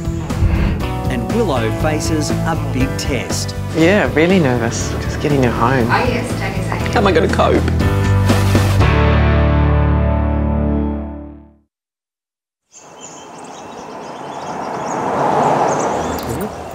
Chris has found a new home for the feisty python he captured in a swimming pool after a titanic struggle.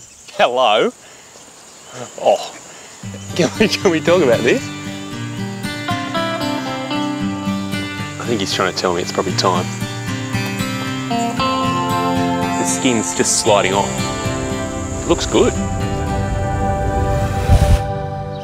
Are you going to be a good girl? Yes, your mummy's here. A week after the surgery that's made it possible for her to walk again, Willow is able to go home. Just getting her home. Oh yes, take a second. How am I going to cope? That's a good dog. Oh, here she comes. Look at Is that your mum? Hi, It is. sweetie. Look at that. Hello, my girl. For the next two weeks, a towel is your friend. Okay. Um, w- w- I don't want her walking anywhere without it. No running or jumping for you, though. No. I think she's ready to come home. I think she misses her mum, as I miss her. Oh, sweetheart. As for Lisa, the ringtail possum, she fought hard for several weeks. But despite round the clock attention from wildlife carers, sadly the orphan didn't survive. Hey, cheers, Willow. Cheers. Two months after the accident, Willow is the guest of honour at a special party to celebrate her recovery. Willow, look at you go. Wow. Yes, we've been through hell, but it's okay. I can't believe it's Yeah, the same her. dog. It's just an incredible difference from where she was on that awful day where she was in such serious pain to now where she's walking beautifully. It's very impressive from you. These are the sort of endings that I do my job for. Girl.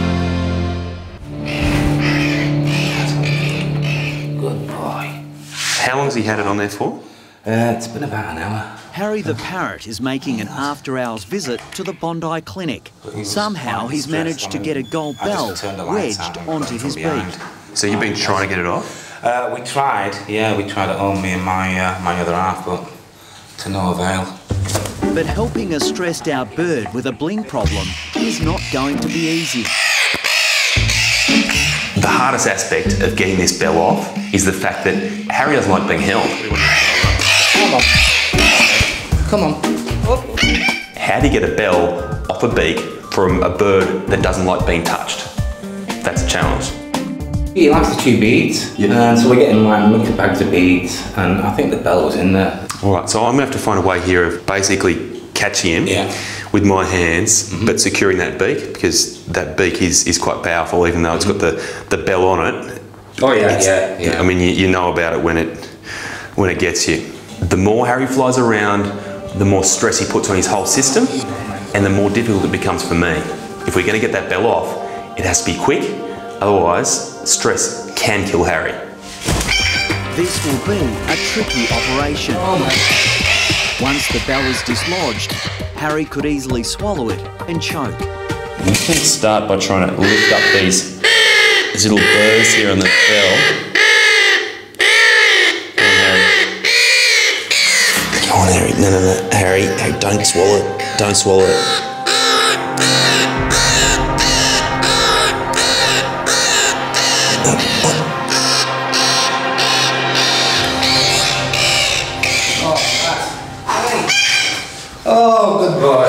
I was going to swallow there for a second. Come here. Consider myself a, lover of all animals. Harry's not a lover of all vets. That was very clear. It's a good result. But the friendship, was there ever one? There you go, pal. There you go, mate. We'll get you home now. You're all done. I think if he could talk now, he'd probably be swearing. Swearing at anyone in particular, do you think? uh, definitely a gentleman dressed in blue. I. Call Chris.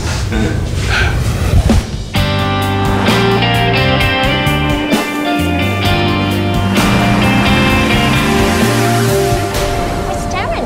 Where's Darren? Can I show you his tricks? Tricks? Go on, impress me. While we're quiet. Over at While the we're Bondi Referral Hospital Stay. SASH, it's unusually Stay. slow in the Stay. ER. So vets Darren Stay. and Lisa are amusing themselves comparing the IQs of their pets. Can you drop? Good boy. Good boy. Ready? Do the high five. Good boy. Another high five. Good boy. Well, Stanley's the best dog in the world, so he's much better than Nelson. He's much cleverer than Nelson. Nelson, you want to share the stick? Give no, it to Nelson. you don't like sticks. But clever Stanley's Yes, big Stanley. stick is about to bring him unstuck. Yeah, Stanley doesn't quite understand dimensions, so he really understands that the bigger is better. well, bring it. Bring it then. Come on, see how smart you are. Bring it. Come. Oh. Let's just scratch all the walls. Suddenly, the fun and games are over. A two-year-old Jack Russell has arrived with suspicious marks on her neck. I picked her up off her bed and she's really wobbly on her back legs and then she just peed red blood, like dark red blood. And I thought, no, something's really wrong now. Bobby is rushed to Lisa for examination. A snake bite appears to be the most likely cause, but this is not a straightforward case.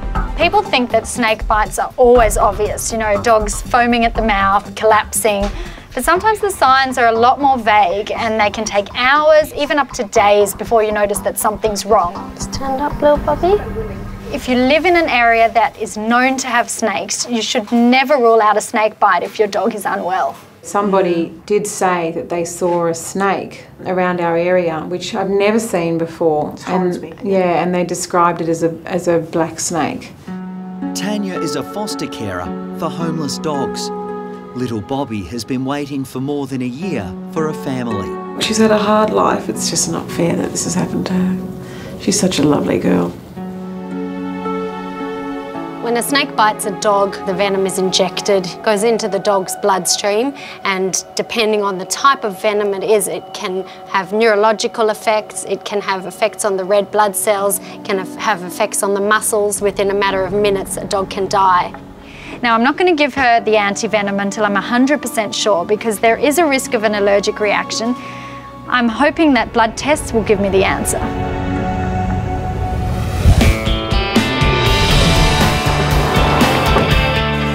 Chris has been dragged out of bed for the second time tonight.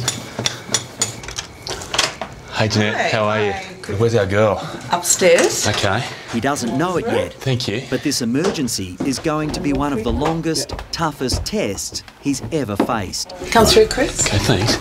Jeanette is worried about her Norwich Terrier Bindi, who's having problems with her first litter of pups. Oh, here it comes. Even though she's five and a half and I guess uh, in the dog world a mature mother, i- it's to be expected that she's just not, not too sure about the whole thing. All right. Did you get a bite there? I did. You okay? It's very nice bite. This breed is notorious for difficult births because of their small pelvis. So I do actually have a puppy coming through now. Can you see it? Yeah. Oh, Come on, girl. come on, girl. Good girl. Good girl. Push. Head's through, but we've got to wait for that. Mm, big. The shoulders to come through, and this is where we're stuck at the moment. Come on, Benny. Come on, good girl. Come on, girl. Good. Next on Bondi Vet, will it be more bad news for Bobby the Battler? One minute she's healthy and happy, and the next minute she's sick and in here, and you know. Come on, Benny, give me one really good push. And Bindi's first puppy is in trouble. It's a nightmare.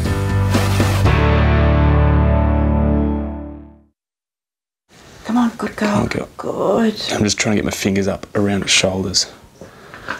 It's 1am and Bindi is still trying to push out her first puppy. Give me a push, girl. Come on, Bindi. Come on, Bindi, give me one really good push. Push. Yeah, good girl. Good girl. Got it? Yeah. Just have to get air into these lungs, The puppy's out, but he's not breathing. which is critical. We start sucking in air. Is he alright?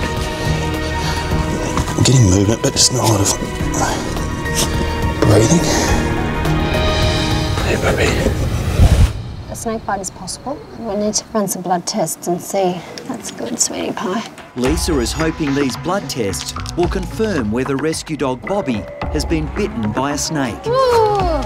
So the preliminary results from Bobby's tests show that the muscle enzyme is extremely elevated. It's so elevated that the machine is not actually reading it. Now this is Bobby's urine. It's bright red coloured. Now her laboratory results and the swelling on her neck and red urine like this is undoubtedly a snake bite. The venom is actually causing her red blood cells to break down and it's causing her muscle to break down. So that's what those results show. What we need to do is give her the anti-venom straight away and then keep her on a drip because her urine is that red colour. That can be toxic to her kidneys. So until her urine is clear, I need her to stay on a drip. Cause So we really failure. don't want to wait. Exactly, exactly.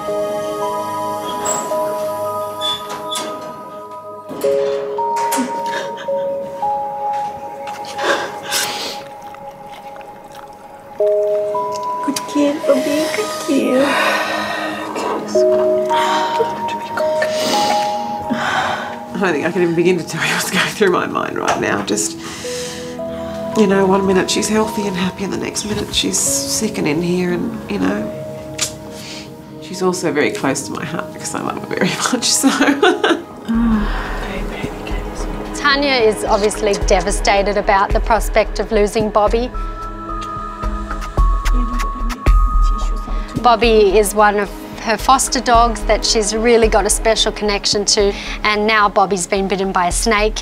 Her life is in the balance, and poor Tanya's left to pick up the pieces.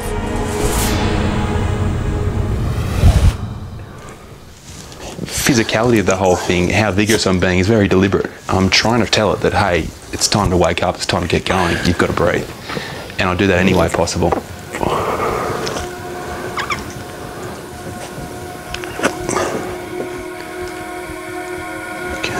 Little bit more movement.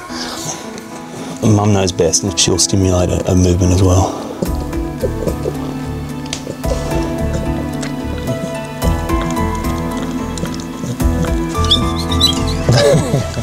It's moving.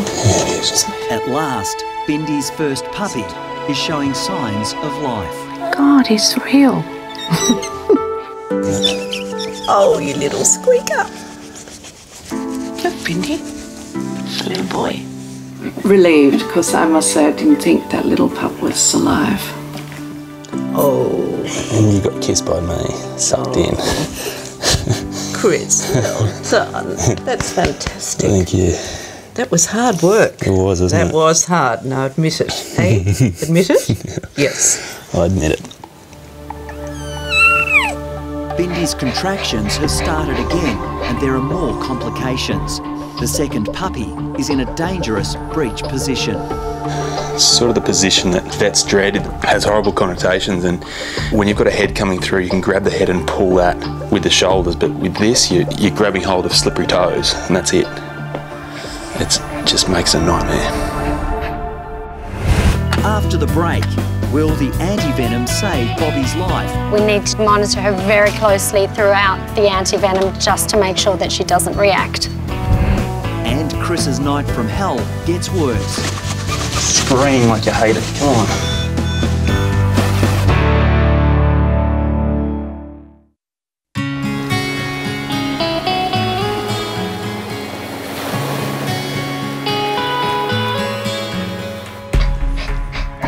I can feel the the hips and, and the shoulders trying to force their way through that pelvis, and they're just too big for it. Bindi's breech birth is not going well. It's awful, isn't it? Agony. One more. Baby, darling. It's okay. Got it? Yep. And when the puppy arrives, once again, there is no response. You can do it. I think you surprise all of us, huh?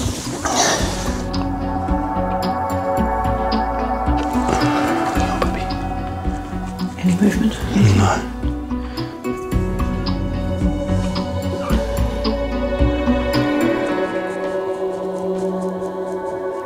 No, it doesn't look good.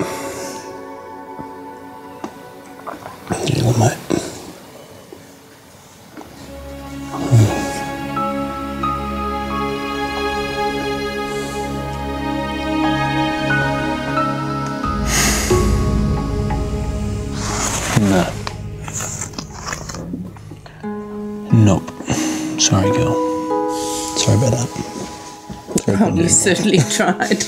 My God, it's been a hard, a hard night, Mm, isn't it? it's not over. Oh my God, how can we do any more? Hmm. I didn't know whether Bindi could take any more. She needs a rest, but I, I guess whether her body's going to let her have a rest is, is another thing. Chris faces a dilemma. There is at least one more puppy to come, and Bindi is now too exhausted to push. Didn't work out the way we wanted it to, did it? Next one will be okay, they won't? Yeah? Hey, honey pie, you're being such a brave girl. Two year old snakebite victim Bobby is about to receive the antivenom that will hopefully save her life. What a brave girl you are. If we don't treat Bobby tonight, she will deteriorate further.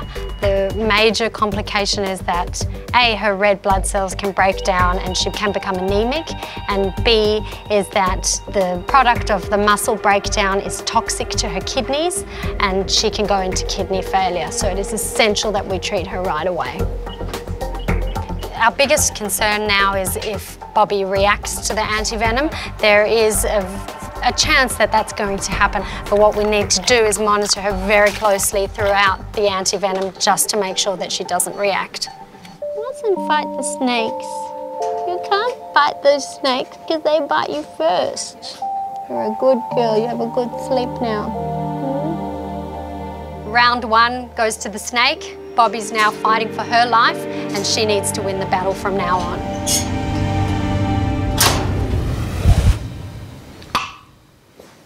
No, it just hasn't moved. No, okay, let's go. No, okay. Good try. Let's do it. Yep. Bindi has been in labour for six hours, and Chris has decided her health is now at risk. She just has nothing to go on with, yet she's still got at least one pup inside her. Leave it any longer, we risk that pup. I just think it is worth now going to caesarean. The emergency surgery will be performed back at the Bondi Clinic. Just through the back here, Janet. I'm just getting a bit of a second wind now at 4 a.m. Is that what it is? 4 a.m. almost? The first puppy is stable and is being fed some much needed milk.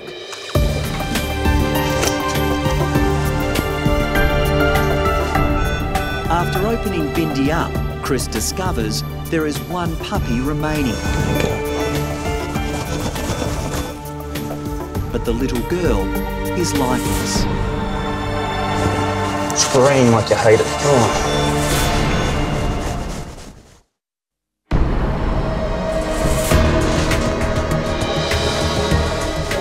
After eight hours of labour, Chris is fighting desperately to save Bindi's last puppy.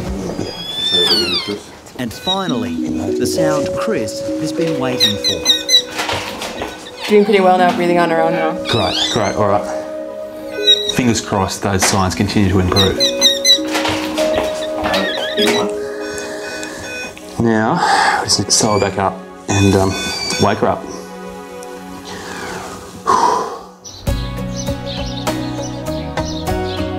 Bindi's waking up from the anaesthetic and is recovering well from her marathon ordeal. That was hectic.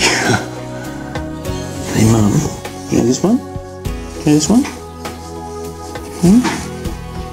Sure.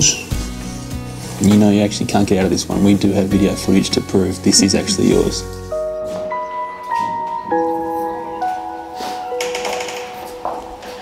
Now, Jeanette, Yes. you've met your little boy before, Yes. But you haven't met your little girl before. Oh, That's good is news, huh? Biddy, Biddy okay?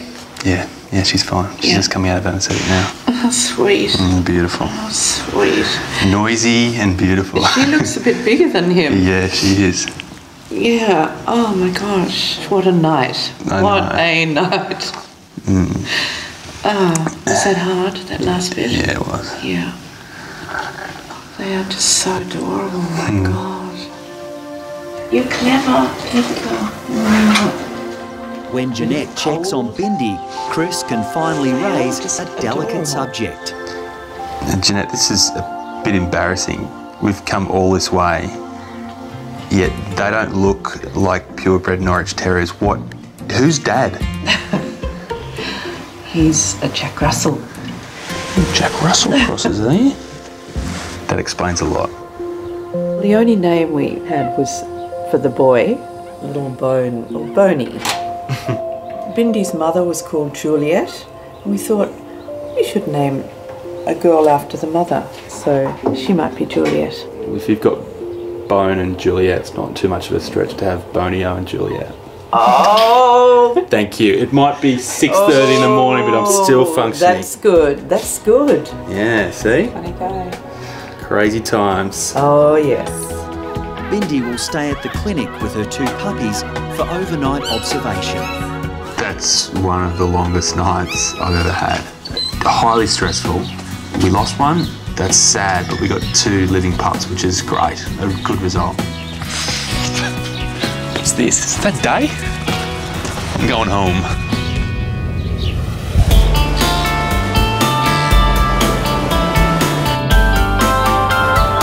Can I scoop you out? Can I scoop you out in your little bed? Four days after receiving the slide. antivenom, snakebite Oh, victim Bobby is making a remarkable recovery. How are you feeling today, sweetie pie? It's just a gradual process with these snake bites. I mean, on the first day, you treat them with everything you've got and you just hope they survive. And then after that, it's just a matter of waiting and, and waiting for their bodies to heal on their own with our support. Let's have a look. Oh, that looks a lot better. It's a bit red. All Bobby's blood tests have come back clear now. Her urine is also clear, so she's on the road to recovery. She just needs to have strict rest for the next couple of weeks while her muscles heal, and then she'll be right as rain. Where is she? So much going on. Look, on. he's there. Bobby, baby, come on, my little girl. It's okay, sweetie pie. Bet you didn't expect to get her back this soon. I'm so happy. Thank you so much. My pleasure. I can't say enough about the care you've given her. Well, I do tend to hang on to some of them. They're my children, you see. I suppose um, I treat dogs the way other people think of their kids, or better. You know, I mean, um, they can have anything. You know, they get they get the best of everything. Bye bye, little chicken. No more snakes, okay? No more snakes. No more Say snakes. promise, Auntie Lisa. And you're going to find a new home and not fight any more snakes, okay? Bye. See you later. Tanya is the best medicine for Bobby, and I think in the end it might be better off for everyone if Tanya just keeps her. Hey, look at that sunshine. Good girl.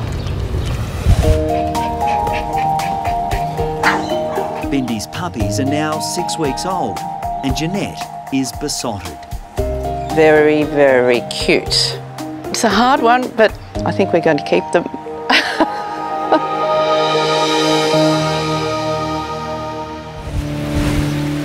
Hi there. Oh, hi. Who have we got here? Uh, Ella. Vet nurse Liesel has brought her two-year-old bearded dragon into the clinic. Oh yeah, bring him in every now and then. He gets a bit lonely at home by himself. Look at that face. Hmm? Yes, you're sick, really. Yes, you are. While Liesel may refer to her cold-blooded friend as a he, she actually has no idea whether her reptile is a boy or a girl. Hopefully I'm going to find out what sex is. I mean, I don't know if anyone here knows how to. It's not exactly as easy as it is with a dog or a cat, but if anyone can, Chris can. What's its name? This is Zahir Horatio Sampson Althea Tallulah Phineas. hard to name when you don't know the sex. Hang on, I'm going to get this down. Being called on to sex a bearded dragon isn't your everyday request. You can't just look for things hanging down. With a bearded dragon, what you're looking for are bulges. When you lift up the tail, if it's a male, you'll see two very subtle bulges just above the bottom. If it's a female, just one bulge.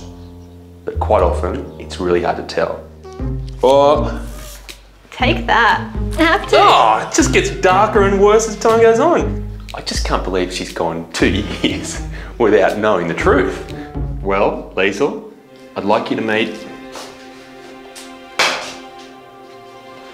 Althea Tallulah.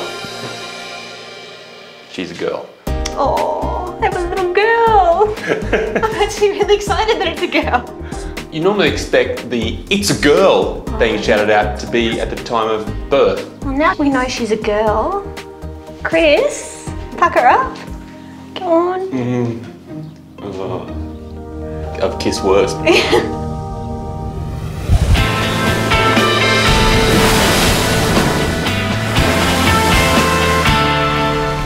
We picked her up on Saturday from a breeder in Canberra. Um, brought her home the first day, she was very bouncy, playing with everything. Um, but then she's gone downhill from there. Nine-week-old Kiko is being admitted to the Bondi Referral Hospital, SASH. The tiny Japanese Spitz puppy is suffering severe vomiting and diarrhea. Mark's been sleeping next to her at night time, and I've been having Because we time thought maybe work. distress was one of the problems, because she would cry a lot at night. Worried owners Nicole and Mark have only had Kiko for five days. Hello, Kiko.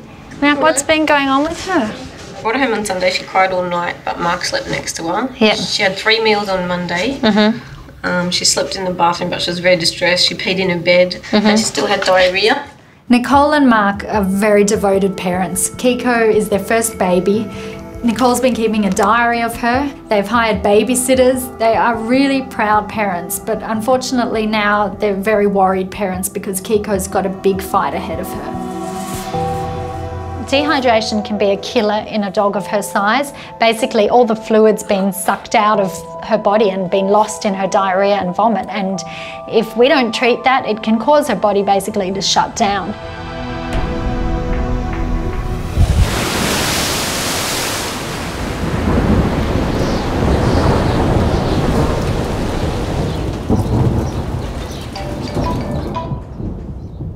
Hey Tim, how you going? Yeah, I'm good, thanks, mate. Look, I was just wondering if you'd be able to get up and check out one of our koalas. And look, I know it's a shock and day, but Meg, she's a bit off, mate. So I think she's in a bit of pain. Perfect day. He's Meg. Tim. Got Meg? Jeez, wet little darling. Meg is a very sick, depressed koala. Her Joey died just a week ago. Meg's four years old now. Um, last year she lost a Joey, and this year the same things happen. Sometime through the night, it gets out of the pouch, whether she throws it out of the pouch or it's exploring or something. But for some reason, by morning it's so cold, we find the Joey and, and they're already deceased. I'm going to grab arms and hind legs. So all we need you to do is just keep her head up, and Chris is going to have a dig around in the pouch there. The cause of Meg's pain is quickly discovered. There it is. Yeah. So if you can see, I've got my finger underneath the, the lump there. It's 50 cent piece sized. Yep. You're all right, Meg's got a dramatically enlarged mammary gland, so one of her little teats and the gland associated with it is a huge size. It's sore, it's hot, and it's a big concern because if that gland isn't functioning, she just can't support a young. It's also the most likely reason why her last two Joeys did not survive. You're all right, Meg. I'd be thinking either a, a pressure build-up Yep. or a mastitis. Meg is in pain, you can see it right across her face, and from what women tell me, mastitis is one of those awful conditions that just feel terrible. A real throbbing, awful pain that just won't subside. So we're trying to help her through that whatever way we can. Next on Bondi Vet, Lisa needs to find out what's threatening Kiko's life. This is getting really serious now. And will Meg ever be able to start a family?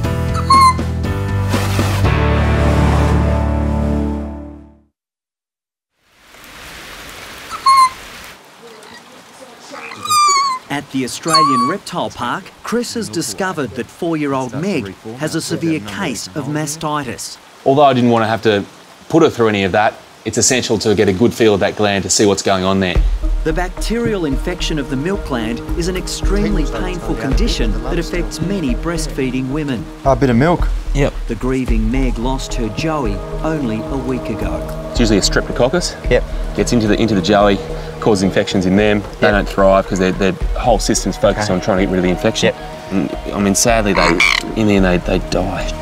You're all right, mate. The treatment for this is going to revolve around some nice warm compresses. Yep. So essentially some, some swabs, warm water, and just massaging that gland. Okay. In, in behind the teat there? Yeah, getting right in there.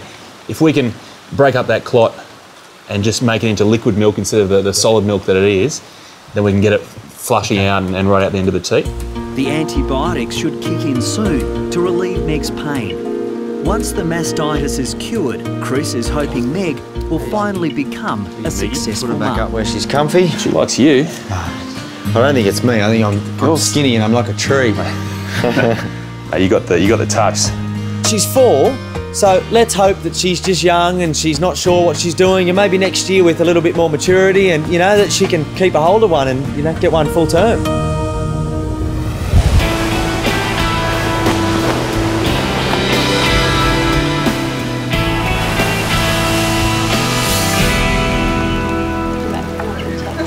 Kiko again. We'll give that another go. Lisa is taking a blood baby. sample from the terrified Kiko. Oh, he's a good girl. You just want to cuddle. All right, let's check what her glucose is. She's hoping it will confirm her suspicion the puppy is suffering an extreme case of gastroenteritis. Oh, that's low. She's got a blood glucose of 1.4. With the blood sugar that low at the moment, that would cause signs of exactly what she's doing now. So really flat, lethargic. If it drops lower, if it drops below one, she's going to be at risk of seizures. Lisa's now administering glucose into Kiko's IV drip, but she must go very slowly. Puppies are such fragile little things. I mean, we are so much bigger than them. She, she's 1.4 kilos, so we've got to be so careful with the amount of drugs we give her, the amount of fluids we give her. Everything has to be exact because there is so little room for error with these guys. Yeah, go ahead, mate. Yeah, mate, I'm out on the Gay Lagoon. It looks like Martha's copped a big bite. Oh, you kidding? You definitely Martha? Yeah, definitely Martha, mate. Righto, give us a couple of minutes, I'll grab Chris. Back at the reptile park, Chris's day just got more complicated. Well, it seems like Martha's been grabbed by another gator. She's one of our oldest, dearest gators, and she thinks she's a bit tougher than she is, so she's probably tried to fend off one of the big guys and they've just let her have it. Where's Chris? He's coming. 30 year old Martha must be treated urgently before infection can set in. You know the drill, mate. If we go in for any reason, yeah, yeah, just stay cool. And we, I mean, you're probably gonna need two at a time to get back in anyway to keep the boat stable. Yeah, yeah, Calming down, oh, yeah, definitely the better. Less splashing, just like a shark. Yeah. yeah. It's like a shark. it's, it's good. Righto, let's do it. We need to get her very quickly and actually assess how severe the damage is. She could be losing blood, she could have internal injuries, we just don't know. To find Martha, Chris and keepers Tim and Obi must search the lagoon, home to more than 30 alligators, all capable of killing humans. See anything through there? Nah. You just can't see very far into this water, can you? Nah.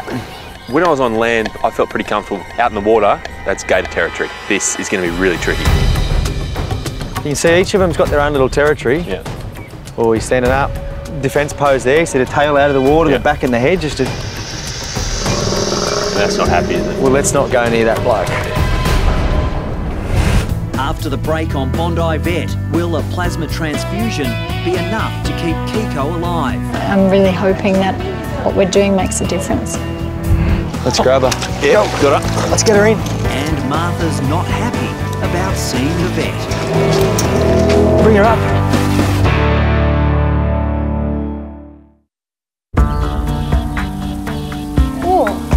This has suddenly got much more serious for little Kiko. Uh, initially, I thought it was just a fairly non-specific gastroenteritis, and now she's got actually one of the horrible complications of gastro, which is low protein. Lisa's hoping a plasma transfusion will stop the puppy's fragile system from shutting down. Plasma is the clear part of the blood with the red cells taken out, and it's got lots of protein in it, and we give it to her through her IV catheter as a drip, and hopefully that will increase the levels. Because um, Kiko is so small, she only needs 14 mils of plasma. Most dogs will need a whole bag of it, and I have to just give her such a tiny amount because she's so little. There you go. Got your plasma. We've got so much tubing going on here. Um, basically, she's getting her fluids with her glucose and she's having a plasma transfusion. Um, we're not going to really know much until a few hours' time, and I'm really hoping that what we're doing makes a difference.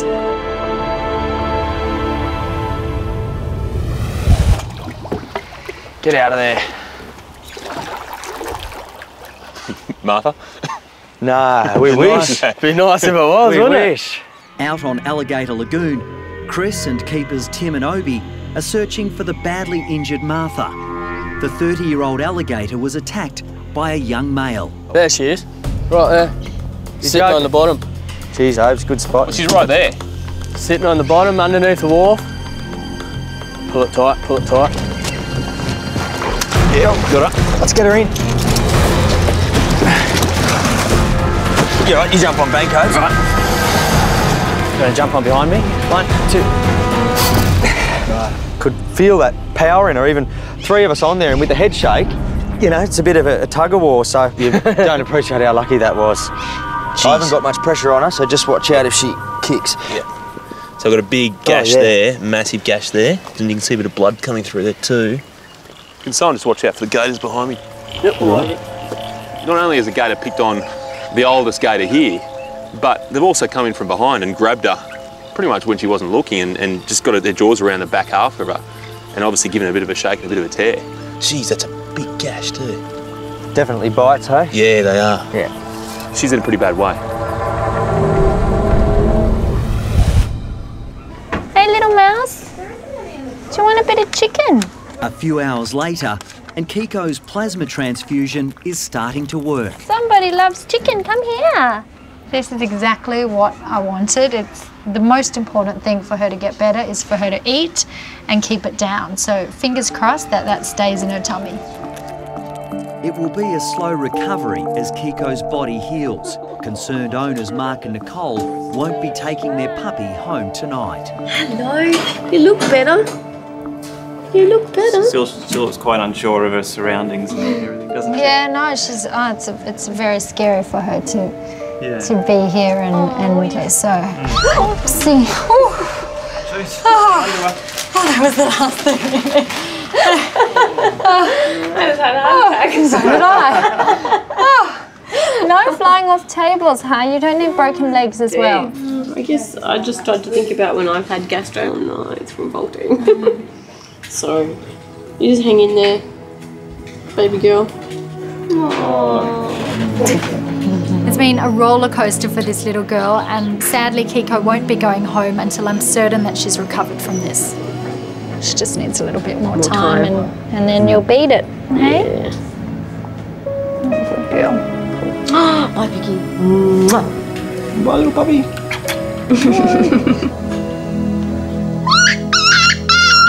With Mark and Nicole gone, an anti-nausea injection is all too much for the dejected puppy. I'm sorry. I'm so sorry. Oh my goodness. Oh, you're really gonna hate me. Ah, she's a beautiful old gator.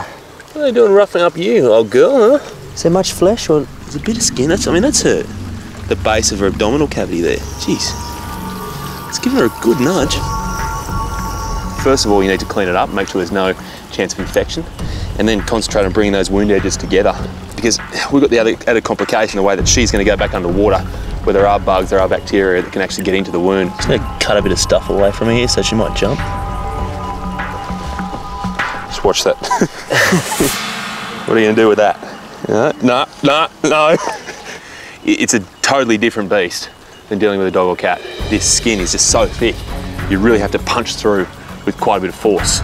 It's a difficult assignment, and Chris is finding it hard to concentrate with his back turned to 30 curious alligators. What was that?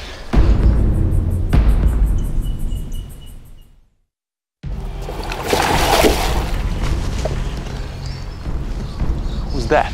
As soon as you slip for a second, they're onto it. At the Australian Reptile Park, Chris is under siege as he repairs the badly injured alligator Martha. Occasionally I do get this sense that I'm being looked at. Not in a positive way, but more sort of a, in a appetising way. And I just know there are eyes behind me right now, and I'd, I'd almost rather not look and just concentrate on, um, on getting it done as soon as I can. I don't think I've ever stitched faster. The 25th and final stitch. So all done. It's a lot. They look good. Good girl, mate. A final shot of antibiotics, and Martha is ready to return to the lagoon. Right, one, sorry.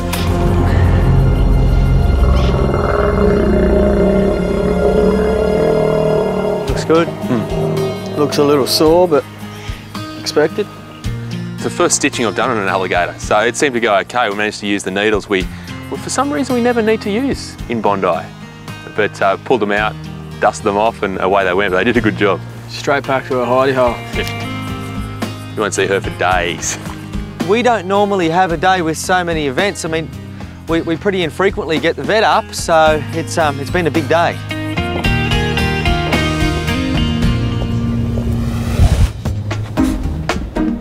Are we, are we friends? Are we friends? Little Kiko has fought a life-threatening case of gastroenteritis and finally won. She's just turned the corner. She's done a formed stool, which is excellent. There's been no more vomiting. She's been eating really well. And yeah, she's ready to go home. It's great. Look at that! Oh, hello, Bobby. I'm coming home. You want your There picture you go. taken with Go- the vet? go to your girls. Go to your the, saviour. The evil vet. Sorry, I've been labelled. No, Hey? it's just Mike stirring you up. You Ready? give cuddles? She's the nice lady vet.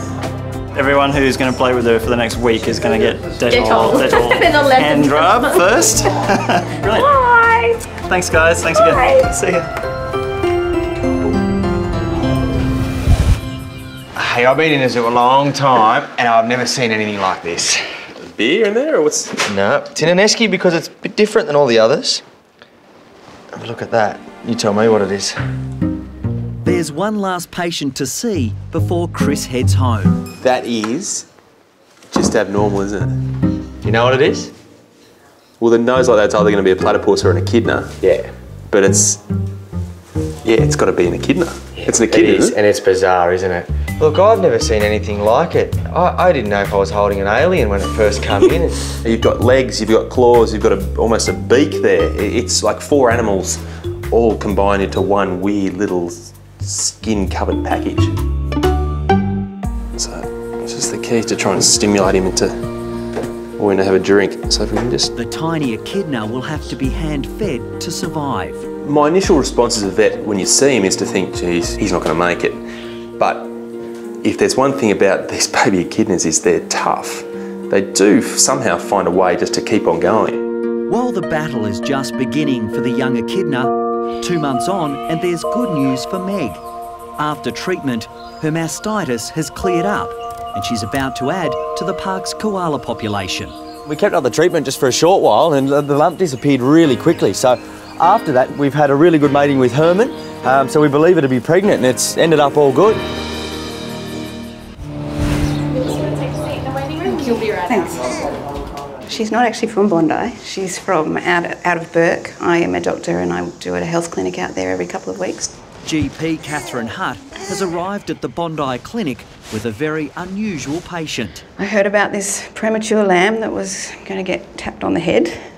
I know, and apparently she was just very small and had been born in the stockyards and wasn't likely to live. So, of course, once I'd heard about her, my very tolerant team stopped off on our way home from the clinic and picked her up, and here she is.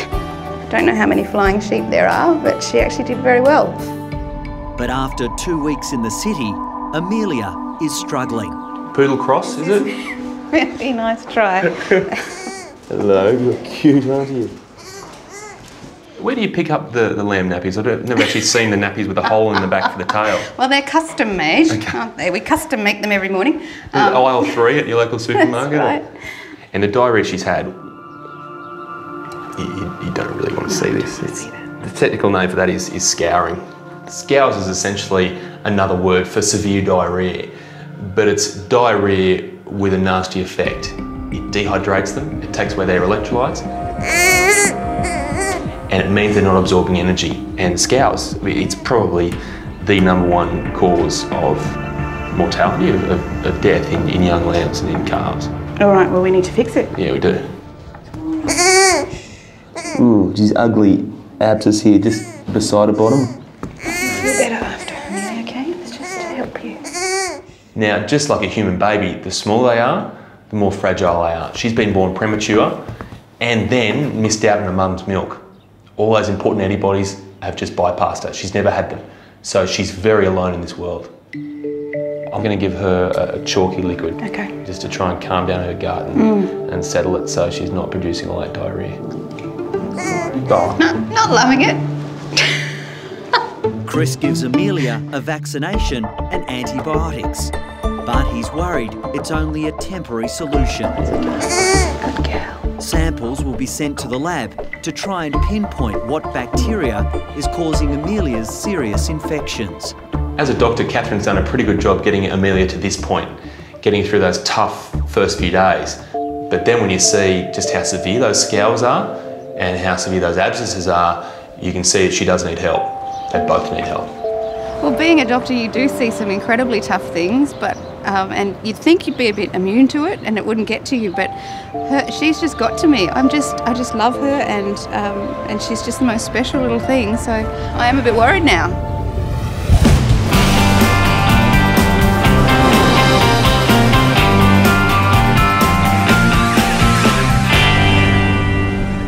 Any other cats at home? One female. And you recently lost his little mate, was that? Yeah. Coco, a rescue cat, has just been admitted to the Bondi Referral Hospital, SASH. Hey Coco, take a look at you. Deirdre saved him from death row at a shelter six months ago. I take him for walks on the lead, and everybody stops and wants to pat him, and he's always making friends with kids. Um, yeah, they love him. Lisa suspects anemia and takes a sample to check Coco's red blood cell count. Oh, the blood looks very watery. I'm just really worried that it's going to end up badly. Yes. For Deirdre, this situation is made so much worse because one of her other cats died suddenly only a few months ago. I Don't think I could handle another one dying on me. Oh dear. It's 8%. 8% is extremely low. I mean, I would expect it in a cat to be in the in the 30s, um, and he's got a red count of 8%. So that is not sustainable with life. He needs to have a transfusion tonight. Until I know that everything's going to be all right, yeah, and it's nothing underlying, I'll worry. Next on Bondi Vet, Chris is called out to treat an Aussie battler. Underweight, dehydrated, he- he's got a lot of things going against him. And an anxious wait for Coco's test results. Breaks my heart.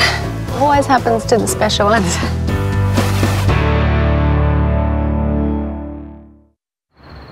Turn on here, use the pipette. Three drops of sample into a new tube. Coco is suffering from severe anemia, but Lisa has decided to carry out more tests. Before I give Coco a blood transfusion, I need to rule out two other possible culprits. and one of them is feline AIDS, and the other one is feline leukemia virus, which is quite rare. Now, both of these diseases can be fatal, so for Deirdre's sake, I really hope the results come back negative. So it's a 10 minute wait now. It's going to feel like a lifetime.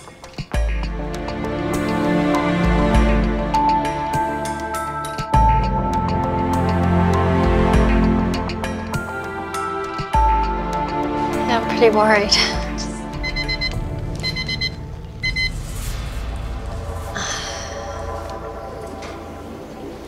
It's positive. So beautiful Coco has cat leukemia and I almost can't believe it. It is so rare and there is no treatment. Sadly, Coco's owner Deirdre was never told there is a vaccination available for cat leukemia.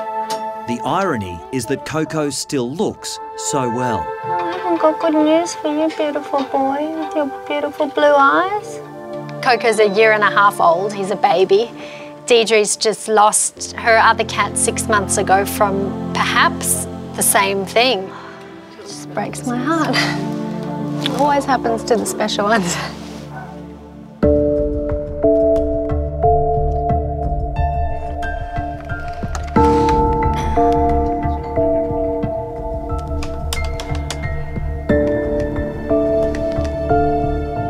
I've got some news for you that's not so good. It's an extremely rare disease in Australia, and unfortunately, Coco's positive to that. Okay. All right. Well, I'll talk to you tomorrow then. Okay. Take care. Bye.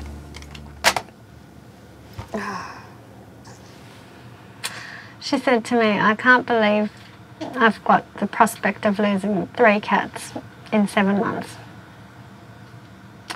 Uh, her other cat at home is not vaccinated for this, and it's pretty highly contagious.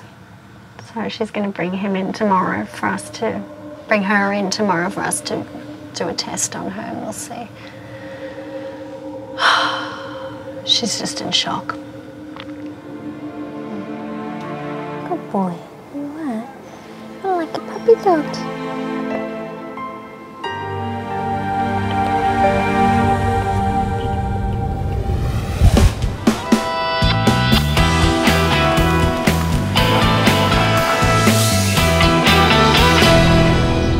Amelia's test results are back, and her infection's been caused by a bacteria called Pseudomonas. Now, they only get this infection when their immune system's given up the fight. And that's because she never got her mother's milk. She never got those antibodies that were going to protect her for the rest of her life. The fact is, if we don't boost up her immune system, then a nastier bug, a deadly bug, is going to come along and take her out. Sure, we can give her antibiotics now to fix this problem, but long term, we need a permanent solution. And I reckon I've got an idea. Chris is now on the road to the Golden Ridge Animal Farm to carry out his plan. We're going to find an adult sheep and actually take some blood from her and take all those antibodies with it and transfer those antibodies from the blood into little Amelia. It works in foals, it works in calves, and I'll bet you it'll work in lambs as well. Now, where are our sheep? Uh, they're up this way, so we'll go for a walk up here and we'll have a look. Elisa, who looks after the mixed bunch of residents here, is hoping to find Chris a suitable blood donor. So I, I guess we need sort of a, an older one, Yeah. Preferably a mother that, that might even have some antibodies of her own. yeah, I've got a couple there with lambs at the moment, so we should be able to find one. Perfect. Do you all want to help, do you? She's got lambs at the moment. Yeah, great. This is very kind of you, you know that?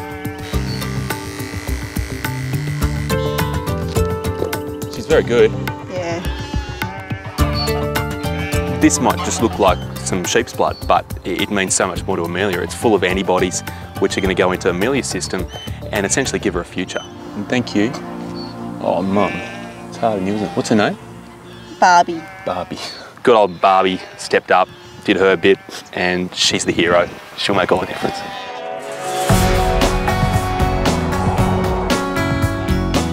Got Barbie's blood safely stored in the back in an esky, but it looks like we've got to make a bit of a detour. The Australian Reptile Parks is called, they've got a critically ill animal. It sounds like it needs urgent attention. Hi Chris, how are you? Good, how are you? Tim will be happy to see you. Come straight through. He's got a platypus. He does. It was found this morning. It's unbelievable. Really? Hi mate. Tim, how are you buddy? Yeah, good, thank you. Did You never cease to surprise me. No, check this out. The malnourished platypus was found wandering lost on a suburban road. He's lucky they didn't run him over thinking he was a rat, you know. Good people. We, we, we get some lovely people that bring all sorts of animals in, so this guy's benefited from it. Have you got a name for him? Oh, look, well, between a few of us, we wanted to call him Aussie because he's a little battler at the moment.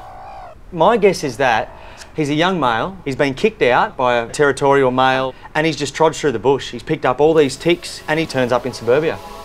There's 20, 30 right there. My worry is that he's got 40 or so ticks in that container. He's probably got another at least 40 on him there. Yeah. If each of those has, say, half a mil of blood, even a quarter of a mil, that's 10 mils of blood. Yeah. He- He's got to be severely anemic as it is. Uh, underweight, dehydrated. He- He's got a lot of things going against him. What I might do just to, I guess, as a bit of insurance against him going into shock himself and, and not really handling this whole experience, actually give him some fluids now. That should help his blood pressure straight away. Has he tried to use his spurs yet? No, I mean, I don't know. They're, they're still there. Yeah. And um, they're quite large still for a young plat, but Jeez, they are decent, aren't they? As the minutes tick by, he's becoming more and more stressed by the whole situation. So we've got to get the ticks off quickly, but pay a lot of attention to that spur. I and most of the guys here would rather cop a whack from a King Brown than one of these, you know. The pain is just said to be unbelievable. It's amazing. Everyone just assumes they're just so cute and cuddly. Yeah. And they're cute, but they've got a pretty nasty little surprise waiting for you, haven't they? Chris continues the painstaking job of removing all the ticks from Aussie. It's only when you really part the fur you, you realise just how many there are. It's, it's like having open wounds all over his body. The fact is, he can quite easily die from these ticks because each one of them is taking just a little bit of blood, and that could be enough to kill him. Coming up on Bondi Vet, will there finally be some good news for Deirdre? Another minute to go. So far, it is negative. Just gonna ease him down a bit. And does Aussie possess the will to live? It doesn't mean we're in the clear, you know. We, we've got a long way to go.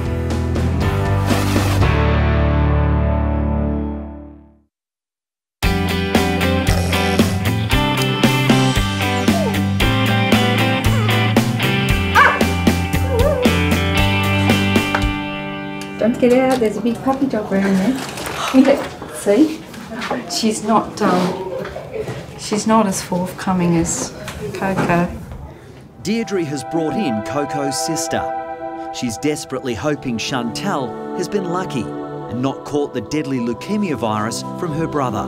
I'm not gonna, you know, get really, really worried until I find out there's something wrong with her. That'll be it. I don't think I'll be able to have more pets. Yeah, I think that'll be it. That'll do it. I like your children. Oh, hello, baby. I'm going to take Chantel out the back, get some blood from her. Mm-hmm. Good girl, Chantel. I think there's quite a high chance that Chantel's going to be positive for feline leukemia virus just because that she's in such close contact with Coco, who's got the disease. There's still a chance that she hasn't, so that's what I'm hoping for. Should be enough. In 10 minutes, Deirdre will know Chantel's future. We wait.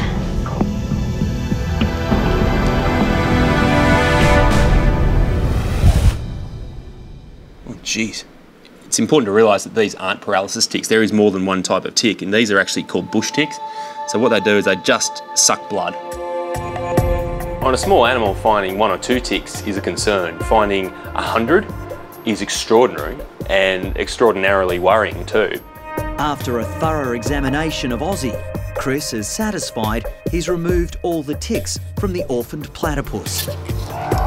A preventative spray should now stop any other ticks ravaging his fragile system.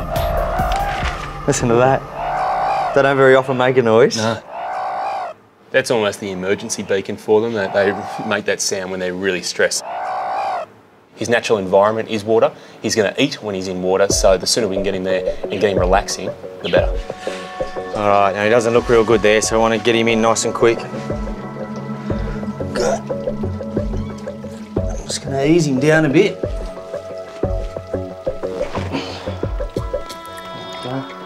Off you go, mate. Let him see where he is. We'll just keep him isolated for the moment, you know, give him his own little tank and um, let him try and recuperate until he gets healthy. Looks good. He's hungry, isn't he? Yeah, actually eating mealworms. Look at that. A little sonar of his is, is still working then. Look, there we go, another one. That's a good food response. I mean, that's immediate. It's not over by a long way. You know, for him to be like that in my hands, then touch the water, it doesn't mean we're in the clear, you know. That's sort of his last ditched attempt to get some nutrition in, you know, but we, we've got a long way to go. You know, a lot of it's up to him. All we can provide is food, shelter, water. Um, you know, we can put all the elements there. He's got to have a good will to live. I just hate waiting for this. Another minute to go. So far it is negative, so it's just great. I just. It's negative. I am just so happy and relieved. I mean, I was trying to stay positive, but the odds of Chantel getting feline leukemia as well were so high. And now finally I can give Deirdre some good news. I'm so excited. I'm just going to go tell it right now. You're smiling. I'm smiling. oh, that's good. It's negative. Very good. So, it's good. That's good news. so now what do we do with Coco? Coco is still infectious, so if Deirdre wants to take him home, he will have to be quarantined away from Chantel. I don't know what the right thing for you to do is, whether you should take him home or whether you should leave him here. Medically, it's safer for him to be here, but emotionally, it's better for him to be at home. Yeah, even like if it's only for a couple of days. Yeah. Okay. Spend a few days with him. I think that's lovely. Yeah. It's just going to be hard keeping To them separate. too. Yeah. But I guess something you've got to do if you want to have Chantel around. Yeah. Mm. Yeah. That's right. Sweetie, you just enjoy him. And call me if you have any problems at all. Oh, I will. Thank you. I don't think this was a tough decision for Deirdre. I think she knew straight away that all she wanted was to have Coco home. Oh, Bye, gorgeous boy. even if it's only for a limited time. I'll take him home and give him cuddles and love him. Next on Bondi Vet, will this plasma transfusion be the gift of life for Amelia? If it works, fantastic. Anything that's going to help her. And a medical update on the brave Aussie. If this bloke was human, he'd be selling his story to a magazine.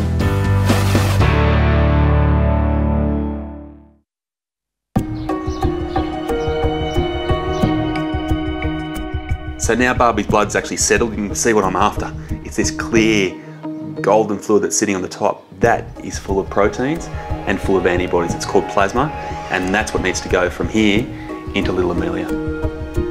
Catherine rescued the orphaned Amelia from outback New South Wales, but the tiny lamb is now under siege from life-threatening infections. Doesn't sound like Amelia. Oh, hello, you, Amelia. You've grown. Hi, Chris. How are you? Come in. Good to see you. Hey, Amelia. Okay, we are in. I'll give this over the course of about five or ten minutes, just to minimise any risk of this really protein-rich, antibody-rich fluid overwhelming your system and, and really sending you into a bit of a shock state. Well, I think it's a pretty amazing idea. If it works, fantastic. Anything that's going to help her. She's not quite three weeks old yet, so there's still a way to go before I'm confident that she's going to be all right on her own. Amelia, we're done. So how are we going to know if it works? It's almost a case of no news is good news. I mean, if she doesn't get any infections, then you know it's working. And here he is, our little Aussie battler. He's beaten all the odds. He had 80 blood-sucking ticks on him. He was on the road and avoided getting hit by a car.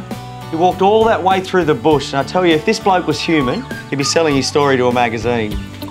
Aussie, the great survivor, has made a full recovery and is adapting well to his new home at the Australian Reptile Park. Now, as for his future, in captivity, he's going to become very dependent upon us. So, he might finish his days in a breeding program as an ambassador for his species. Go in a hurry, aren't you? With the transfusion administered, Catherine's now trying to negotiate as much time as she can with Amelia. The plan now is to continue feeding her the milk, but her focus really has to shift from milk to grass at some stage. Now, you're supposed to be eating grass. I think she prefers carpet. I think we're probably looking at about six weeks from now that we can start to think about moving her away onto a farm. I don't know who's going to be worse off, her or me, because I don't know how I'm going to cope. Catherine might say six years, but six weeks is probably going to be about right. I think we can stretch that a little. To grass. It's 8%. 8% is extremely low. I mean, I would expect it in a cat to be in the in the 30s, um, and he's got a red count of 8%. So that is not sustainable with life. He needs to have a transfusion tonight. Until I know that everything's going to be all right, yeah, and it's nothing underlying, I'll worry.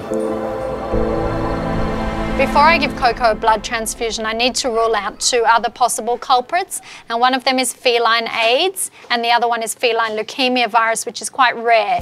Now, both of these diseases can be fatal, so for Deirdre's sake, I really hope the results come back negative. The fact is, he can quite easily die from these ticks because each one of them is taking just a little bit of blood, and that could be enough to kill him.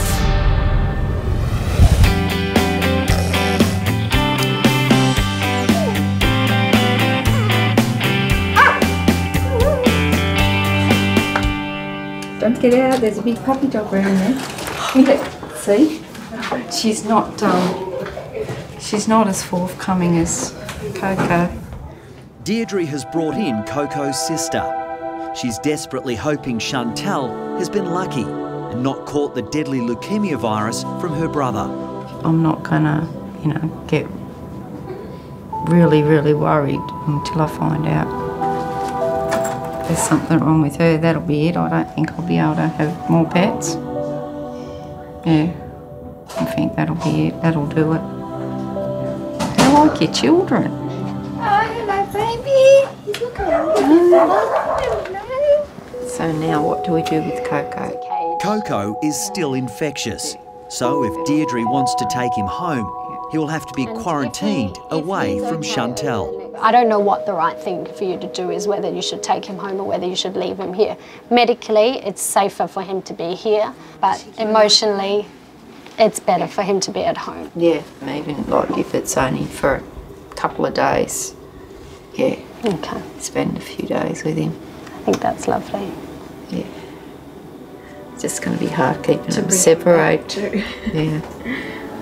But I guess it's something you've got to do if you want to have Chantel around. Yeah. Mm. Yeah. Sweetie, you just enjoy him. And call me if you have any problems at all. Oh, I will. Okay. Thank you. I don't think this was a tough decision for Deirdre. I think she knew straight away that all she wanted was to have Coco home. Oh, Bye, gorgeous boy. Even if it's only for a limited time. I'll take him home and give him cuddles and love him.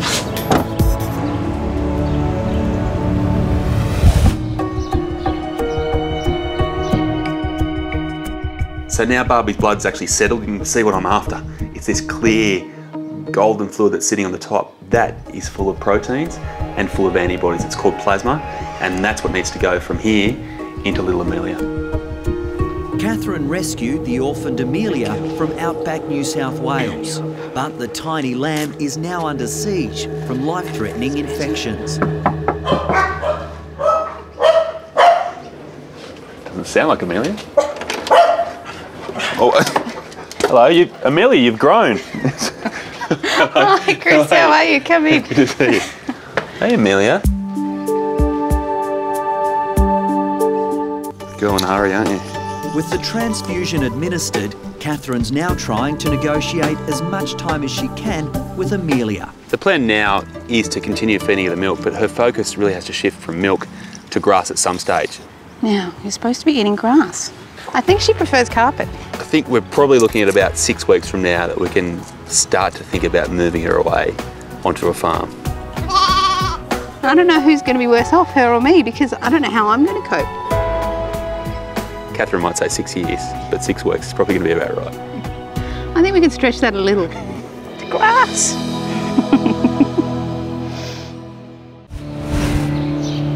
I'm Chris. Do you know? Aaron. Aaron. Who's this? Uh, this is Tosca. Tosca. Okay. Can you just explain what's happened?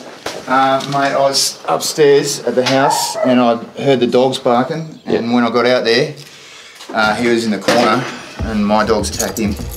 12 year old Tosca is in trouble after a backyard brawl with one of his canine housemates. You didn't see him being shaken or? No, I didn't see anything. By the time I got off there, my dog was off him. They ever fought before? Uh, no, he's he's always growling at him and but he and having goes at him, but he's he's always backing off. He's he's never um, he's never done it before. No. Okay. Yeah, can we get some oxygen? Yep. Just getting away today, did you, Tosca? Come on, buddy. Just keep calm there, mate. It's a nightmare family feud. The injured Tosca belongs to Aaron's girlfriend. She's gonna kill me. What, the missus? Hint of a bit of hemorrhage in the corner of that eye too. So it may have been when he was where he was shaken. The biggest worry with these dogfight injuries is essentially that it's not just the actual impact of the bite, it, it's more the shaking and the twisting that occurs after that. It's, it's sort of like a whiplash situation where one part of the body goes in one direction, the other part goes the other. And what's left in the middle is stretched, is broken, is torn. And if that's the spinal cord, then we have big problems. Oh, I just I just hope he's all right. Like.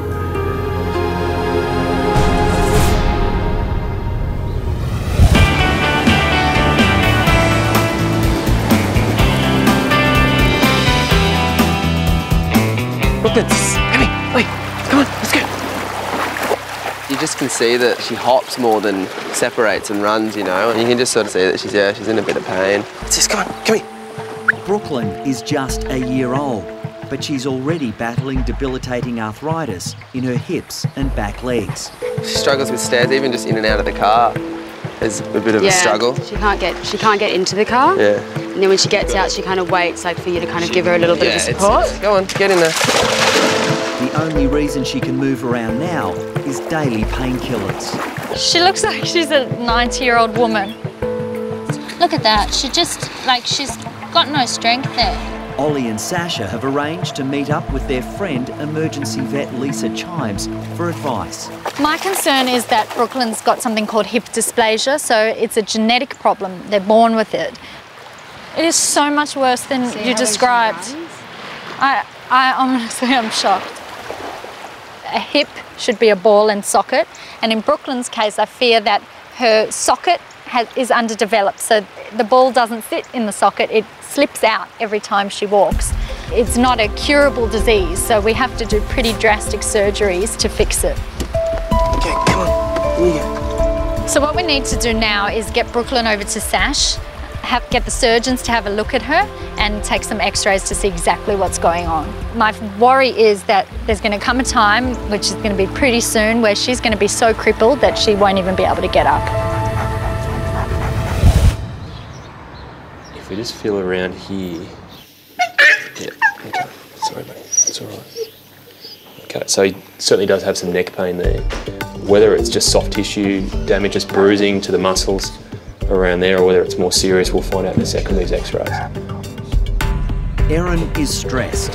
His girlfriend's dog Tosca is now being checked for spinal injuries after a fight with his bull terrier. The quietest I've ever seen The concern I've got is this area here, from C1 to C2. So there's just a bit of a step there. It's certainly not severed, but it, it's an area of concern I'll just flag now because if there are any issues later on, then that, that's probably where it's going to be coming from. Okay. Okay, so we're moving through. Aaron's living out a nightmare right now. This is a fight within his own family of dogs. Inside, he must just be going through the worst of emotional turmoil. Did you want to call? Uh, yeah, I, I'm going to have to.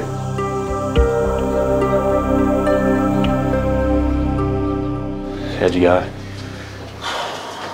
She's pretty cranky.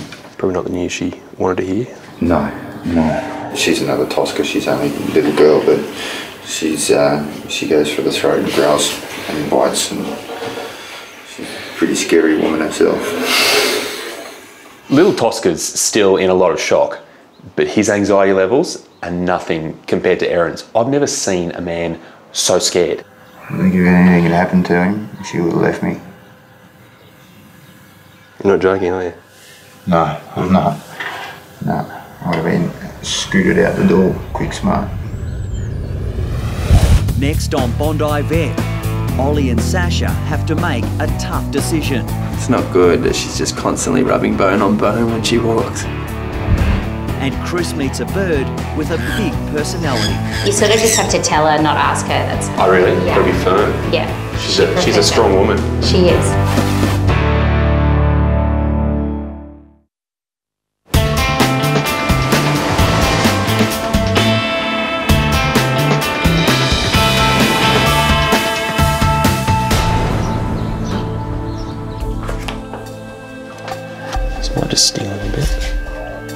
Bit. Tosca has survived an attack by his canine housemate with no Two major weeks. injuries. But there's Fair still enough. a problem. The terrier is the beloved pet of Aaron's girlfriend. She's furious because it was Aaron's dog who attacked little Tosca. So incredibly lucky. Oh, I won't be feeling very lucky when your mum gets home. You reckon this might be mild compared to what you're going to cop? Oh, I reckon you should see the lacerations I'm going to end up with. Getting us both in trouble, mum. You know? The question now is what will happen when Tosca returns home? Tosca's got the first bite in. Now that changes things. What we have here is a big struggle for dominance and a struggle that could be fatal unless we can sort it out. Tosca now needs to rest and recover from his shock, while Aaron goes home to face the music. I've heard so much about this woman. I gotta say, I can't wait to meet her.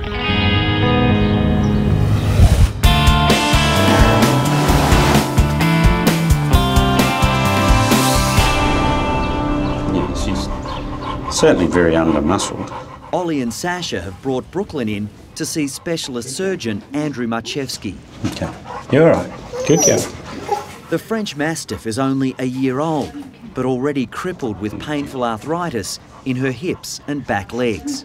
So this is her hip joint, right? So it's a ball and socket joint, and what her hip at the moment is, it's sitting out there, and every time she walks, it's just crunching against the edge, and she's getting lots of arthritis from that. So from what you're telling me and looking at her X-rays, I think a hip replacement will make a huge difference to her. For such a young dog, a total hip replacement is a major operation. If we do nothing, she might be able to live for a few years, but it might be only four or five rather than eight or nine or ten. So I think it's also quality of life and quantity of life. It's better to know now. I think we've tried to um, kid ourselves for a while, just going, oh, it's not that bad. It's not good that she's just constantly rubbing bone on bone when she walks. She hides it well. It's expensive, it's invasive, and there is the potential for things to go wrong. All right, come on, you with me. Brooklyn will be the first hip replacement ever performed at SASH. Everybody has a lot at stake. I do feel almost a sense of fear and and you know a sense of responsibility that if something does go wrong and I've kind of pushed them to be proactive about it you know it's it's not risk free and we just have to keep our fingers crossed that she's in the successful group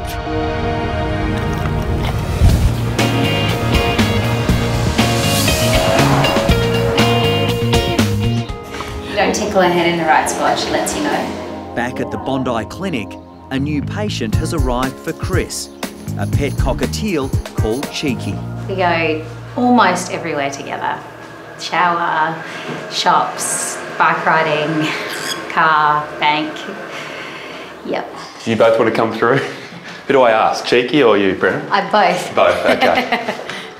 I've noticed some drops of blood today um, on the bathroom floor, so Okay. um, she is bleeding, not from her feet, I think from her genitals, so I was really quite worried about that. You sort of just have to tell her, not ask her. That's Oh, really? Yeah. Gotta be firm. Yeah, She's a she's a strong woman. she is. So if you just tell her what you want to do, she'll do it. She likes assertive men. She does. It's always been a problem.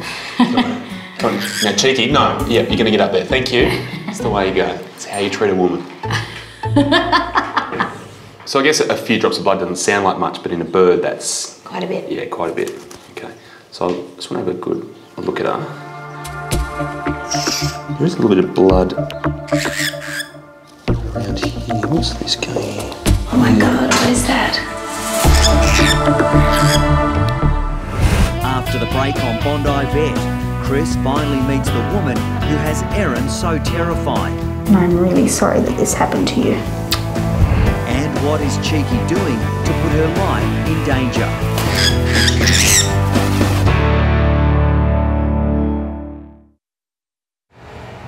What's this going?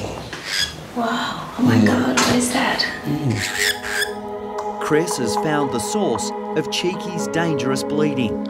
At the base of that gap is a hole, Yes. and that's where that blood's coming from. Yes. So I think she's actually lost a feather. Sweet lamb. What we'll do is just clean it up with some antiseptic and just try and clean around the base of, of where that feather's come out. So I guess we need to work out how she's done this because the worry is that if she does this when you're not around or when you're asleep and she actually has a, a decent bleed, she can actually get into quite serious trouble. So has she been doing anything abnormal behaviour wise? Um, she. What Prem's struggling to say is that the naughty Cheeky spends too much time self pleasuring. Uh, how often? She does it every day. Yeah. Um, For how long? Sometimes a lot every day. Sometimes for 15 minutes. 15 minutes. Yeah. Cheeky is so incredibly sexually frustrated, so wound up, that not only is she pleasuring herself, she's gone to the next step. She's pulling her own feathers out. What does she do it against? There's a part of the twig that she always kind of backs up against. Mm-hmm. She stands on one leg to get like right in the right position. It's really funny. She'll like lower herself right down on one leg. I think that comes under the title of a little bit too much information. Cheeky, get on the hand. That's it. So, what is the solution to stop Cheeky's harmful habit? She's doing that right now because the weather's just warmed up. Yeah. And because of that, she has all this energy, but also all these messages in her body saying, you must mate, you must breed. But there's nothing around her that she can mate with. Yeah. So what she needs to do to lower that sexual frustration is to convince Cheeky that it's actually not springtime. And the way you do that is actually lessen the daylight hours. Put Cheeky to bed in a darkened room at five o'clock in the afternoon. So Cheeky, sounds like you're gonna get the treatment you deserve. Early to bed like all bad girls. there you go. Cheeky.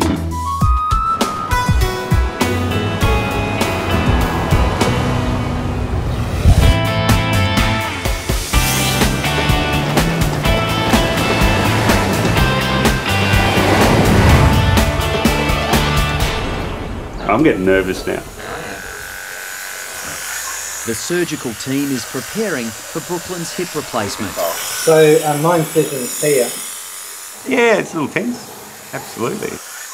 There's a lot to gain and there's a there's a bit to lose. And I think because this is SASH's first one, it's, it's exciting.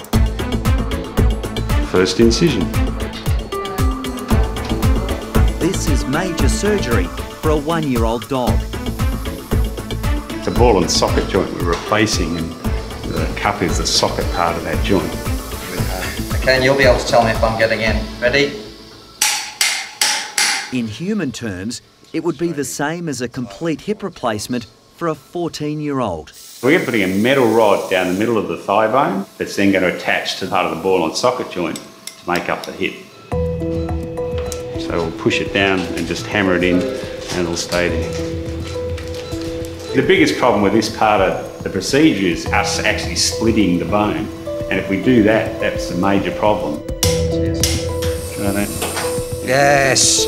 Position looks good. Overall, I think it's, it went well. Nice. It's perfect canal fill. We had a few hiccups. This is our first one, and I sort of half expected it wasn't going to go perfectly. It was a little frustrating. The biggest threat now is an infection setting in around the implants. It will be two months before Andrew can tell if Brooklyn will make a complete recovery.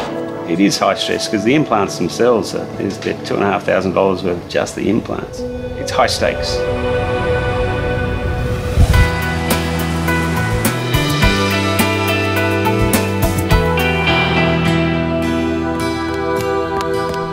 Much talked about girlfriend Christine has finally arrived at the clinic, and so far he's still in one piece. Oh. Oh. Hey. Oh. You're alright, baby. Oh, I'm so sorry.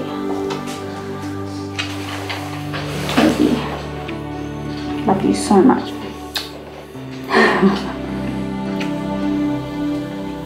looks a lot happier than he did this morning. He doesn't look happy at all. Look at him. He's like going, "Oh my god, I just want to fall asleep standing here." He's not happy at all. He's just kind of. I he think he's happier than he did, Did he? when it happened. he didn't look too happy then.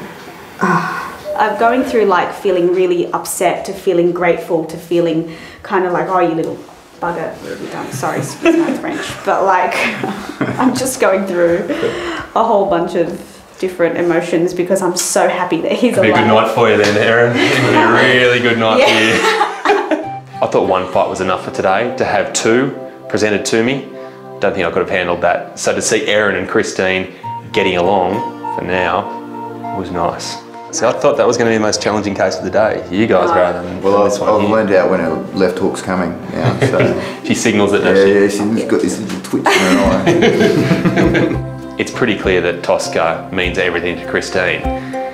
Aaron has dodged a bullet today. If this was more serious, he would have been facing a lot more serious punishment, I'm sure. The family must wait for Tosca to fully recover before he can head home. I'll be thinking about you tonight, alright? Next on Bondi Vet, how is Brooklyn coping with her brand new hip? I'm nervous to see her. I'm just worried that she's in pain. That's it. And there's more trouble when Tosca goes home. Get out there.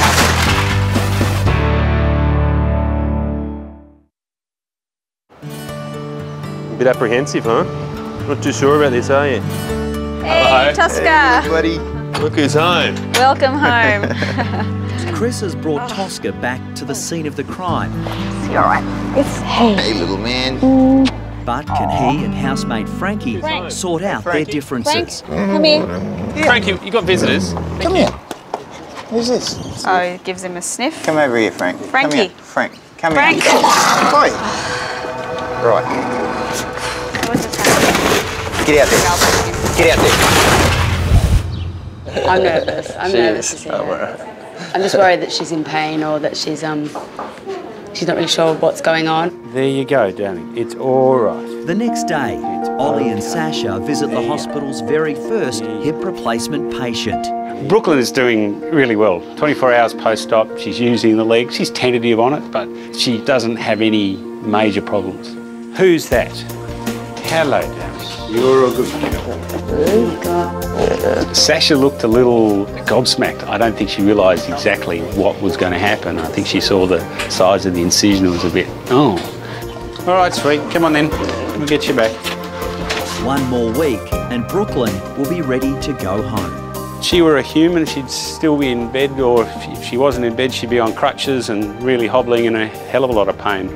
I'd see my father-in-law go through it, and um, she's doing much better. Good girl. You've got to battle for supremacy yeah. when there can be only one captain of this team. It has to be Frankie. Frankie has been let out and given a second chance. All right. Woo. Chris believes he has the solution to this that's sibling great. He still is entire, still hasn't had his balls removed. Yeah. Now, Would that be a good thing to do? that would certainly help. You reckon? Yeah. Okay. But what I can give him in the meantime is an injection to block the effects of testosterone in his brain. So stop him from being the big guy in the small body. All right. So it's not going to seem like much, but one mil of this drug here should change his whole attitude. Okay. So in a way, what we're doing is chemically castrating him. Okay. Just lucky this didn't happen to you yesterday, Aaron. Yes. Could have been you getting the injection. well, you've got more than a mill in there, don't you? No. No. Oh. Steady, Tiger. fix you while you're here. the fact is, once we remove that testosterone that's really revving Tosca up, then he's going to pull back. He's going to be more relaxed. He's going to acknowledge that Frankie is the boss. Once there's stability there, Christine and Aaron have their happy family back together. There's a lot of love there. We've just got to make it work. And this will make it work. Better? Oh, yes. I love you too. I do. I love you too. You happy to be home? Good luck, guys.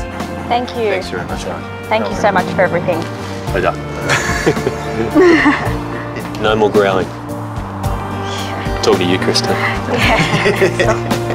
no. more.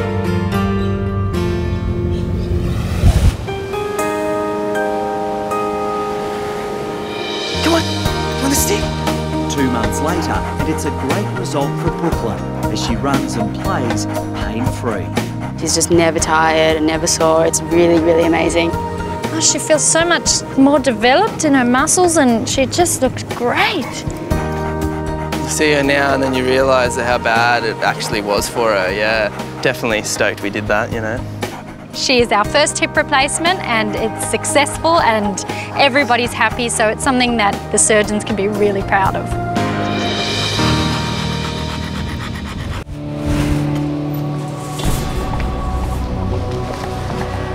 Sorry, I saw you there. Three-month-old Archie is suffering severe convulsions. So what's happened? You just come home and he's been like this? Yeah. The Labrador puppy is confused and frightened. Have you got any bakes or anything in your backyard? Not that I know of, no.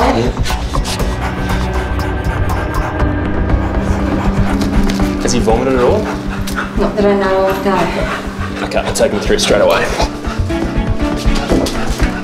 We just need to see what's in his stomach because to me this looks like a poisoning, like he's taken on board some sort of toxin. We just get a thermometer. Just worried if he has ingested something he could be overheating and going into some sort of hyperthermia. Yeah, so it's 41.3 degrees. So he's very hot. So can we get a cool bag of fluids, Neil? Yeah. buddy, just gonna settle down, mate. I know, I know what's going on, okay? Just keep killing me. So, before we even get the fluids in, I'm just going to give him uh, something to make him vomit straight away.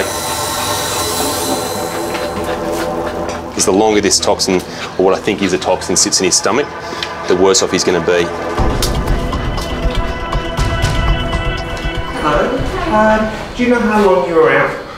Um, we all left home about quarter to eight this morning Yep, for um, school and work. Archie's owner Danielle arrived home early after she Okay, had an unexpected trip to the dentist. I'm grateful that I had to leave work and get this tooth taken out in an emergency, and um, otherwise, I wouldn't have been home until after four o'clock this afternoon. By four o'clock, Archie would have been dead. Looking at the total hold over Archie's body that that poison has right now, if it gets much more serious, he'll die.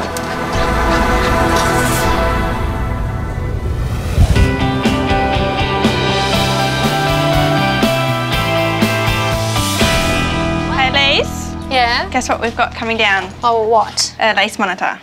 A what? A goanna.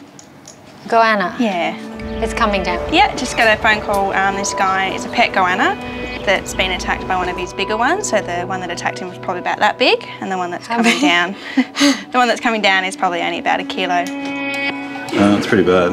It's um, a couple of centimetres deep and um, all across from one side to the other. Peter has a collection of 20 goannas at home, and one of the larger family members has attacked the much smaller five-year-old Bally. To be honest, I am a little bit scared of reptiles. They give me the creeps. And treating or handling one of these is a bit of a nightmare for me.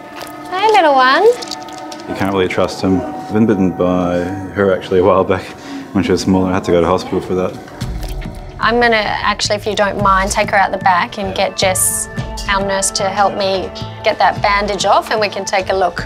We're supposed to learn about all animals at uni, but quite honestly, all I can remember about lizards and reptiles are a few lectures we had back in third year. Yeah, if you can be comfortable that you're gonna hold her and that she's not gonna bite me, because honestly, I don't deal with reptiles very often and I'm instilling all my faith in you. Okay. Okay. I used to work up at um, Australia Zoo Wildlife Hospital, and we did a lot of um, lace monitors up there, wild ones. So I don't have a problem with a pet one. they're really cute as babies, very very cute. So they're just misunderstood. Um, it's the claws and the tails that you need to watch out for in these guys, not necessarily their mouth. All right. Now her tail, is there a spike? no, or- they flick it They really, just really flick hard, it yeah. hard. Okay, so I'm just gonna get like bruised from that and scratched and shredded from the claws. Fantastic. This will target his brain and actually make him vomit and vomit quite thoroughly. Archie's life is hanging in the balance. There's a massive amount of toxin racing through his system. Hopefully the result is that we remove whatever is in his stomach as much as we can. For a young puppy that's already immature and, and fragile, it's really damaging. Looks like a snail bait.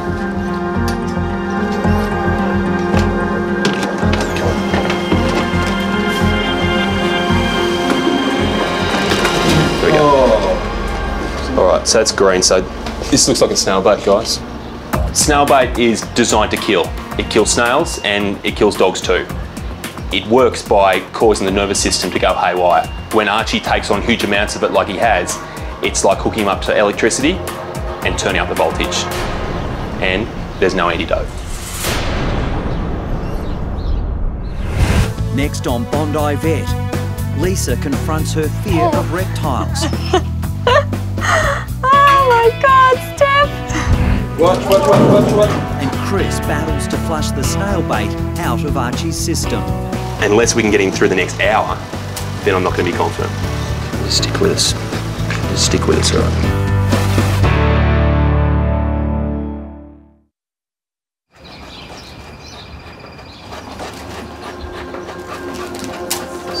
Forty-two five. 42.5, so we're up again.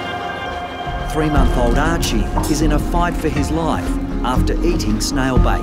His temperature's gone from 41.3 to 42.5. It's going the wrong way. We need to bring it down. The only way that you can do that is through giving cool fluids, cool towels, fans, cold water enemas, and stop the convulsions. The muscle contractions are right now what's putting that temperature quite high. Okay, mate. You just got to keep calm. You're going to do some things too you're not going to like, all right? But if you keep calm, you're going to come out the other side. That's fine. Just because he's vomited doesn't mean that Archie's out of danger here. Because there's no antidote, the treatment is all about getting rid of that toxin out of their body as quickly as you can. And you just hope they stay alive long enough. Watch, watch, watch, watch, watch. Unless we can get him through the next hour, then I'm not going to be confident. Stick with us. Stick with us, all right?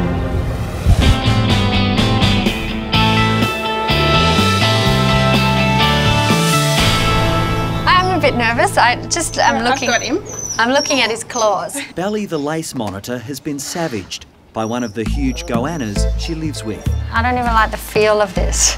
But before Lisa can treat the severe wound, she wants to give Belly a general anaesthetic.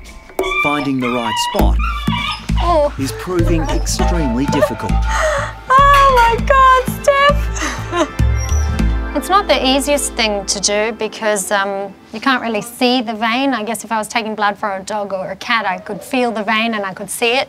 Here we're kind of going in blind. There it is. Yay! How good is that? And then just help it. Woo! I anaesthetised a lace monitor. Maybe the first and last time. right, hon, just take some deep breaths. Talking to a lizard here. Look. Oh. Oh, she's really been ripped to pieces here.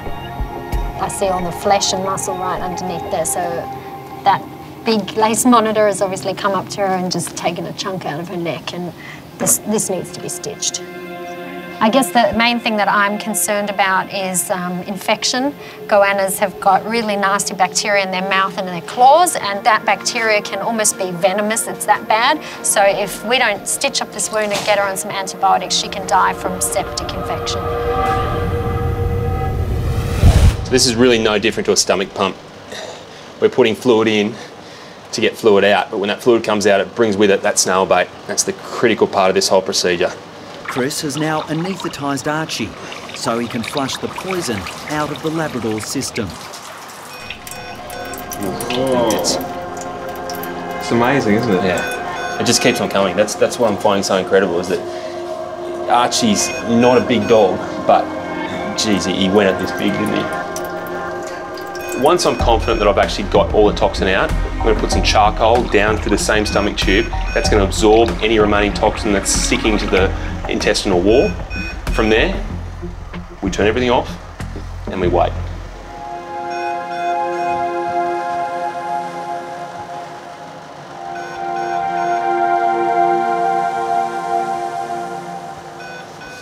Hello, buddy. Hello. Hello. Hey. Hey, you are right? bit confusing, isn't it? It's good with you, buddy. Hey, do you remember us? Hmm? There's no food here. No. What we don't want is that uncontrollable tremoring, which we're not getting right now. This is good. I'm happy with this. This is good. Look, he's been through a lot. He's going to be exhausted. So he'll stay tonight? Um, I suppose if he's too tired, the kids can't see him. Well, look, the kids can come in and see him if you want. He'll only pick up from here, won't he? Hopefully, just the, the liver's the only worry I have, and we're going to test for that. But All right. It's tricky because right now everyone's relaxing and going, geez, that was close.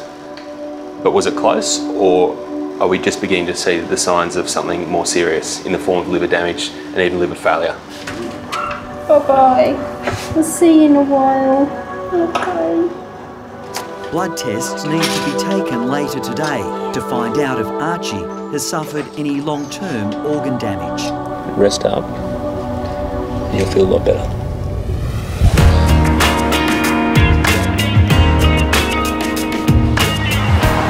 While Archie recovers, Chris is on the road, heading to a difficult assignment at the Australian Reptile Park. The idea is uh, we'll get him off the mound. We're going to push them to the sides. You'd come in and you'd wave your arms and bring him around a bit and stay in a line with your mate next to you and bring him down. Okay. Tim and his team of wildlife keepers need to round up these incredibly fast yellow-footed where rock wallabies. grab the tail, they'll swing down and we'll come straight in with the bag. First thing, in the bag, hang them up. Chris can then check the female's pouches for joeys to make sure the breeding program is working. These guys can jump metres high. They live on the side of cliff faces. It's not uncommon for one of them to go over your head. Yeah. See, I've normally got the height advantage, but here it looks like they've No. got it all over me, doesn't it?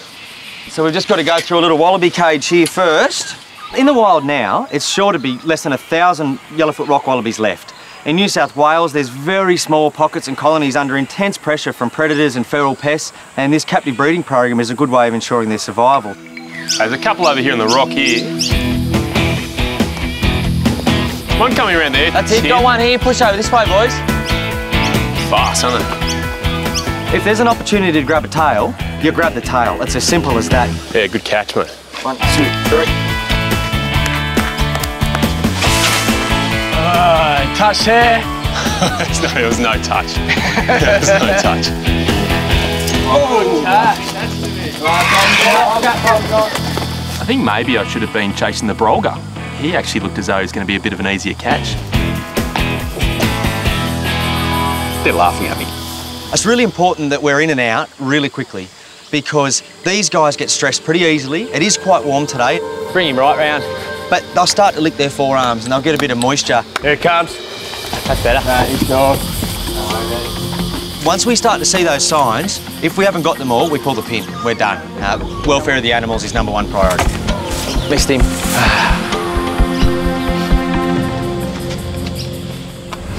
After the break, will attack victim Belly survive her terrible bite wound? The muscle under there is really shredded. And a special hospital visit as Archie struggles to recover from his ordeal. I love him so much. He's like another brother.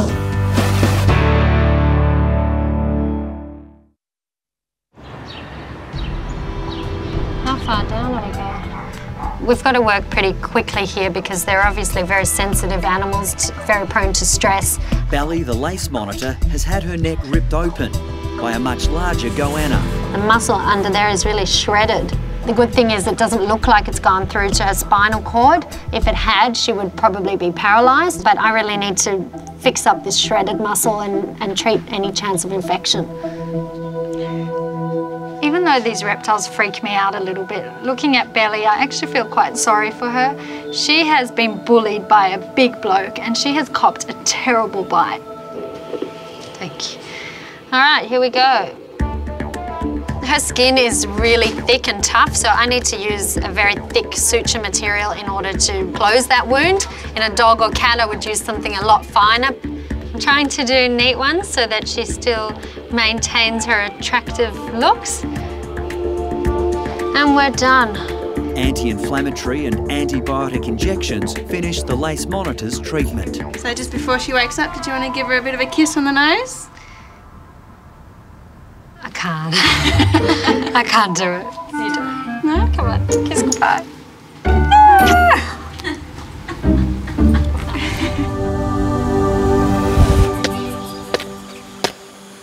We're going to bring him around the yard, push them up in behind that, two or three roos in, you close the gate, yep. and bang, we'll be on them, catch a few, bag them up. Sure. The Great Wallaby Roundup is Righto, let's do it. continuing at the Australian Reptile Park to check how many females are carrying joeys. One, two, three. What do they do with a guy that can't catch the wallabies? He holds the bag. Ready? One, two, three. Yeah. Glamorous. Too easy.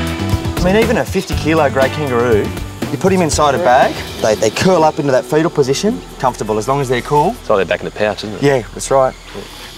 Well, that's good. We got all but one, and it's a boy anyway. That'll have to do us for today. Now, they do bite, and they bite really hard. Chris now checks the wallabies' microchips and updates their health records. One, two, three, off you go, mate. You just wanted. Finally, a sign the breeding program is working. Yeah, female. Pretty female. Your eyes are already well developed, isn't it? Ears aren't quite up off the head. What do you reckon, about 100 days or so? No, maybe it's tiny, yeah, just under. Maybe two months. So a serious part of the exercise is checking those pouches, and we discover we've got two joeys inside there. a male and a female, which is great news. It's showing the breeding program is working. jelly. It doesn't do such good things for my ego, though, to know that I got outstepped by a mother and baby. That's a bit hard to take. Well, we're the surprise, it's a girl.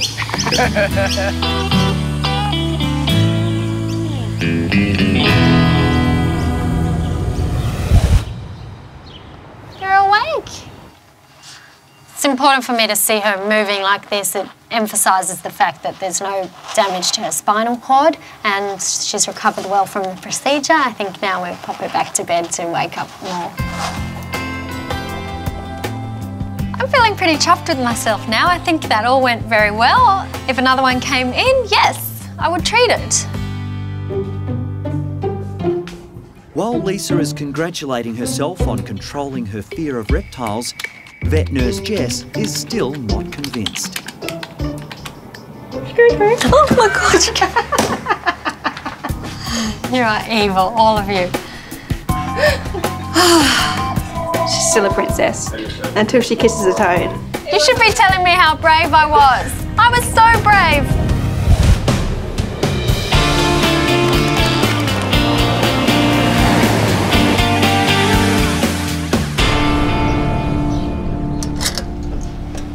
Get too excited, but someone's here to see you. Back at the Bondi Clinic, Chris is happy enough with Archie's progress to allow his family to visit. But the young dog is still fragile after eating a near fatal dose of snail bait. Your little puppy's been through a lot today. He's still very sick though, and he's still very frightened about what's happened to him and, and what's going to happen to him. So be really gentle with him and don't make any loud noise and just walk him very quietly and, and just keep calm. I love him so much. He's like another brother. He's just so special. Let's chat in the morning and, and fingers crossed his, his liver's okay and then he can push on through. Okay, thank you for everything. That's all right. No worries at all. I'm very lucky. Thank you. Try to relax tonight. Okay, we're doing everything we can for him. Thank you. Bye bye. All right. There is one more important test Chris needs to perform on Archie. So this blood in here is all about checking for that organ damage. Been through a lot. How much his organs were affected during that two hours of chaos, we've got to find out.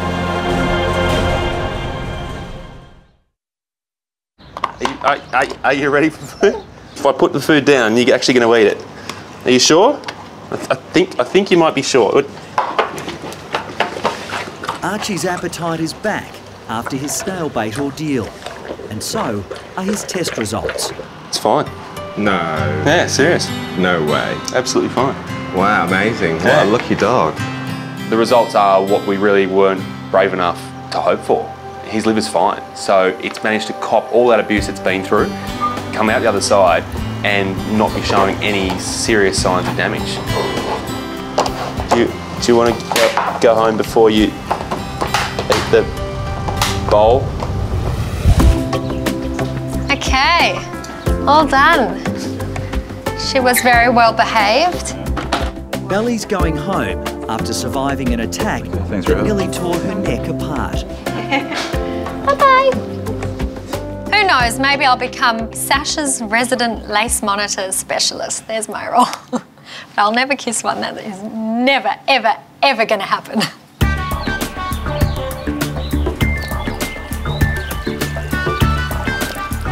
So Belly's in this one. Yeah, Billy's in here.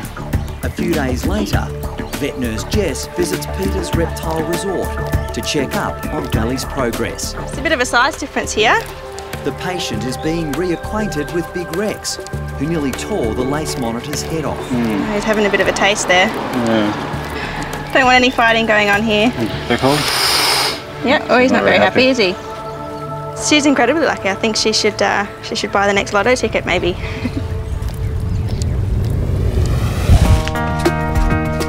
Archie, you're setting a bit of a pace there. Look who's here.